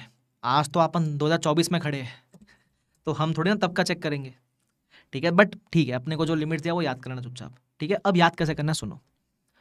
शुरू करना 2015 से 2015 की बात है। लाइन में लिख देना, पंद्रह सोलह सत्रह। एक कंपनीज़ की बात कर रहा हूँ, पंद्रह सोलह सत्रह। पहले आएगा वॉलेंटरी जिसको अप्लाई करना कर लेना। फिर आएगा मैंडेटरी मैंडेटरी में phase one phase two phase one में कौन है? इसमें भेदभाव नहीं है। Listed unlisted having net worth greater than equal to पाँच सौ। ठीक है। फ़ेज़ टू में all listed full stop listed हो तो फ़ेज़ टू में आ जाओगे। Second unlisted companies having net worth greater than equal to two fifty crore ठीक है। ये कंपनीज़ का हो गया सिंपल जहाँ कंपनी खत्म होता है, वहाँ एनबीएफसी बोलेगा, वहाँ मैं शुरू होता हूँ। जहाँ कंपनी की डेट खत्म हुई एनबीएफसी बोलेगा वहाँ से मैं शुरू होता हूँ। मतलब फिफ्टीन सिक्सटीन सेवनटीन कंपनीज़ का हुआ तो एटीन नाइनटीन एनबीएफसी का होगा। तो ले एटीन ले नाइनटीन इसमें वॉलेंट्री नहीं है मैंडेटरी है सिर्फ़। मैंडेटरी में क्राइटेरिया क्या है? सेम लाइक कंपनी बस कंपनी के बदले एनबीएफसी वर्ड यूज़ करना। इसमें भी दो फ़ेज़ है फ़ेज़ वन फ़ेज़ वन में कौन? कंपनी के बदले NBFC all listed unlisted NBFC जिसका नेटवर्थ 500 के ऊपर है। फ़ेज़ टू में all listed NBFC full stop listed हो तो फ़ेज़ टू में आई जाओगे. Second unlisted NBFC having network greater than equal to 250 crore मतलब अगर मुझे याद रखना हुआ डेट चालू करना 2015 से 15, 16, 17 कंपनीज़ कंपनी खत्म हुई तो एनबीएफसी शुरू 18, 19 एनबीएफ कंपनी में तीन वॉलेंट्री और दो मैंडेटरी एनबीएफसी में दो ही है दोनों मैंडेटरी है. ठीक है ऐसा याद रखना बस. मैं ना इसके डेप्थ में नहीं जाना चाहता बिकॉज़ ये हमारा फोकस पॉइंट नहीं है। मैं चाहूँ तो बहुत बातें कर सकता हूँ इसके ऊपर। मैं पूरा सब्जेक्ट पढ़ाता हूँ फाइनल लेवल पे इसका। बराबर? बट मुझे नहीं जाना आई नीड टू स्टॉप यर बिकॉज़ आपके लिए इतना रेलिवेंट है। ठीक है? तो आपको इसको लेकर क्वेरीज आए ना कि, सर, ये कब देखना है? ये कैसे छोड़ दो भाई वो? तुम बस लिमिट्स याद रखो, ताकि अगर बाई चांस तुमसे पूछ ले तो तुमको आने को चाहिए। सिंपल क्लियर है वाला पार्ट अब एक काम करते हैं। मेरे को है ना आपका ओरल टेस्ट लेना है इंडेस वाले पार्ट का। मैं इंडेस वाले पार्ट का ओरल टेस्ट ले रहा हूँ। और उसके बाद हम क्या करेंगे? उसके बाद हम जो पहले पढ़ा, जो आपका ए एस वाला पार्ट था, उसका ओरल टेस्ट लूँगा, फिर छोड़ दूँगा।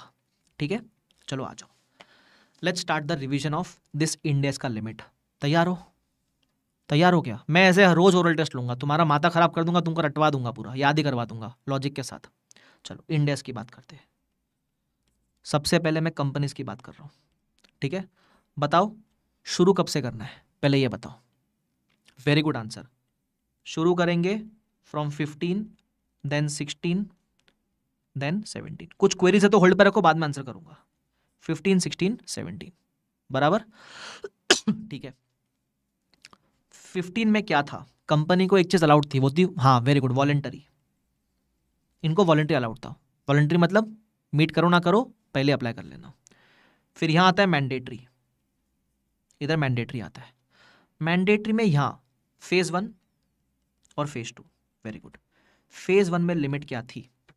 फ़ेज़ वन में लिमिट क्या थी? यहाँ भेदभाव तो था नहीं तो यहाँ लिस्टेड हो कि अनलिस्टेड उससे फ़र्क नहीं पड़ता है। नेटवर्थ कितना था? वेरी गुड नेटवर्थ हाँ टर्न ओवर नहीं नेटवर्थ है इधर। हाँ greater than equal to five hundred very good phase two में क्या था? फ़ेज़ टू में पहला कौन था? वेरी गुड लिस्टेड अगर आप लिस्टेड हो फ़ेज़ टू से इंडेक्स अप्लाई करना ही पड़ेगा। खत्म। अगर अनलिस्टेड हो तो तो फिर नेटवर्क देखेंगे। कितना? कितना? हाँ greater than equal to two fifty याद हो गया? याद हो गया sir. Perfect answer very good Nishika, Kanishk, Sejal, Riya, Shraddha Mahi Naman, Vraj. Very good अच्छा। जहाँ कंपनी शुरू होता है, वहाँ कौन जहाँ कंपनी खत्म होता है, वहाँ कौन शुरू होता है? वेरी गुड एनबीएफसी बराबर? कितने phase phase one phase two very good तो डेट क्या रहेगी इसकी? हाँ फ़र्स्ट खत्म होने के बाद 18 और फ़र्स्ट अप्रैल 19 बहुत ही जवाब, बहुत ही लाजवाब. फ़र्स्ट अप्रैल 18 फ़र्स्ट अप्रैल 19 मज़ा आ गया. लिमिट अरे सर सेम है लिमिट लिस्टेड हो कि अनलिस्टेड हो? नेटवर्थ इसका भी कितना? ग्रेटर देन इक्वल टू 500 ये लिस्टेड हो फुल स्टॉप सेकंड अनलिस्टेड हो तो फिर नेटवर्थ देखेंगे कितना ग्रेटर देन इक्वल टू 250 खत्म। ये लेंडेस भी याद हो गया। मैं सब याद करा के भेजूँगा। मैं कुछ नहीं छोड़ूँगा। अच्छा बैंकिंग इंश्योरेंस की बात ही नहीं की। बैंकिंग इंश्योरेंस की बात ही नहीं की। ओ भाई, इसकी बात ही मत करना। इंडेस अब तक एप्लीकेबल ही नहीं है। तो जिसको इंडेस एप्लीकेबल नहीं, वो क्या बोलेगा? बोलेगा, हम एस लगाएँगे। अच्छा एक और बात। एक लाइन से लिख देना। Ind AS once applicable always applicable India से बाहर निकलने का रास्ता नहीं है, ठीक है? एक बार ज़िंदगी में कभी एक बार अप्लाई होगा, ज़िंदगी भर अप्लाई हो जाएगा। ठीक है? तो चलो, ये तो आपका रिवीजन हो गया। भाई, तुम, लेकिन तुम लोग तो लाजवाब हो भाई। तुम क्या जवाब दे रहे हो? मैं लिख दू? एक लाइन लिखना। Ind AS once applicable, always applicable. मज़ा ही आ गया। चैप्टर ख़त्म। ये लो एक्स्ट्रा पार्ट भी कर लिया। ठीक है?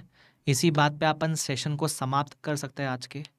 आई होप आपको आज के सेशन में मज़ा आया होगा। मेरे को आपको पढ़ा के बहुत मज़ा आया टू बी वेरी ऑनेस्ट ठीक है? तुम लोग ज़बरदस्त लोग हैं भाई। मज़ा आ रहा है भाई। तो जो ऐप पे भी देख रहे थे थैंक यू फॉर ज्वाइनिंग जो यहाँ भी देख रहे थे थैंक यू फॉर ज्वाइनिंग मैं एक बार पहले रिवाइज करवा देता हूँ, जो भी अपन आज पढ़ा। उसके बाद आपको जो भी क्वेरी है, आप मुझे पूछ लेना, ठीक है? चलो, अपन ऐसे रखेंगे। जो भी क्वेरी है लेक्चर के एंड में पूछोगे, सबसे बेस्ट रहेगा। ओके चलो, आ जाओ आ जाओ आ जाओ आ जाओ, आओ मुन्ना, आओ आओ मुन्ना, आओ। लेट्स स्टार्ट द मीठा मीठा प्यारा प्यारा रिवीजन विथ एक है ना? चलो, आओ। शुरू करते फटाफट से। सबसे पहले ये ए एस क्यों आया। To bring uniformity comparability to bring standardisation इसलिए ए एस लाया। क्योंकि हर कोई अपना अपना नहीं फॉलो करेगा ना फिर। ठीक है। अब ये ए एस किसको एप्लीकेबल सबसे पहले कंपनीज़ और अदर देन कंपनी हम पहले कंपनी की बात कर लेते हैं। कंपनी को बांट दो पार्ट में। एक नॉन एसएमसी और एक एसएमसी एसएमसी का मतलब small and medium size company ठीक है? तो एसएमसी और नॉन एसएमसी अब नॉन एसएमसी में एकदम बड़ी कंपनी हो तो इंडेस थोड़ी सी बड़ी हो तो एएस नॉन एस को कोई एग्जामेशन नहीं है, सारे एस अप्लाई करने हैं। बट अगर आप एसएमसी हो तो कुछ एग्जामेशन है। बराबर? एक है full exemption A S seventeen से, और कुछ है रिलैक्सेशन मतलब पार्शल एग्जामेशन इनसे रिलैक्सेशन है मतलब कुछ कुछ पॉइंट्स आपको नहीं अप्लाई करने पड़ेंगे।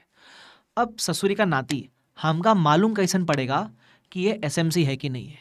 तो कितने पॉइंट है? पाँच। पाँचों मीट करना तो एसएमसी हो जाएगी, सबसे पहले। लिस्टेड नहीं होना चाहिए लिस्टिंग के प्रोसेस में नहीं होना चाहिए। Second bank insurance N B F C financial institution नहीं होना चाहिए। तीसरा टर्नओवर जब देखोगे तो सिर्फ़ रेवेन्यू फ्रॉम ऑपरेशन देखना अदर इनकम मत देखना। टर्नओवर 250 से कम होना चाहिए। बोरिंग 50 से कम होना चाहिए। और ये बड़ी कंपनी का रिश्तेदार नहीं होना चाहिए। मतलब holding subsidy of non SMC नहीं होना चाहिए। पाँचों मीट किया तो आप एसएमसी हो। एस हो तो क्या मिलेगा? रिलैक्सेशन मिलेगा और एग्जामेशन मिलेगा। सिंपल उसके बाद हम आए थे हम एक इंपॉर्टेंट नोट में। अगर आप बड़ी कंपनी हो, बड़ी से छोटे बनने के लिए दो साल तक छोटा बनना पड़ेगा। That means if a non S M C wants to become S M C it has to meet the definition of S M C for two consecutive years ठीक है? ओके ये कंपनी का ख़त्म हो गया। फिर आप बनाए थे अदर देन कंपनी के अंदर। अदर देन कंपनी का मतलब होता है नॉन कॉरपोरेट एंटिटी चार लेवल्स सबके लेवल बनेंगे, चार लेवल बनेंगे. Level one level two level three level four ठीक है? पहले रेवेन्यू और बोरिंग की बात करते हैं, बाकी लिमिट बाद में देख लेंगे. ठीक है? टर्न ओवर यहाँ देखना, यहाँ भी एक्सक्लूडिंग अदर इनकम देखना. लेवल वन में कब आओगे? When it exceeds two fifty crores borrowings कितनी होनी चाहिए प्रीवियस ईयर में? Divide by five if it exceeds fifty crores ठीक है? ये लेवल वन हो गया. लेवल वन में और क्या है? अगर आप किसी लेवल वन के रिश्तेदार हो तो आप भी लेवल वन बन जाओगे। उसके अलावा अदर कंडीशन अगर आप कोऑपरेटिव बैंक इंश्योरेंस एनबीएफसी वगैरह हो तो आप लेवल वन में आओगे। उसके अलावा, जो एक ऐसी कंडीशन जो होनी नहीं चाहिए बट फिर भी है, अगर आप लिस्टेड या लिस्टिंग के प्रोसेस में हो तो भी आप लेवल वन में आ जाओगे। ठीक है? ये हो गया लेवल वन अब लेवल टू के लिमिट्स याद रखते हैं। बोरिंग जिधर छोड़ता है, वहाँ टर्नओवर शुरू करना। तो exceeds fifty crore to two fifty crore और लेवल टू की बोरिंग्स डिवाइड बाय फाइव कर देना। सिंपल फिर ये जो बोरिंग्स है, वो यहाँ का बनेगा टर्नओवर का limit exceeds ten to fifty और इसका borrowing limit divide by five कर देना। बराबर? लेवल फोर में बचा कुचा सब कुछ। जैसे turnover up to ten crore मतलब ज़ीरो से लेकर टेन करोड़ और borrowing up to two crore मतलब ज़ीरो से लेकर टू करोड़ लेवल फोर में आ जाएगा। ठीक है? और ऑफकोर्स अगर आप किसी लेवल के रिश्तेदार हो तो आप भी उसी लेवल में आ जाना। जैसे अगर आप लेवल वन के रिश्तेदार हो तो आप भी लेवल वन में आ जाना। सिंपल ठीक है? उसके बाद एग्जामेशन कौन से कौन से वो मैंने लिखाए थे कि लेवल वन को कोई एग्जामेशन नहीं है, ना ही एग्जामेशन ना रिलैक्सेशन है। लेवल टू थ्री फोर को है कुछ कुछ पढ़ लेना। फिर आपने ने बहुत सारे क्वेश्चन किए बट क्वेश्चन के पहले एक कंसेप्ट बताया। Charitable organisation hundred percent charitable हो ए एस मत फॉलो करना। एक परसेंट भी अगर कमर्शियल हो तो पूरे धंधे पे ए एस फॉलो करना। बराबर? ठीक है। फिर हमने क्वेश्चन किए क्वेश्चन आपने मेरे साथ किए थे, बढ़िया, मज़ा आ गया। एक क्वेश्चन लिखा के भी दिखाया आपको मैंने। ठीक है? उसके बाद जो एक्स्ट्रा पार्ट करवा वो भी रिवाइज करवा रहा हूँ। इंडेस इंडेस किसको लगेगा? इंडेस में सबसे पहली बात टर्न ओवर है बोरिंग नहीं नेटवर्क चेक करते हैं। ठीक है? नॉर्मल कंपनी की बात करते हैं। चालू करना fifteen fifteen sixteen seventeen voluntary फिर मैंडेटरी मैंडेटरी फिफ्टीन से वॉलेंट्री फिर आएगा सिक्सटीन और सेवनटीन में मैंडेटरी सिक्सटीन में फ़ेज़ वन इसमें लिस्टेड हो या अनलिस्टेड नेटवर्क पाँच सौ के ऊपर। फ़ेज़ टू में लिस्टेड हो, बात खत्म फ़ेज़ टू में आ जाओगे। या फिर अनलिस्टेड में नेटवर्क चेक करेंगे greater than equal to two fifty crore तो फ़ेज़ टू में आ जाओगे। ठीक है, ये अपन ने जस्ट अभी रिवाइज किया। ठीक है, जहाँ कंपनी छोड़ता है एनबीएफसी वहाँ से पकड़ेगा। तो फिफ्टीन सिक्सटीन सेवनटीन कंपनी का था एटीन नाइनटीन एनबीएफसी का होगा। यहाँ वॉलेंट्री नहीं, यहाँ से मैंडेटरी होता है phase one phase two criteria same है जो कंपनीज़ का था। सिंपल अगर आपके पेरेंट सब्सिडी इंडेक्स फॉलो करते, आप भी इंडेक्स फॉलो करना। उसके अलावा बैंकिंग इंश्योरेंस का भी एप्लीकेबल नहीं है। उसके अलावा इंडेक्स एक बार एप्लीकेबल हो गया। ऑलवेज एप्लीकेबल इसी बात पे चैप्टर ख़त्म। आपको मैंने होमवर्क में कोई क्वेश्चंस नहीं दिए। मुझे पता है आप बेचारे सुबह से लेकर शाम तक क्लासेस लेते हो। ज़्यादा होमवर्क में कभी नहीं दूँगा आपको। मैंने आपको सिर्फ़ पाँच छुट्टे छुट्टे MCQ दिए हैं। चाहूँ तो अब भी करवा दो दो मिनट लगेगा मेरे को। बट अकेले में बैठ के करोगे ना, दिमाग चलेगा। It will hardly take five minutes M करना है और जो मैंने आपको आज पढ़ाया, ईमानदारी से रिवाइज करके आना। ईमानदारी से। अगर आप रिवाइज नहीं करोगे, काम खराब हो जाएगा भाई। सो ये मैं आप पे छोड़ता हूँ कि आप रिवाइज करोगे। ठीक है? रिवाइज नहीं करना कोई बात नहीं है भाई। Everyone will have a edge over others बराबर जो रिवाइज करेगा they will have an edge over others तो आपको एज चाहिए वो एक्स्ट्रा एज चाहिए तो रिवाइज करना। ठीक है? इसी बात पे चैप्टर ख़त्म। हर चैप्टर के एंड पे हम क्या बोलेंगे? एक है ना? तो एक के भाई साहब हो गया। अब मैं सेशन एंड कर रहा हूँ। ठीक है? अगर कुछ क्वेरी है तो मुझे पूछ लो। बाकी मैं लेक्चर एंड कर रहा हूँ। तो शुक्रिया everyone thank you so much bye everyone take care see all bye चलो, कुछ क्वेरी है तो पूछ लो गाइस मैं जो भी क्वेरी है वो देख रहा हूँ, ठीक है अभी? पहले ऐप वाले के देख लेता हूँ। I am a direct entry student the way you are teaching from basic really helpful thank you thank you so much M C Q share मैंने कर दी ऑलरेडी ड्राइव पे। चैप्टर खोलो लास्ट पेज देखना उस चैप्टर में, ठीक है? चलो। और जो क्वेरी है मैं देख रहा हूँ अभी फटाफट फटाफट। एक सेकेंड देखने दो जरा। आम इंडेस एप्लीकेबल हो तो ऐसे नहीं नहीं नहीं नहीं, श्रुति। इंडेस मैंने कैसा बताया? एसएमसी में इंडेस कहाँ से आ रहा है? एसएमसी हो तो इंडेस नहीं एप्लीकेबल होगा ठीक है? चलो और क्या क्वेरी थी? पूजा ने पूछा है प्रमोद ने बोला है सर आप बहुत भारी सिखाते thank you so much Pramod. Sir phase two में अनलिस्टेड कंपनी में 250 करोड़ लेस देन वालों को इंडेक्स थोड़ी फॉलो करना है अपने, उसमें greater than equal to 250 crore लिखवाया।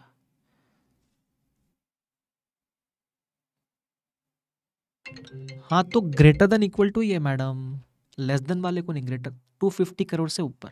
देखो फ़ेज़ वन में कौन आया? जिसका 500 करोड़ के ऊपर है।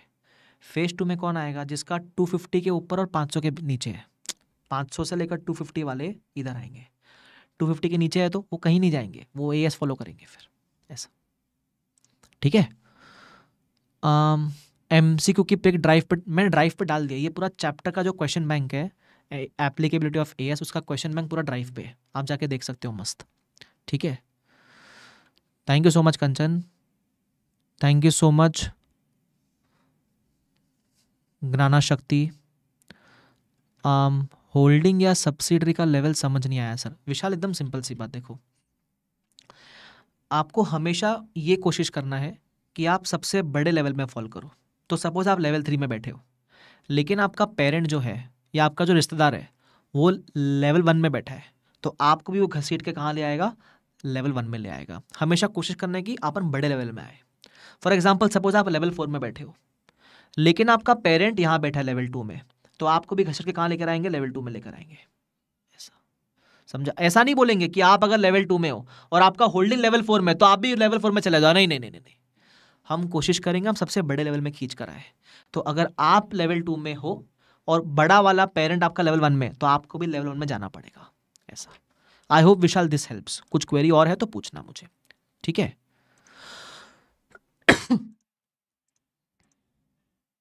और क्या है सर। आपके होते हुए क्वेरी हो सकती है क्या सर अरे, क्या बात है, Naman. Thank you thank you so much Amotulla. Thank you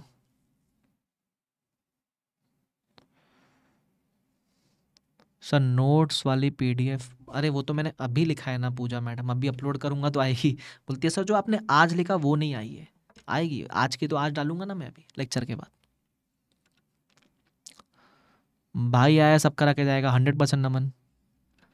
sir, कोई क्वेश्चन भी सॉल्व करते टाइम एसएमसी को प्रूव करने के लिए नीचे पाँच कंडीशन लिखना कंपलसरी है क्या? ऑफकोर्स यस मार्क्स उसी का मिलेगा। चलो। Jai Veer is equal to Aakash and Shubham sir thank you got it level sir perfect है विशाल। चलो। कल वाली कल वाली डाल दी ना मैंने। कल वाली नहीं डाली, कैसी बातें कर रहे हो यार तुम? एक सेकंड अब भी चेक कर लेता हूँ भाई। कल वाली जहाँ तक मुझे पता है I have uploaded class notes का एक फोल्डर होगा, उसमें खोल के देखो। दिख रहा है पूजा मैडम, आप बराबर नहीं देख रहे हो। क्लास नोट्स वाला फोल्डर खोल के देखो ड्राइव पे। है ना? चलो। और कुछ क्वेरी है गाइस तो मैं जाऊँ वरना? चलो। टाइम है तो पूजा करो, अच्छी बातें करोगे तो। नहीं करोगे तो भी ठीक है। सर सब्सिडरी कंपनी कंपनी भी अगर नॉन एसएमसी में होगा तो लेवल हाँ यस ड्राइव लिंक नहीं आई पूजा। कॉन्टैक्ट टेक्निकल टीम वो आपको हेल्प कर देंगे। अपना जो टेलीग्राम ग्रुप बना है ना एक्सक्लूसिव वाला, उसमें आप मैसेज करो, वो आपको हेल्प कर देंगे। ठीक है कि आप बोलते हो मुझे ड्राइव लिंक नहीं आई, बता देंगे वो आपको। ठीक है? चलो। मेरे ख्याल से now we can now we can wrap up the session चलो तो शुक्रिया everyone thank you so much यार, मज़ा आ गया आपको पढ़ा के। आप इसी तरीके से मेहनत करो, अच्छे से पढ़ो, ठीक है? कुछ और है क्या? इंडेस एप्लीकेबल हो बट टर्नओवर कम हुआ तो ऐसे नहीं नहीं नहीं नहीं, देखो, श्रुति, अगर इंडेस एप्लीकेबल हो गया तो फिर एसएमसी वाली बातें नहीं करना। आप इंडेस लगा रहे हो, तब तो आप नॉन एसएमसी हुए ना। मैंने क्या बोला? इंडेस इधर आता है नॉन एसएमसी वालों के लिए। एसएमसी में कोई इंडेस नहीं होता भाई। अगर आपको एसएमसी वाला क्राइटेरिया है बट आप फिर भी इंडेस लगा रहे हो तो आप एसएमसी हो ही नहीं सबसे पहली बात। आप नॉन एस हो फिर, ठीक है? चलो।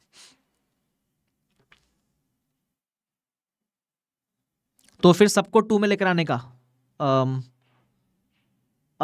अरसियान अंसारी, है ना? सबको टू में लेकर आना। देखो लेवल टू और लेवल फोर वाले का रिश्ता है तो सबको लेवल टू में लाना। ये नहीं सबको लेवल फोर में लेकर जाओगे। अपने को कोशिश करने की अपन बड़े से बड़े लेवल में आए। तो अगर लेवल टू और लेवल फोर वाले का रिश्ता है तो लेवल फोर वाला लेवल टू में आ जाएगा। ठीक है?